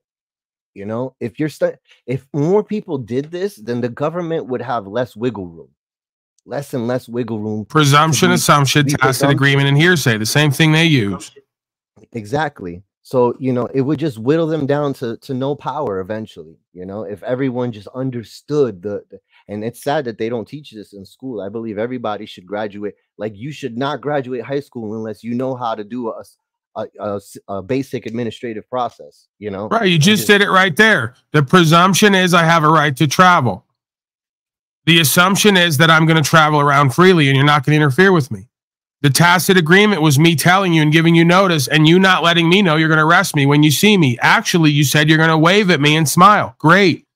So mm-hmm. now I have the hearsay for when I go to court. And more importantly, it's beyond hearsay. I have firsthand proof of what went on. So it's uh, presumption, assumption, tacit agreement, and hearsay. The same thing the courts used was all just used in that interaction right there, indirectly. So if they do stop you and they do take you to court, you're gonna have a great video to show them, and then say, "I'm confused." If if you were gonna arrest me and do whatever else has been done other places here, well, then why did the guy not say that and state that uh, implicit, not implicitly, explicitly? Did he not state that he will be arresting me when he sees me? No, he said he's going to wave and smile. So I'm here now. You have me charged. We're at court. I'm a bit confused. It's better than hearsay. It's on record.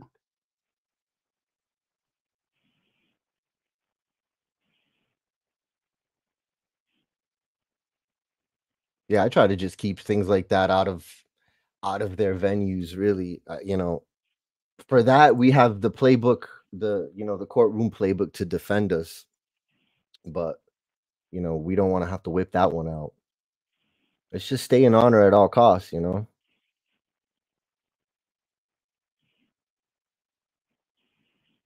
There's four. I think there's four rules to commerce. There is no money. Stay in honor at all costs. Avoid public controversy. And I forget what the fourth one is. And then they want to ask Brian O'Shea, Oh, how come you're mumbling on and talking all about yourself? Well, because he's nervous and he's working it out. But the best part about that is we're in dual jurisdiction again. Remember? There's a man in that costume. The more you yammer and the more you talk about your real life experience, the more you pull him out of his public jurisdiction and back to common law and common conversation and being a man. That's the one thing they're deathly afraid of. That's why they sit there and try to maintain that posture and that position as robots, just analyzing and interpreting. They don't want to be pulled into the sentiment of oneness. Once they are, they recognize man as man, man as themselves, and they no longer adhere to their policy. That's why by the end of the interaction, they were so dropped in their guard and just kind of, you know, in a malaise of, of just non-versation that they go, okay, whatever, Brian O'Shea, we'll wave, we'll see you later. Great, I got you. Got you right out of your public capacity, your policy and code into the common law, which is one man seeing another man as, as self and understanding common fucking sense. You could argue it's the same thing they employ tactically that he was just doing kind of naturally, working it out. They will sit there as cops and talk to you as, hey, bro, how you doing? You know, oh, I, I'm not the arresting officer. I'm just the guy on the scene. I'm not doing it. I'm just here to tell. Hey, what's going on? Yeah, you, what, where are you, you and your buddy coming from? What are you guys into? You guys like sports or what? They're just gathering information. They're breaking your barrier down to put you in a mode of man to man while they stay in a public capacity investigating and gathering intel. They use it on people all the fucking time to get what they want. The best part about it is when you're actually doing that as a real person, it works even better to people Yeah, who it's are not completely broken and inhuman. Yeah, it's like a tactic that uh, someone was talking about recently, like car salesman. Like, like if I'm trying to sell myself or sell my ideas, you know, present myself, like they say, just whip out any fucking story. Just, just in the midst of if, if you're trying to like, like, like close a deal with someone, no matter what it is, like just tell them any fucking story, like about anything, like fucking. So yeah, there's something to that. All right, so Joe Moore is going to act like he didn't just hear me and what I said. He's going to do that game. So I'm just going to time you out because I just directly addressed you and said, why don't you come up and talk about what you've had to say other places? And you're just going to completely ignore what I just said and then go on to deflections and obfuscations and continue to chat down there. It's not happening, bro. You know, sorry. I'm not going to give you a way out to continue to undo yourself. I have no issue and problem with you, but I'm going to force accountability for your own good because you need it, obviously. I shouldn't have to tell you as a man to come the fuck up here and talk to me about what the fuck you've been saying and doing that isn't true. Because that demeans you and your credibility. So you should be snapped to like clawing for an opportunity to have FaceTime with me and talk about who and what you've been and how you're gonna cut that bullshit out and do better for yourself. Then we're gonna re- resolve and move forward like I have so many times before and probably so many times after in this venue if you let it be. If not, you'll continue the passive aggressive, deflecting, manipulation, obfuscation games, and I'm going to grind the fuck out of your ego till the day that whatever takes me to fuck up out of here. It's a little game I play. It's fun. Go ahead, gentlemen. it's really interesting. It seems like the this local like the local situation is the most powerful thing because clearly they're not saying like most of the times you never hear these guys go well according to federal law like they don't bring that shit up. Eh, out of their ignorance or or or training or or, or righteousness they they don't usually point to federal law. At most it looks like they they go oh but it's our local traffic code or state traffic code, right? Um, so it's it makes sense to talk to them at the at this level, man to man, but also you know man to local corporation called the you know city of X Y Z. Yeah, they call it the long arm arm of the law, but that's why you got to give them notice to let them know, hey, your arm only reaches so far. Because they're that arm is very presumptuous. Let me tell you. And once it snatches you up into their jurisdiction, they like to operate in a secret jurisdiction known only to them and their members. So if you're not clever enough to push it into that question, hey, what what again, I have a Sixth Amendment right to understand what the nature and cause of these proceedings are. Who here is going to answer that question today? They're not going to wanna. It's a very uncomfortable question to answer because uh, by answering that question, it would admit it would admit to a plethora a plethora of things. The the Pandora's box would suddenly open for them. And also then you force them honorably to show their hand by saying, "Hey, if you disagree, well, where exactly are you right and I'm wrong in in that future hypothetical anyway?" And they're never going to point to federal stuff, so they're only going to try to if at all point to you know, the local bullshit, which I didn't sign. Right. the long arm of the law refers to God, right? Your arms aren't long enough to box with God. So you can't escape the conscience God put in you. That's why it's the long arm of the law. You can't run from yourself and what God put there. What we have in these situations is the short sight of man and their code who doesn't believe the long arm of the law exists. So they try to override it or compete with it. These are godless infidels. The majority of them in these uniforms are godless infidels. They don't have a relationship with anything outside of their thoughts, their desires, their wants, their needs, and what they think are their results in and of the world. The majority of them. The ones who do have the inkling of conscience or the connection with that force, they turn from their wicked ways once the revelation is given. The good news that your boy was telling everyone that day, we don't have to do this anymore. You never really did. It's the sick part about it. You know, we had sheriffs for a reason to double down on the long arm of the law. They come when somebody calls for loss, injury, and harm or a debt that needs to be paid. That's God's people on earth acting as representative of God here. You can even argue that's an attempt to override because the judgment is mine, saith the Lord. You can't swear on a Bible and not adhere to it. You can't make man God and the judge in this realm.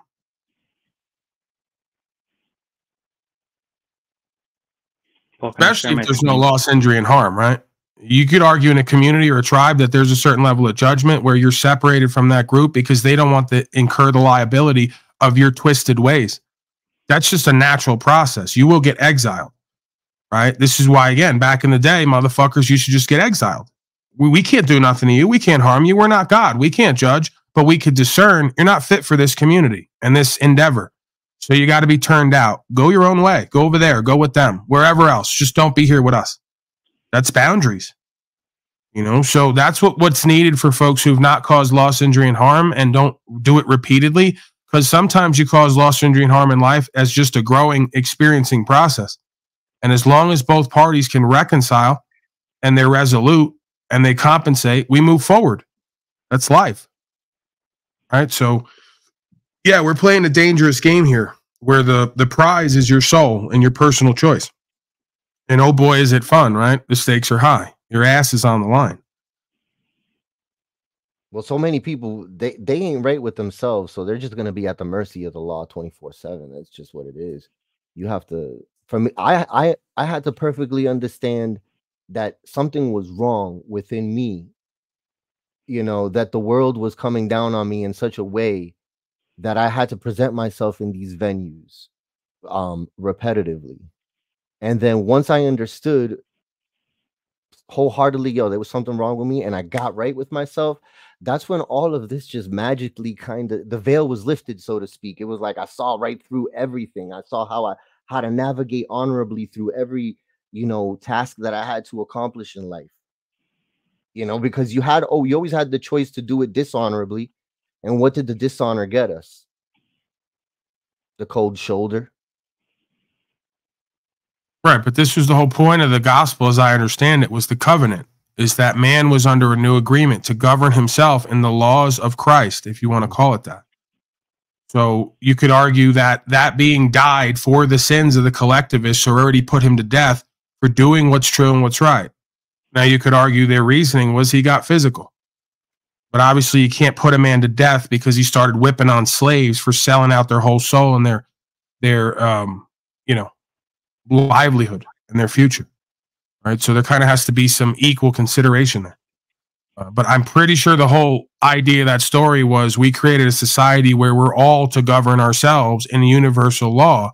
And that punishment or punitive damage is really only meant for the unreconciled, irredeemable folks who lack faith and will not uh, right their wrongs, will not correct the record. You know, will continue to rebuke the covenant we're under, God's law, for man's code. And then they'll claim they're religionists and, and Christians. It's laughable. Paul, can I share my screen? You get one minute? exactly what the fuck they've called in and agreed to. Go ahead, Timmy. Can I share my screen for a minute? It's perfectly relevant to this. Yeah, yeah, yeah. Like I showed this before, and it, I just want to show a few sentences here. But like this is the first, the first code, and when it defines person, it includes it's saying whoever also, which is plural, and it's saying at, at all times singular and plural can be either. But it says the words person include corporations, companies, associations, firms, partnerships, right? So all legal fictions. And then it, it, it also stipulates as well as individuals, right? And it's real funny. I showed this uh, maybe a year ago on here, and this used to be clickable, but they took out the link for some reason. I don't know. I don't know why they did that. Yeah, they but don't want you to here. easily get to the definitions anymore. Yeah, so let's go further to individual, right? They say in determining the meaning of any act of Congress, any ruling, regulation, or interpretation of the various administrative bureaus and agencies of the United States, the words person, quote, quote unquote, human being, quote unquote, child, quote unquote, individual shall include every infant member of the species Homo sapiens who is born alive at any stage. So this word include, you have to be explicit.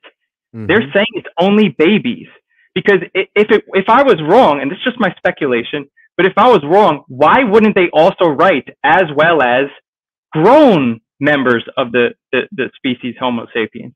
This is No, why I'm saying I, I I think you they're they're not even grammar. claiming they're not even claiming that man is subject to the code, in my opinion, based on this. Fucking amazing. Like, isn't this clear? Because there's also a, a maxim of statutory construction that the law is expressed, not implied. So when they put include, you have to say all the things that it includes, and by not including something else, you exclude it. This is just like basic logic. So I just thought that was relevant because the folks will say, "Oh, I'm subject to this," oh, and then you are, because the, they don't have the, they don't have their code, the, the the spiritual code. They have to follow that.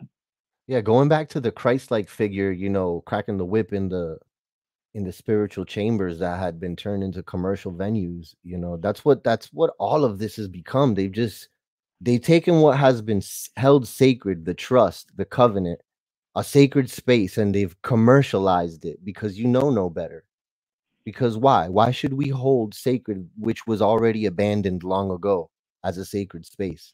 Nobody's coming in here and correcting it it takes the christ-like figure to so-called metaphysically or euphemistically crack the whip so to speak and get these people back in line right because the heathens won't the heathens will just be gobbled up by the beast so to speak But let's be accurate, man. Right. We talked about this before, Mr. Miyagi. It's a philosophical concept called checks and balances. Something that is unlawful can't be deemed legal, like slavery. It's unlawful. Doesn't matter if you call it legal. It's still wrong, right? Something that is l- lawful, a right, cannot be deemed illegal. If not, then the authority is illegitimate. So if U.S. Code wants to outline, folks want to write down that you can't buy weed, and we understand that under the original jurisdiction on the land through the Constitution that we have a right to pursue happiness and use every fruit-bearing seed and plant, which the Bible we swear on says, then you can overwrite that. You can neglect that. Just like the Supreme Court says, any state that issues license, registration, insurance, and all the rest of it that ab- that abridges or interferes with an ability's a, a, a being's ability to travel, um, then that code can be ignored. This has been ruled on. Simply writing down a code and and twisting the original idea of lawful and unlawful does not make it legitimate. That's the whole point of the Constitution. Anytime a state, local, or federal agent tries to codify something that interferes with rights, the authority transfers back to the people and the code becomes illegitimate. States have a right to govern themselves. That means everyone within the purview of that agency. States don't have a right to govern men and women on the land. They're public servants, not authorities.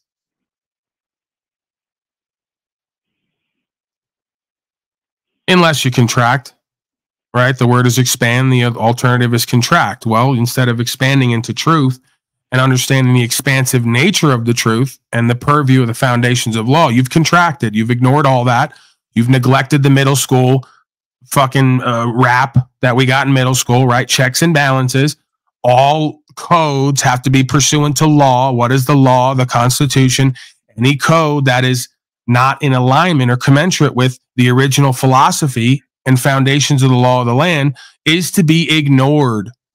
And the Constitution says if pushed to a tyrannical treasonous point, you have a right to use guns to stop them. Did everyone forget that? That's their law that they're bound by. And you could argue it's universal law before it ever became constitutional law, contract law, or original public law that then became a codification. well you already know the the the state of mind that the collective hive mind our governing bodies have when they want to take away all our guns because guns were originally there in case they got out, they got out of line. So, you know, it makes perfect sense that the ones who are out of line want to get rid of all the guns because they're obviously all out of line. But it's not the gun is more of a euphemism, I think. You know, it doesn't have to come to guns a blazing to get these people back in line. It just you have to know who you it has to go back to you got to know who you are, right? And start letting people letting these presumptuous entities know who you like you got you got to let them know that you know who you are and where you stand and what your property is. This is my fence. This is your boundary. This is my boundary you know just in case because i understand how you guys like to operate right? But it like i said it goes back to standing on business as a living man in this world. If not you're just going to get gobbled. The government's going to be your daddy is the is the standing phrase now right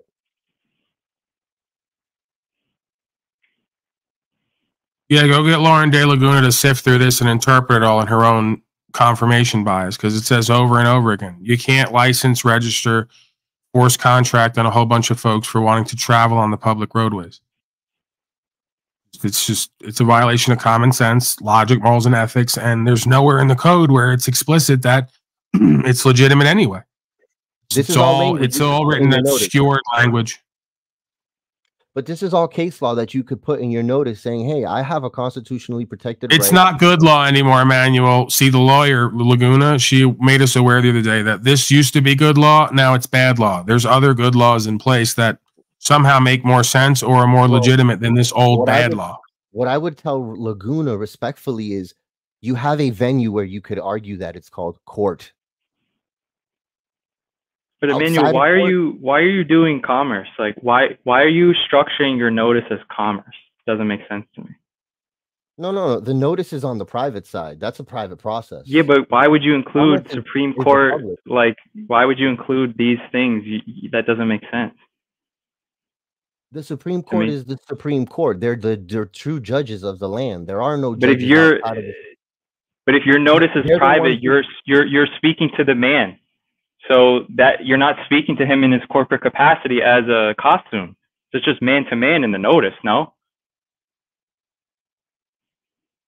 i guess i could agree with that i, I really don't understand where the question is projected but um, because if you include the uh, these Supreme Court cases in a notice where you're writing to the man, you're not you, like when I wrote the notice to uh, the the um, the Arizona jail. It's like I'm writing to the man, John Smith, who at times acts as head of the jail.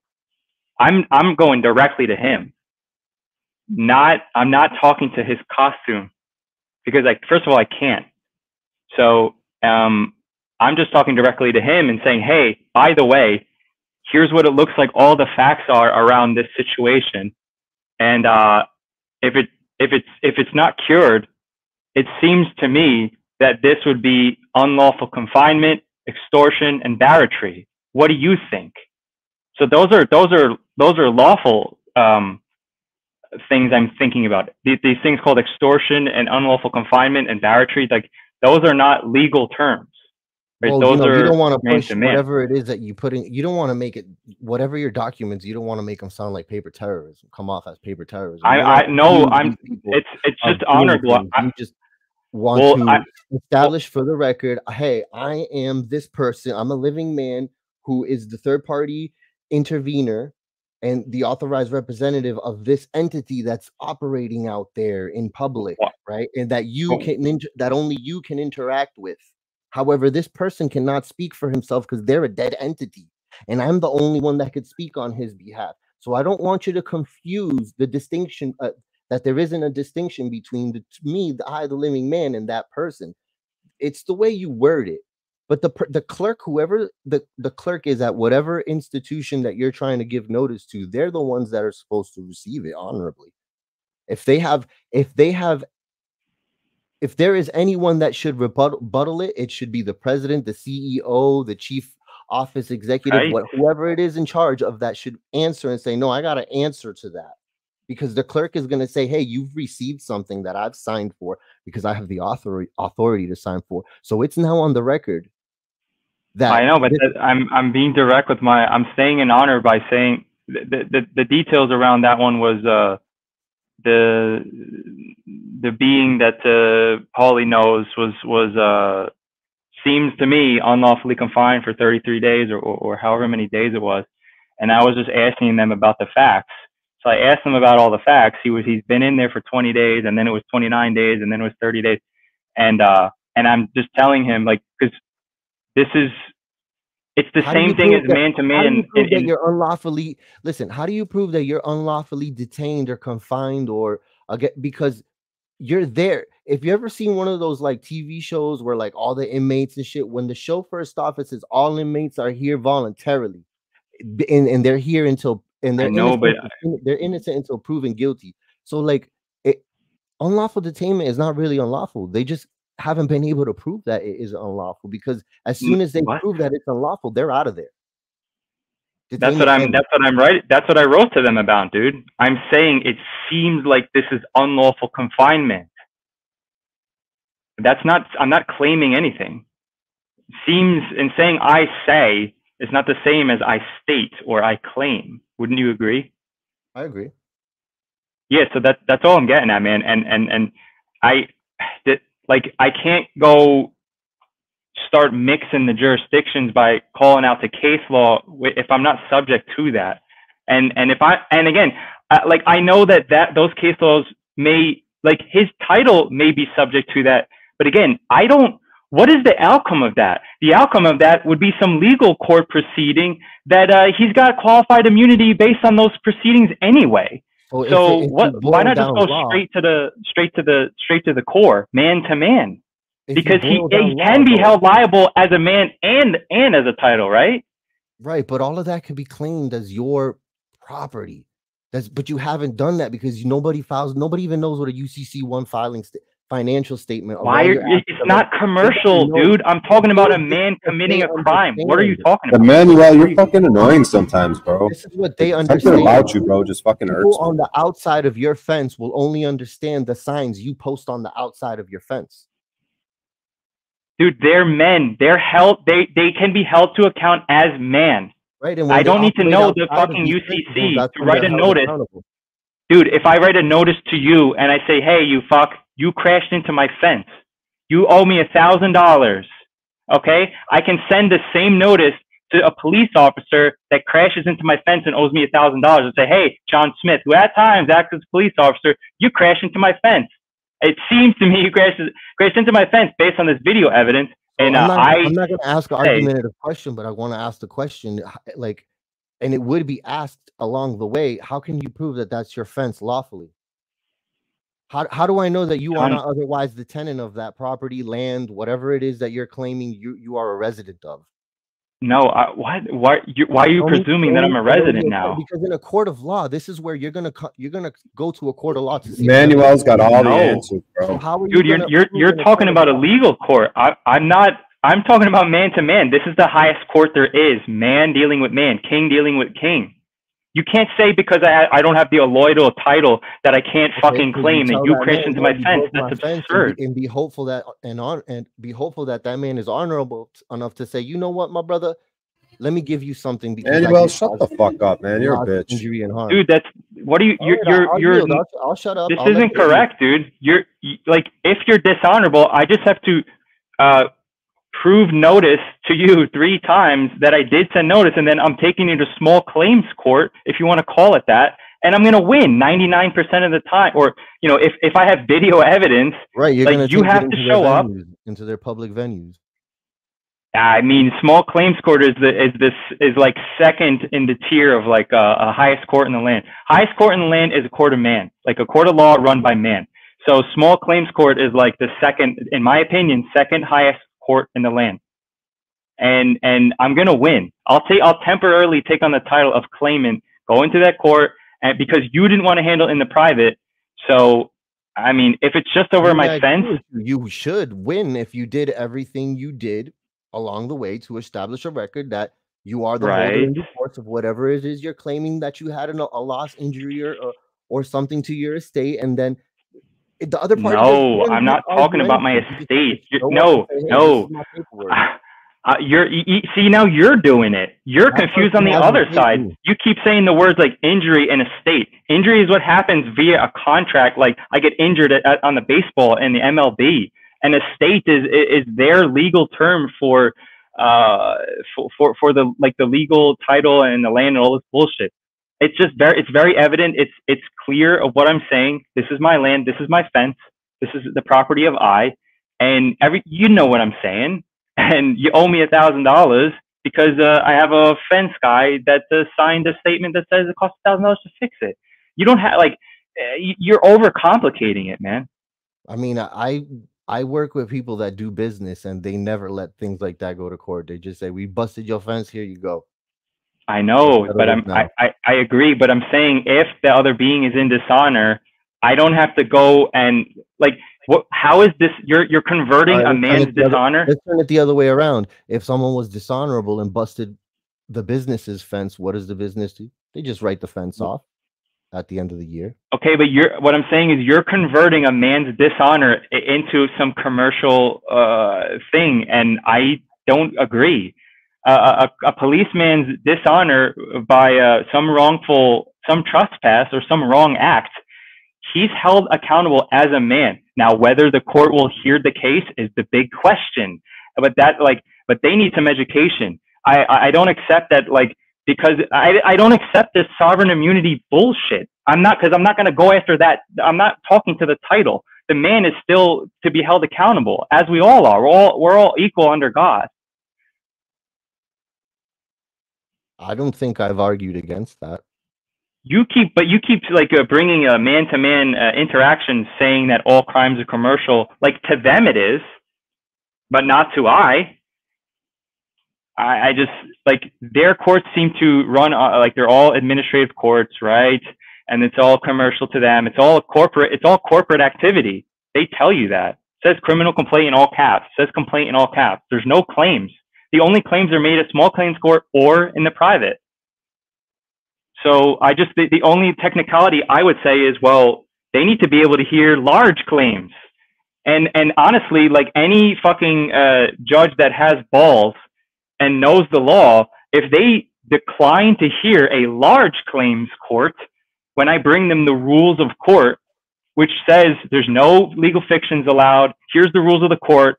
John Smith, Honorable John Smith, you're not going to have a title except that I'm going to appoint you magistrate and you're going to act as a court of law. Like you're just going to uh, adjudicate here between these two men and, and that's it.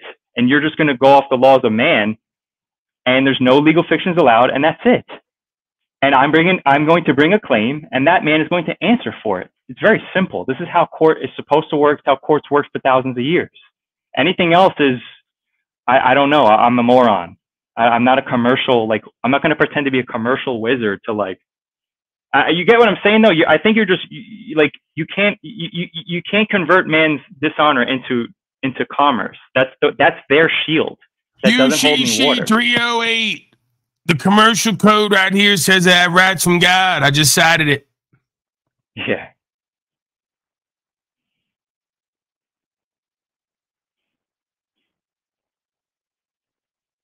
There's something about your voice, Emmanuel. You have like this effeminate thing going on, dude. Like a know-it-all effeminate thing. Really just bugs the shit out of me.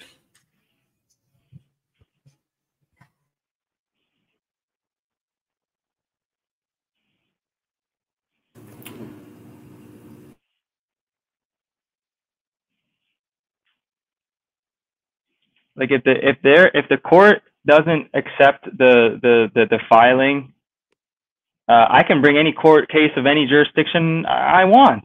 Why? Because i'm the motherfucking king. I can do what i want. I'm a free man. So it's up to them if they're going to fucking trespass on a case or not.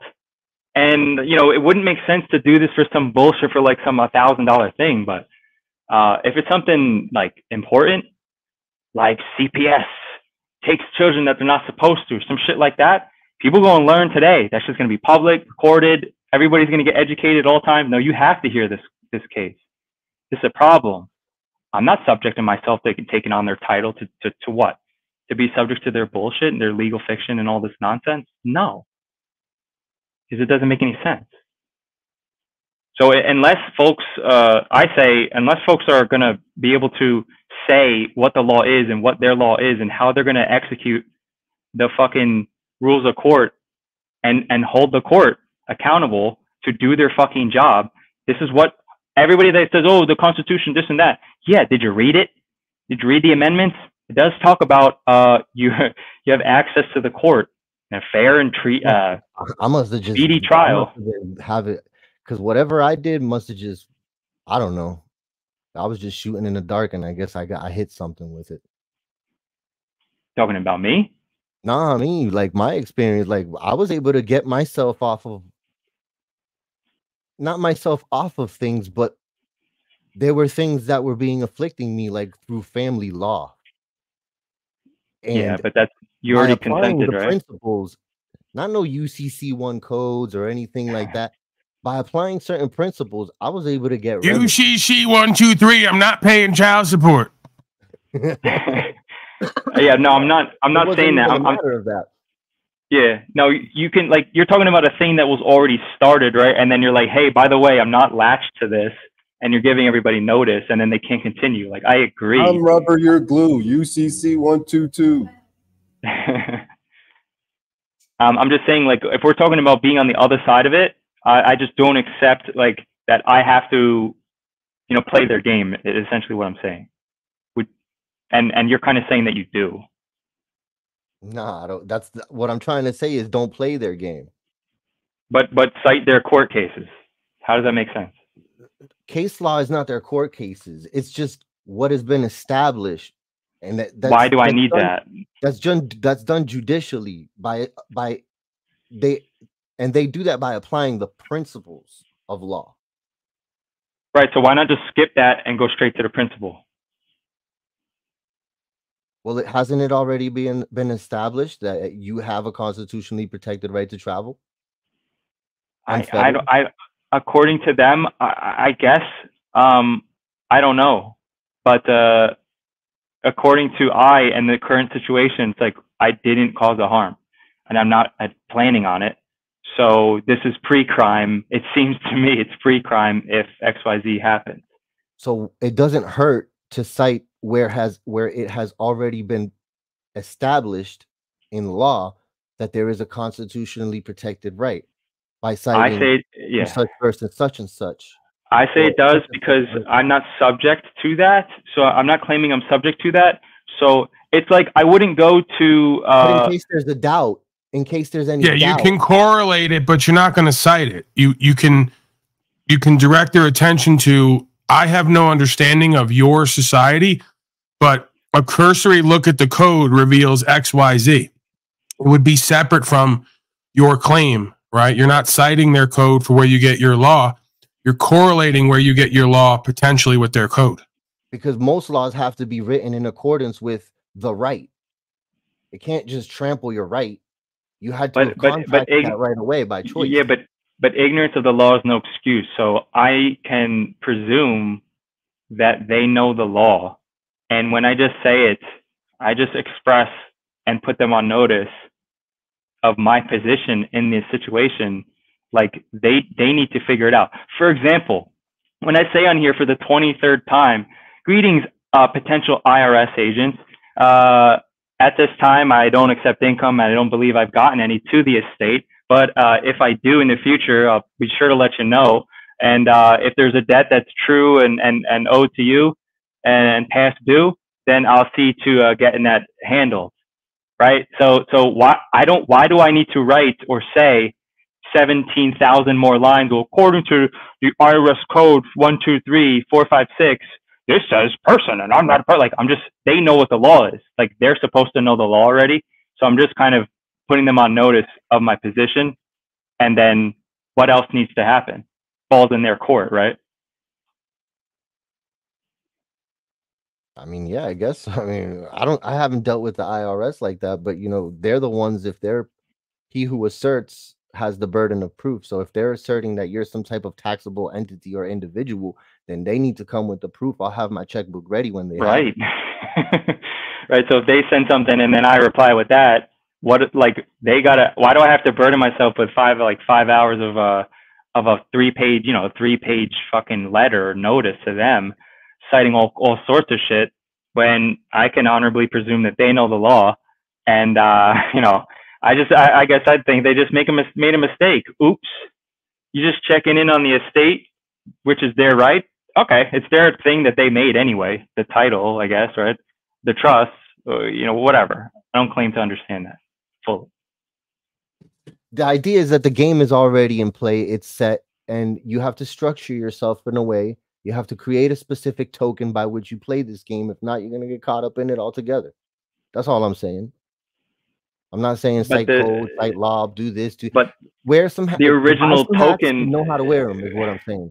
Yeah, but but like I I mean, like there's already everything happening is already happening in trust, and then they convince folks.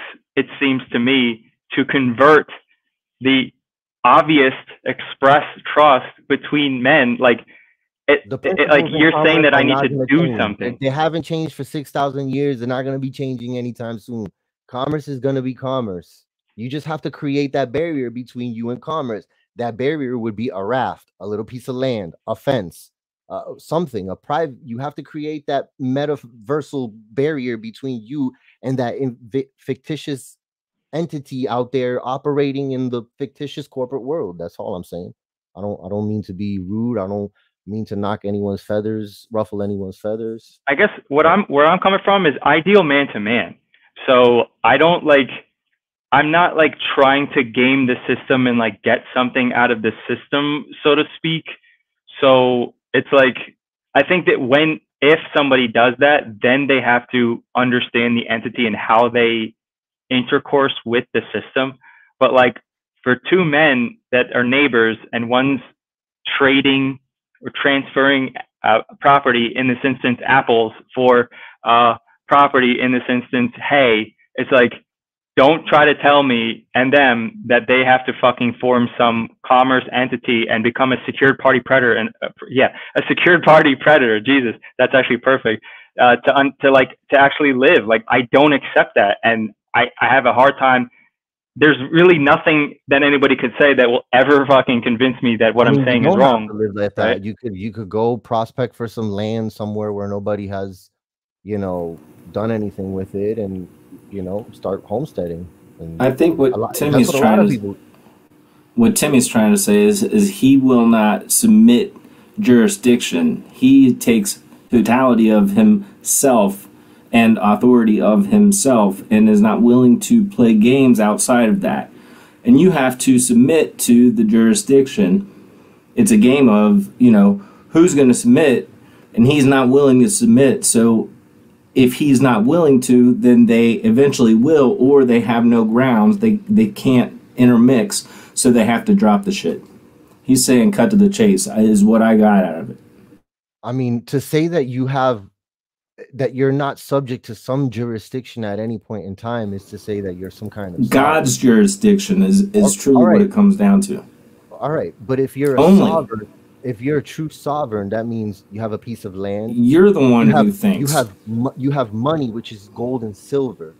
You also have a- military. These are just beliefs, that- okay, that you're you're talking about living off of. He's talking about the ultimate the ultimate law, the law, the law of God, the law of one, the law of um, the golden rule that you if you don't do any loss, injury, cause loss, injury, or harm to anybody else, if you're minding your own business, nobody can step in and have authority to tell you anything what to do they don't have that authority. He's claiming that he's standing on that, and they have to come either down they're going to observe your rights or they're going to do wrong to you anyway. In which case, you'd rather ride with God than ride with man, and it's wrongful codes. It's a choice. Doesn't mean they're not going to do illegitimate authority, presumption, and assumption and hold their beliefs and then try to slave you. The question is, why would you do business with terrorists? Why would you comply and submit to a terrorist who's not actually trying to get you to understand life and yourself and the truth, but is trying to use fear to compel you to choose to yoke with them and cooperate with them? You've forsaken yourself at that point. Nobody thinks like that, and I'm not gonna argue against what you say. I totally agree with what you say. What do you mean nobody thinks like that? I just spoke no, no, it. no. That Uh, means I finish. think like that and live do, like that. and I do as well. I know you do, and I do as well. But I'm saying, like the majority of the people out here, every time they spend a dollar, you think that they're thinking, "Holy shit!" Because I'm spending and using this right now. This is supporting genocide and slavery, hundred percent. Like, what, what, what is my choice now? Throw this, this baseless fiat out and stamp on it on the ground and say, "No, no, no, I will not," and then say, "Well, now I got to go find a way."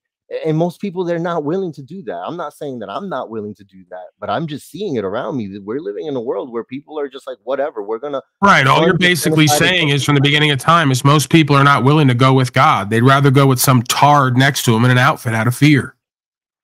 correct. and it's indicative eh, like if i just pull up the top 10 biggest industries by revenue in the us the first is commercial banking 1.4 trillion.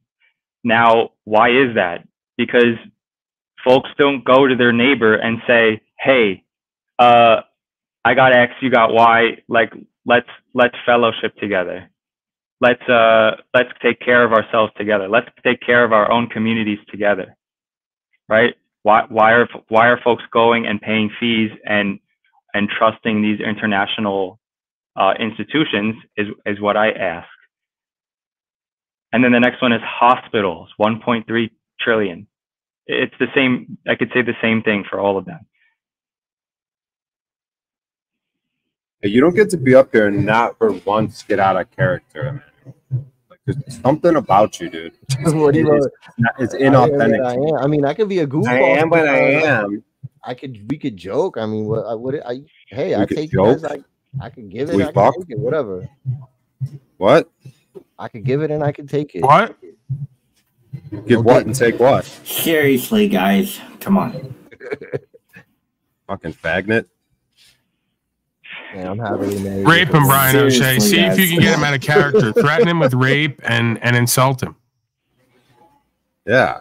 Why were you? Why were you when you did that stream? That one guy with the biggest effeminate friend of yours with no viewers, just being the two gayest. Bro, that was my brother. Ever. That's my brother. Oh, it makes a lot of sense. you know what the fuck happened to you two idiots? There's no one watching it. You guys were complete clowns for three hours straight, just rambling. First of all, we were was tripping problem? on some really good LSD. It was an experiment. it was right, nothing to yeah. be taken serious. Yeah.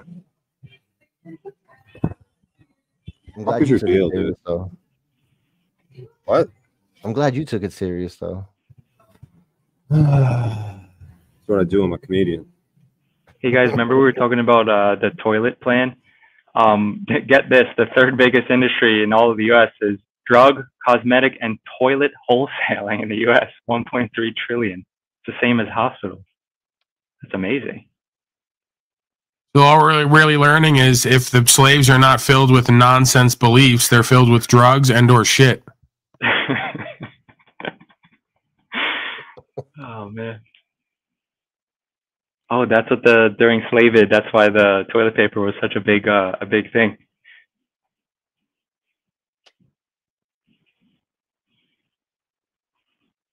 Your thoughts, Brian O'Shea? Can I see you, Emmanuel?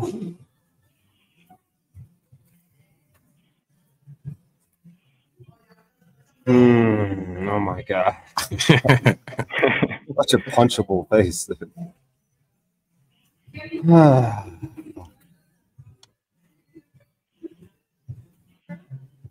Get your gloves. Let's throw the gloves on. I'll let you take a couple swings. Condoms? No, not Oh. those kind of gloves. Wrong oh, gloves. God. It's not a freak off.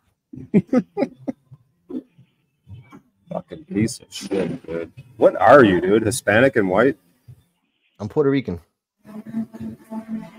Born there, raised here. Aren't you guys supposed to have like a fiery personality? Aren't the women supposed to be batshit crazy and will shank you? Where is that in you at all? Nah, I've I've been lucky. I haven't. I've stayed away from that type of element of the Puerto Rican nature. No, O'Shea just he just expects everybody in any of the races to just be the like most miserable, most stereotypical, and when they're not, he's like irked by it. He's Listen, like, The why grew are worst part like is, this? is that he embodies all the negative stereotypes of all the other races, and he's supposedly the master race. yeah, I grew up, you know, asking my mom why we didn't use the Puerto Rican flag in the rearview mirror, and she'd be like, "So what?" So they can say, "Look at these freaking Puerto Rican," and I kind of, I kind of got it afterwards, you know. Like, why do I? Did need you grow up with a father? he was in my life until about 18 and then i i found him again at 16 it wasn't a very happy union, but we got over it we became men and we're able to laugh and joke about it today. What what type of person was it when you were when he was very, in your very life? strict very strict. My dad when i was a young kid he used to beat the shit out of me for whatever thing he thought was out of line yeah. And then my mom she ended up being a single mom once he left so i she doubled down on the beatings. Yeah, but he left at 18. No at eight i was like around eight Oh, all right. Things make things make sense then. Yeah, you got the spirit of your mama. Yeah, yeah. I was raised Feminine. around. I was raised Wow. around women. I was raised. I'm not gonna lie. I was raised around women all my life, and you know, they, throughout my youth, they questioned my sexuality, but I love women, and that's. Hey, what do they what say I'm in AA, Paul? If you spot it, you got it.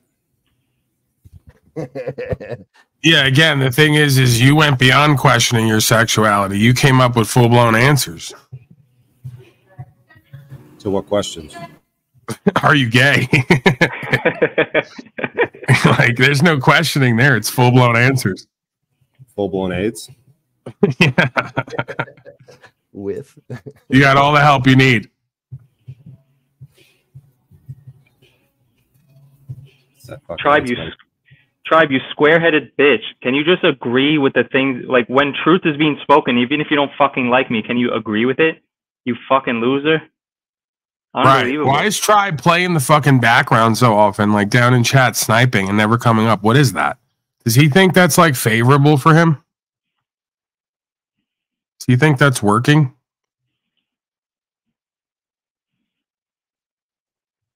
i can say 10 minutes of uh, what is objectively true and he'll still have a snipe This is where Snafu has to come in and say, Tribe, you're a square headed bitch.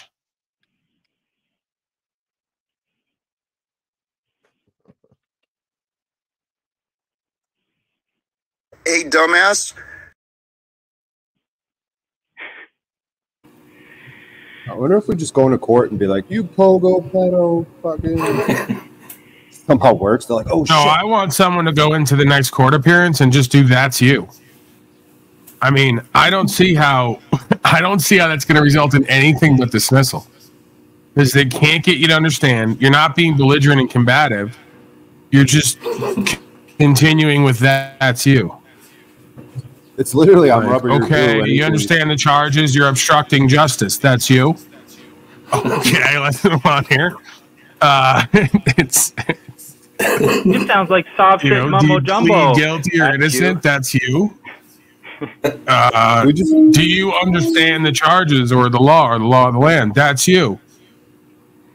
I mean, Well, that, that's similar to the argument of I'm not the name, and they say, well, if you, that's not you, then get out of here. Like, is this you right here on the paper? That's you. like, because it actually is. So you're not really. You're always telling the truth, even if you're lying. If that makes sense, like Montana said. So they go, wait, this is you right here on this paper, this all caps name. No, no, no, that's an agent. That's you. That's a corporate entity. That's you. You just keep saying that's you for everything because it actually is. Until they say that's the people. They go, well, who is that? That's you over there. Who is that? They go, oh, that's the prosecutor. That's the people. You go, no, no, that's me. You know what? If They go, wait, no, you're the person. No, that's you. See how this is working? The people is that's me. The person is that's you. Are we getting anywhere here? worked- If that ever worked, they would never air that. Oh no, they just immediately go. I've never seen anything fucking as ridiculous and insane as this proceeding right now. Dismiss this. I will not have this this nonsense in my court. Man just said that's you ten times. It's not. He says he don't understand. He's not even answering. i'm gonna do you a favor That's just, i'm just gonna dismiss it Yeah, like they can call you retarded, but they can't call you guilty. I'll take that. That's a win. I'm rubber. You're glue. Anything you say bounces off me. That's you. ucc 122 Like, can I just do like a nana nana boo boo? Like, what else works in that? Fucking... I just want to quote right here, U.S. code UCC USC one two three. That's you. I rest. Defend thrust. Roses are red, violets are blue. That's you.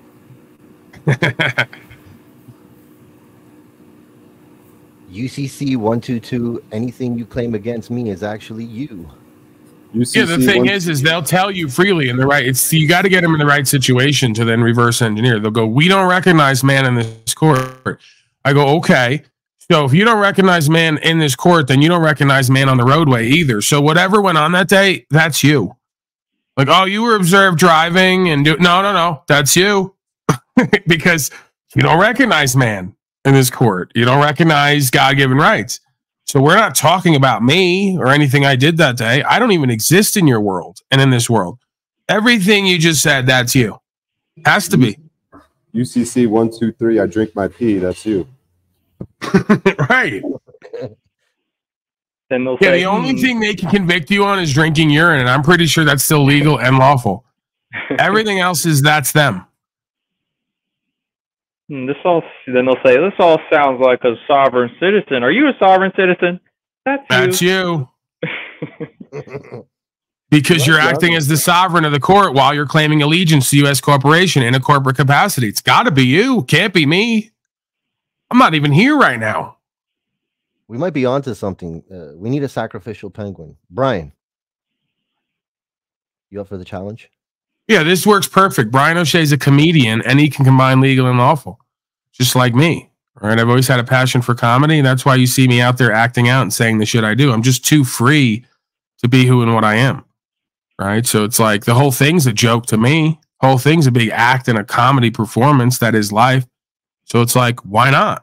I'm a comedian and I also uphold the law. And since this is a circus, we're going to clown around a little bit.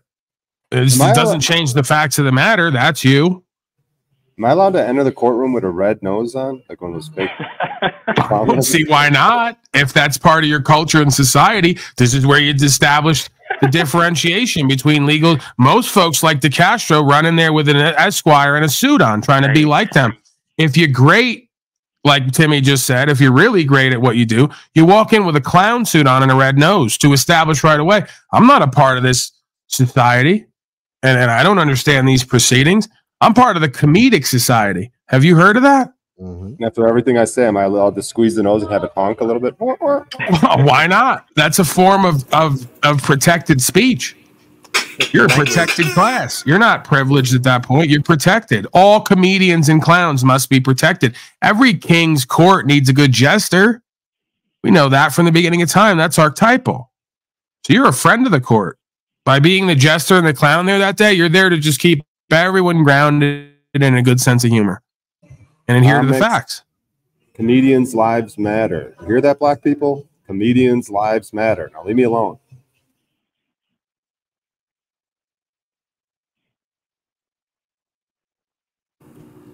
Is that thing honk, uh, Lig?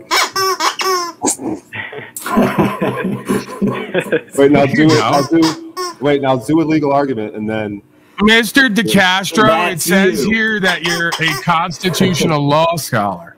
Could you answer to that? That's you. See? Right away. How is yeah, how are you gonna convict him? How are you gonna get it done? How are you gonna rein him in? Go ahead. Like that's then when they go in the back and go, Can someone else get out here and try this out? Like they go, they go in a huddle in the back. They go, hold on, we'll be right back. They take five minutes, they go in the back and they go, Is someone gonna put this costume on and rein this guy in? I don't think it's possible. All right, you try. And then they go back out. All right, this guy's gonna try now. Mr. DeCastro, it says here that you're a constitutional law scholar. Were you obstructing justice th- that the day in question?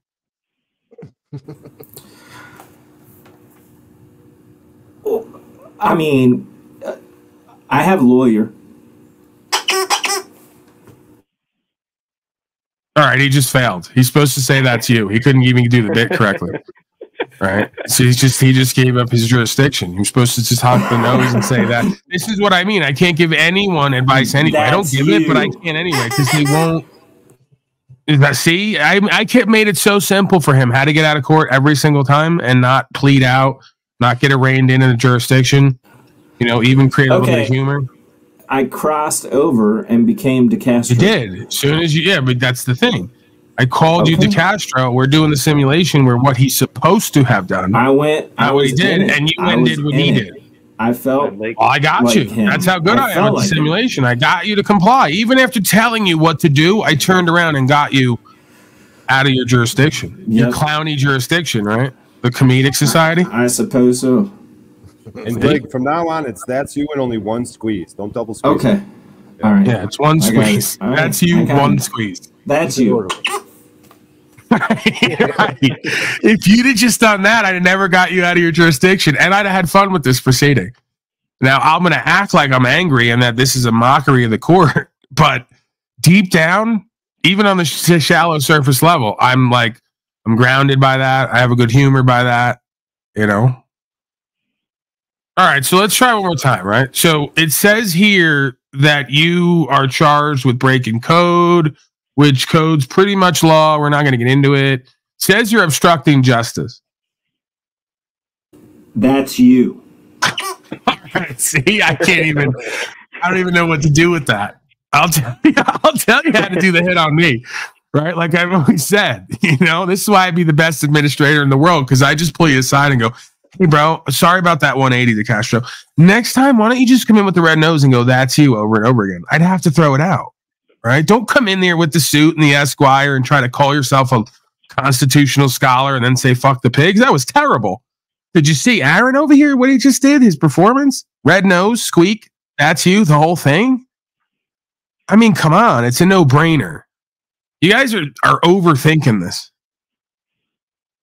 O'Shea, you may get your fame overnight if you did this. I would say absolutely, Bro, I'm and I would stop say you right now, Aaron. It seems important. like you're being contemptuous at- at this court. What do you have to say about that? You're, you're, you're in you. Ah, son of a bitch.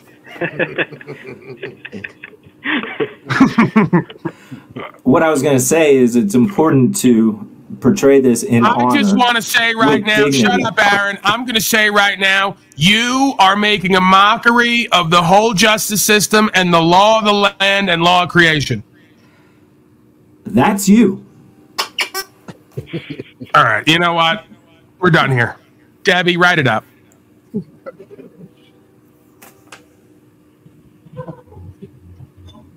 You even squeak the fucking thing right, dude.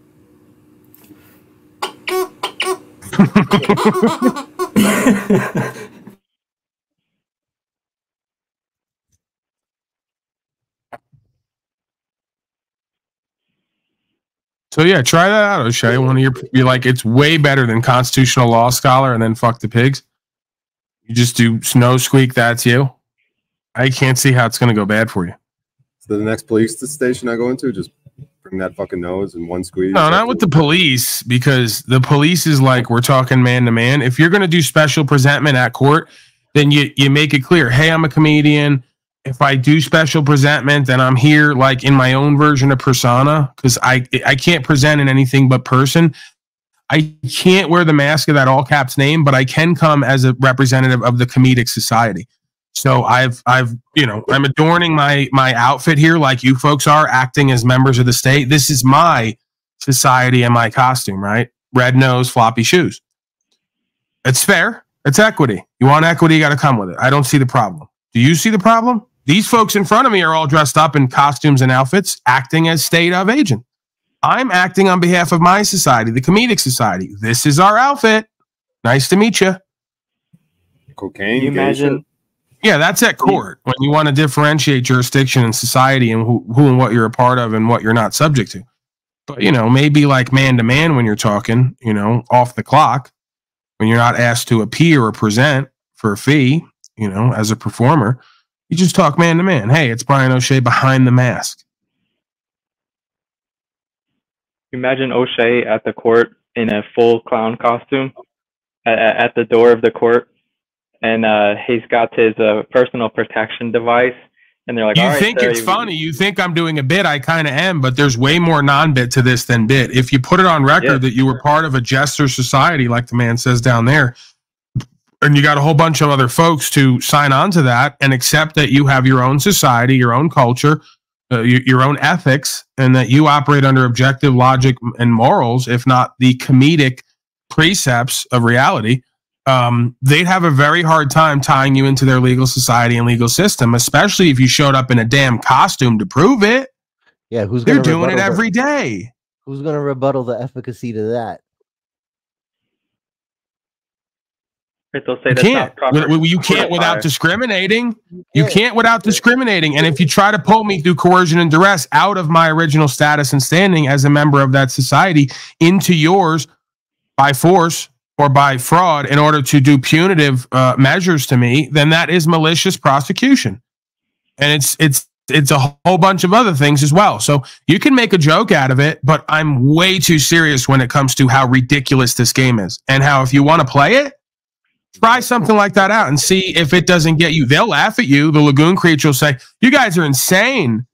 Ha ha! ha, You guys are insane. No, I'm laughing at you. I think you're insane. And if I have to create a society and show up at court with the costume of that society, just like you folks do every day, to point out the glaring disparity in awareness and consciousness and who's mocking who in their hypocrisy, I'm all too willing to do it. I should be at least because there's more equity in that presentment than there is in what else is going on here. Like whether you all want to accept it or not, it's still sound under God and the truth.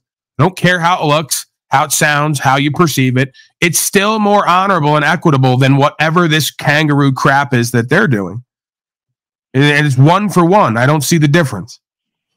In the Joker movie, wasn't he a failed comedian? In the Batman movie? Nah, he was. Yeah, fine. much like you. That's why you've gone a different way. Oh no, that was that was the other dude. Never mind.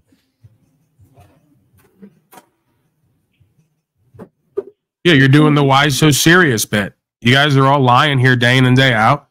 You've thrown away the law of the land. You're obstructing justice, and you got the balls to write up code in order to criminalize me and then want me to argue it. You just start juggling and squeaking the nose because it's just complete nonsense. They know it, and I know it. And the more you play into it and accept it as reality, the more they think they think you're non-credible. They just nod and go, "Okay, we got another one." You're insane. That's you. Everyone in them, everyone in that room is wearing a costume in some shape or form. You might as well make one of your own. That's you. If they're speaking their language, their legalese bullshit, not even English. They're wearing their conventional garb. It's in A their costume. territory. Yeah, their costume in their territory. They own the building. The city owns the building. It's not public property. It's private property, right? like Barnum and So- Bailey. Barnum and Bailey owns the circus. We don't know who or what that is. We don't know where it is, but it owns the circus. And here's the three ring circus for the day. We got a bunch of performers and actors running out. I don't There's see the difference. Rules. There's rules you have to follow here. That that that's our culture. If it's like a mime society, would I be able to communicate mime wise? Yeah, even when you go to jail, they pack 15 people into one car and send you to the station. It's like a clown car. I can't I can't different this will say. You come on, Mr. So and so. You gotta be able to distinguish if you really push the line. No, I don't I can't see the difference. Sorry. I would love to be able to like understand or even comprehend what you're all doing and, and saying here today. I just I don't think I can do it. Seems like a big circus here, and I'm willing to play. I'm a member of the comedic society.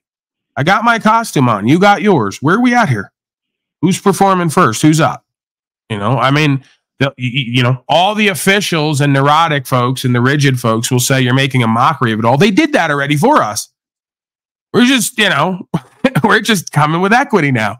You guys made a mockery of the justice system. You dressed up like a bunch of clowns and you're making a bunch of claims in your fantasy that you can't establish as real. So, what's the difference exactly? Except you oh. took yourself seriously in your ego and hubris. Like in the UK, they got the fake wigs. Like they got the whole thing. They put white makeup on or something. Right. You're asked to perform and appear, not as the given and family name or the man, as some kind of entity. So show up as a member of the comedic society and put on a performance. Just do what they're asking. There you go. There's the perfect defendant right there on screen. There he is. I immediately give that person more credence and more respect than decastrated. Because he came in with a goofy suit on and tried to have another man speak for him and then pretended to be a law scholar and said, fuck the pigs. You show up like that, I, you got my attention. I'm all ears. He looks more like DeCastro right now than Blig. that garb, that getup on. Yeah, there you go, Jennifer. Look, look, that's the ideal defendant for today's court. I'm, cra- I'm crafting the ideal defendant. You know, since we're all playing a game and it's all one big courting circus, you know, and everybody's doing acts and plays, uh, why not? Why not just fit right in? If you're going to show up there, I didn't ask you to show up there. You think they did. So since you believe it and you're going to show up there, why not perform and, and act with them and be part of the show? I don't get it. You rather just go down in the book as another fucking clown without the nose? Hey, come on up, plead out, cop out, pay your fine, or we're going to put you in the cell and be afraid. And also, don't have personal choice. And also, pretty much don't be a man or an American. You're already a fucking clown anyway. Why not go all the way from the other side of things? See if we can take it somewhere. Maybe it will find the hack. It turns out that's what they wanted all along.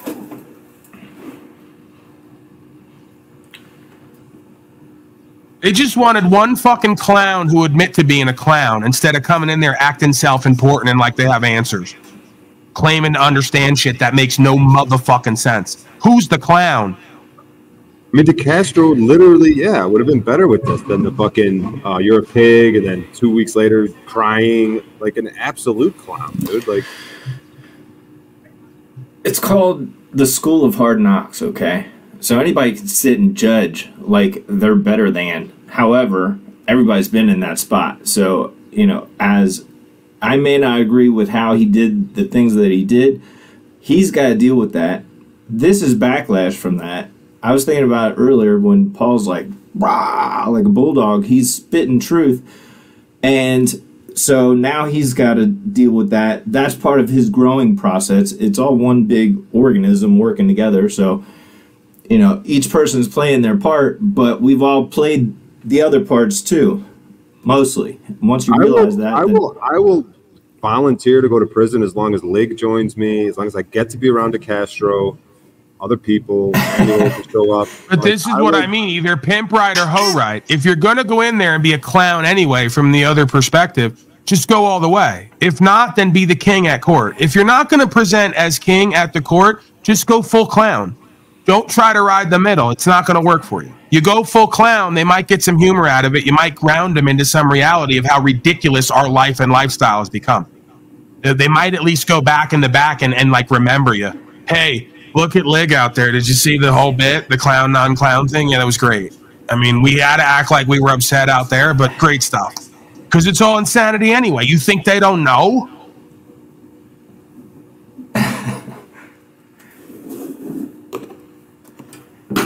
the good thing is things are things are on the up and up. People are waking up all over the place. Life is good. Wait a I second. You're going. good. You are Good going full clown. things are always People are happening waking to up all over the place. all over the place, Paul. I think Thanks they're to more you asleep than and other ever. people like you to spread this message far and wide. It's amazing. Oh, yeah, he's going full clown now. He's going full clown. sparkling beverages are you in today? Three quarters of his friends and family just genocided themselves by choice, and he thinks there's a great awakening happening. Oh man! Oh, this guy's great. Can we It's have him at the the- lodge?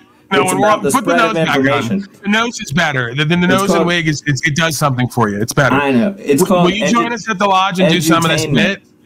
Forget about court. All charges dismissed. We're inviting you to the Mason Lodge off hours to do this court non-court clown non-clown bit. That's Forget you. about the Great Awakening. That's obvious nonsense. We're slaving more people than ever and willfully. Okay, just let That's go of you. that dream. That's you. Okay, well, that- that is me.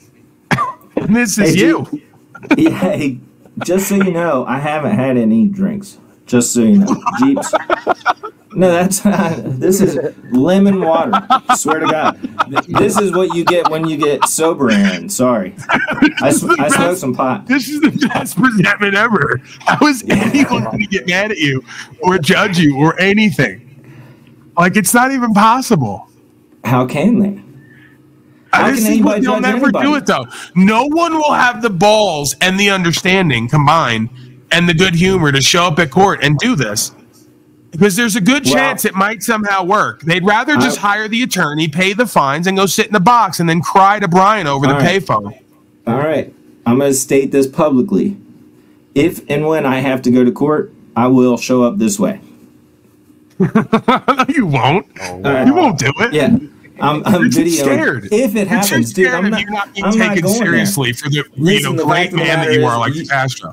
You can avoid. There's so many great men out here that just take themselves so seriously and they're so important, but so submissive and slaved out. They can't pimp or hoe right. Well, I, this is I'm the public declar- declaration. That's the whole point that I even said it. All right. Well, And- now you're gonna and- we're gonna hold you to I know, that. If you I get know, charged, that's what I'm getting at. And I'm and- totally not asking my friend on friends at the agency to charge Aaron with something petty, so he has to show up. I'm totally not asking for that. I So figure you I don't got have at to least show three to five guys in the Fed, states, and locals who really like yourself- me, and they're probably willing to go out of their way. Listen, if you can, res- if you can respectfully present yourself to somebody using the truth, then you can avoid all of that stuff, right, right? let's do a mock You just thing. come on tomorrow. Hey, I was charged with clowning in public yesterday when we got off the air. I I'm just walked out of my house with this, and I was charged with clowning without a license. I didn't give an ID. Administrator, are you saying that in this great land, a man needs a license to clown? This is a travesty. What does this land come to? Men shouldn't drink out of straws. Like, Yeah, but Why clowns does it should. tempt you? Are you excited, Brian? Do I Oh. turn you on? Don't oh. look at me like that. How do we hold you accountable if you don't use the costume? Like, will we double the charges? Well, that's the thing. He has qualified immunity as a member of the Clown Society. So when he's in costume, you can't actually sue the man because he's in persona. He's wearing a mask.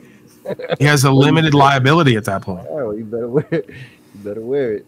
I saw somebody that said you can make up a hundred different token characters. I think it was that guy. Now let me double down on that. Now, what if you got a mask behind a mask, right? Like you show up on record as part of the Clowny Society, and you're an officer within that society in rank. So I'm an officer Clowny of the Clowny Society. That's like See, a double limited liability because you got two masks now. They can't get to who and what you are on paper with that. It sounds like an you're in your emissary of the imagination, clown Paul. No, I'm not. I'm giving you the most amazing good game ever for law and also being funny. Yeah, that's you. All right. Wait, are they not doing that every day? Are they not doing a circus and, and acting and doing plays and also claiming a hierarchy in that society of non existence? So what? It's bad when you do it? It's retarded when you do it? I'm confused again. I think this is What? My hallucination is not as good as yours? Is that what you're saying? what, I have to get more people to join mine for it to be equal? How does that work?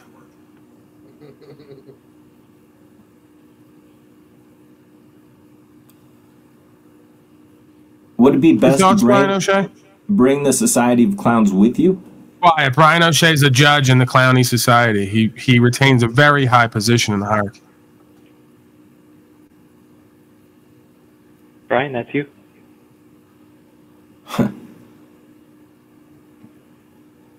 yeah. So let's do the mock case, and you you want to give an honest presentment, but just wearing that and not doing the, the honk. That's what you're saying, like. What was the question? So if you, You were, broke the clown code. if you were drug a court, you would just put that on and then just present it how you as you were going to present as if you didn't have that on. That's you. That's you. wait, wait, wait. UCC one two three is the uniform clown code. right. It says right here, paragraph one, uniform clown code. This is where you bring in your own law and you cite your own code. Uniform clown code says that it is it's not proper process and procedure for someone outside of clown society to harm a member of clown society. Only clown business can be conducted within clown society and clown court. So we have to challenge set setting and jurisdiction. Wizard was onto something. You gotta write. We gotta write our own uniform clown code. It has like 20 pages of the of uh, how the clowns uh, operate in the clown society and distribute IDs and insurance and all that. yeah, you need, a, you need a clown policy to enforce. We have to ensure that in the event of clowning gone wrong, that there is adequate recompense. There's adequate remuneration. Yeah, a roast must commence immediately for the infraction. Clown insurance. That's a scam I can get. I mean, not a scam. Sorry. That's a service I think I could get on board with. oh God. Like, what if if Aaron was to slip and fall while in this persona and as the member of the society, and be harmed in his regular clowning affairs? He would need compensation. That would be a terrible loss. Within the clown community.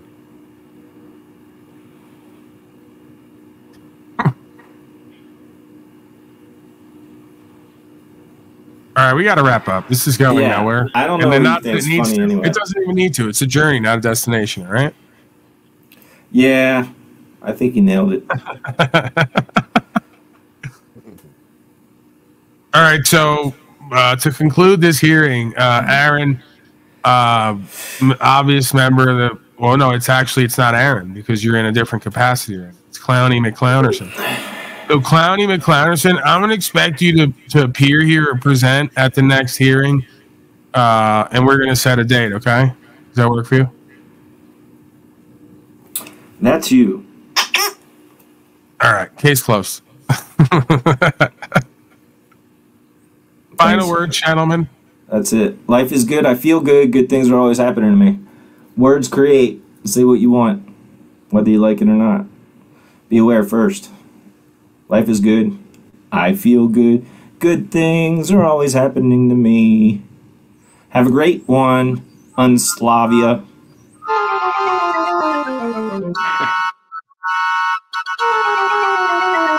Uniform cloud code. One, two, three. You're all bitch ass slaves, and that's not me.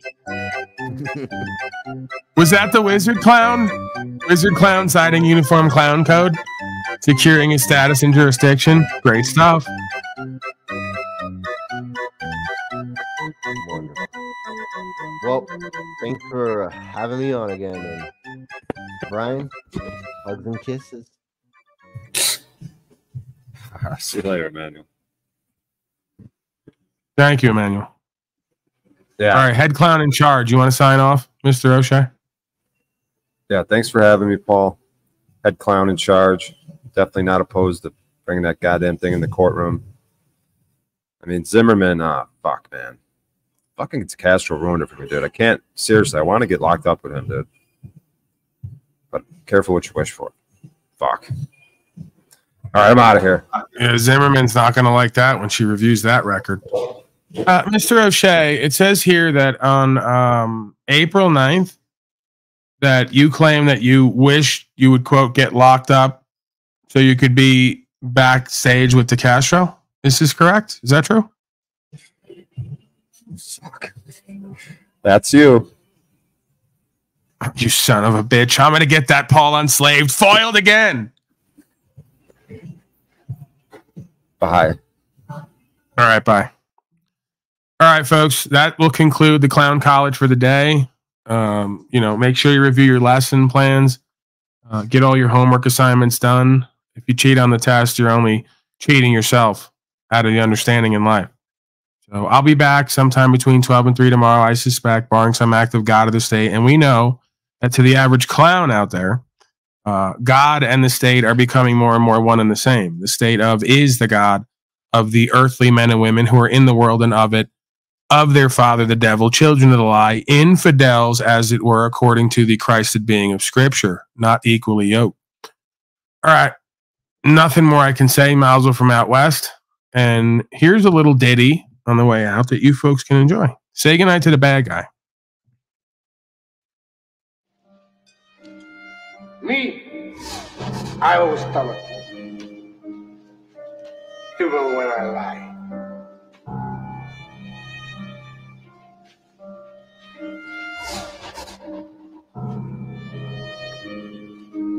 So cycling knife to the back guy. Go on, go on. The last time you're gonna see a black guy like this again.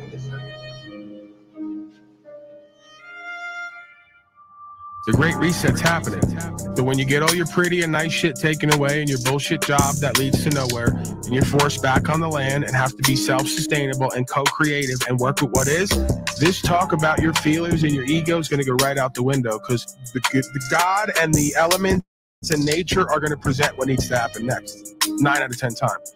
That's the difference between me and you. I got it in me, not on me, just like you do. I'm trying to work it out, bring the subconscious to the conscious, and figure out who what I am. Am I good or evil? Am I real and true? Am I a narcissistic, egotistical deceiver? That's the difference. I'm actually authentically trying to work it out while you lie to everyone and project your negative aspects of self onto me, and I don't appreciate it. And the universe don't appreciate it either. And the students of life in this audience don't appreciate it either. This isn't about love and money.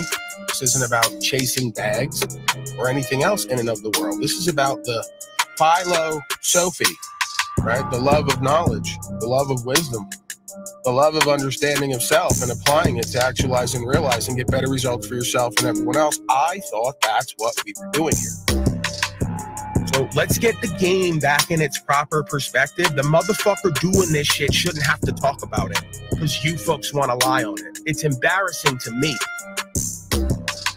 I didn't come on here with the intention of the understanding that this is supposed to be for business or a hobby. That's why I show up the way I do 500 days straight. That's why I have a care in my heart with passion. That's why I do what's true and what's right and see through you motherfuckers and get amazing results for me, for me, for me.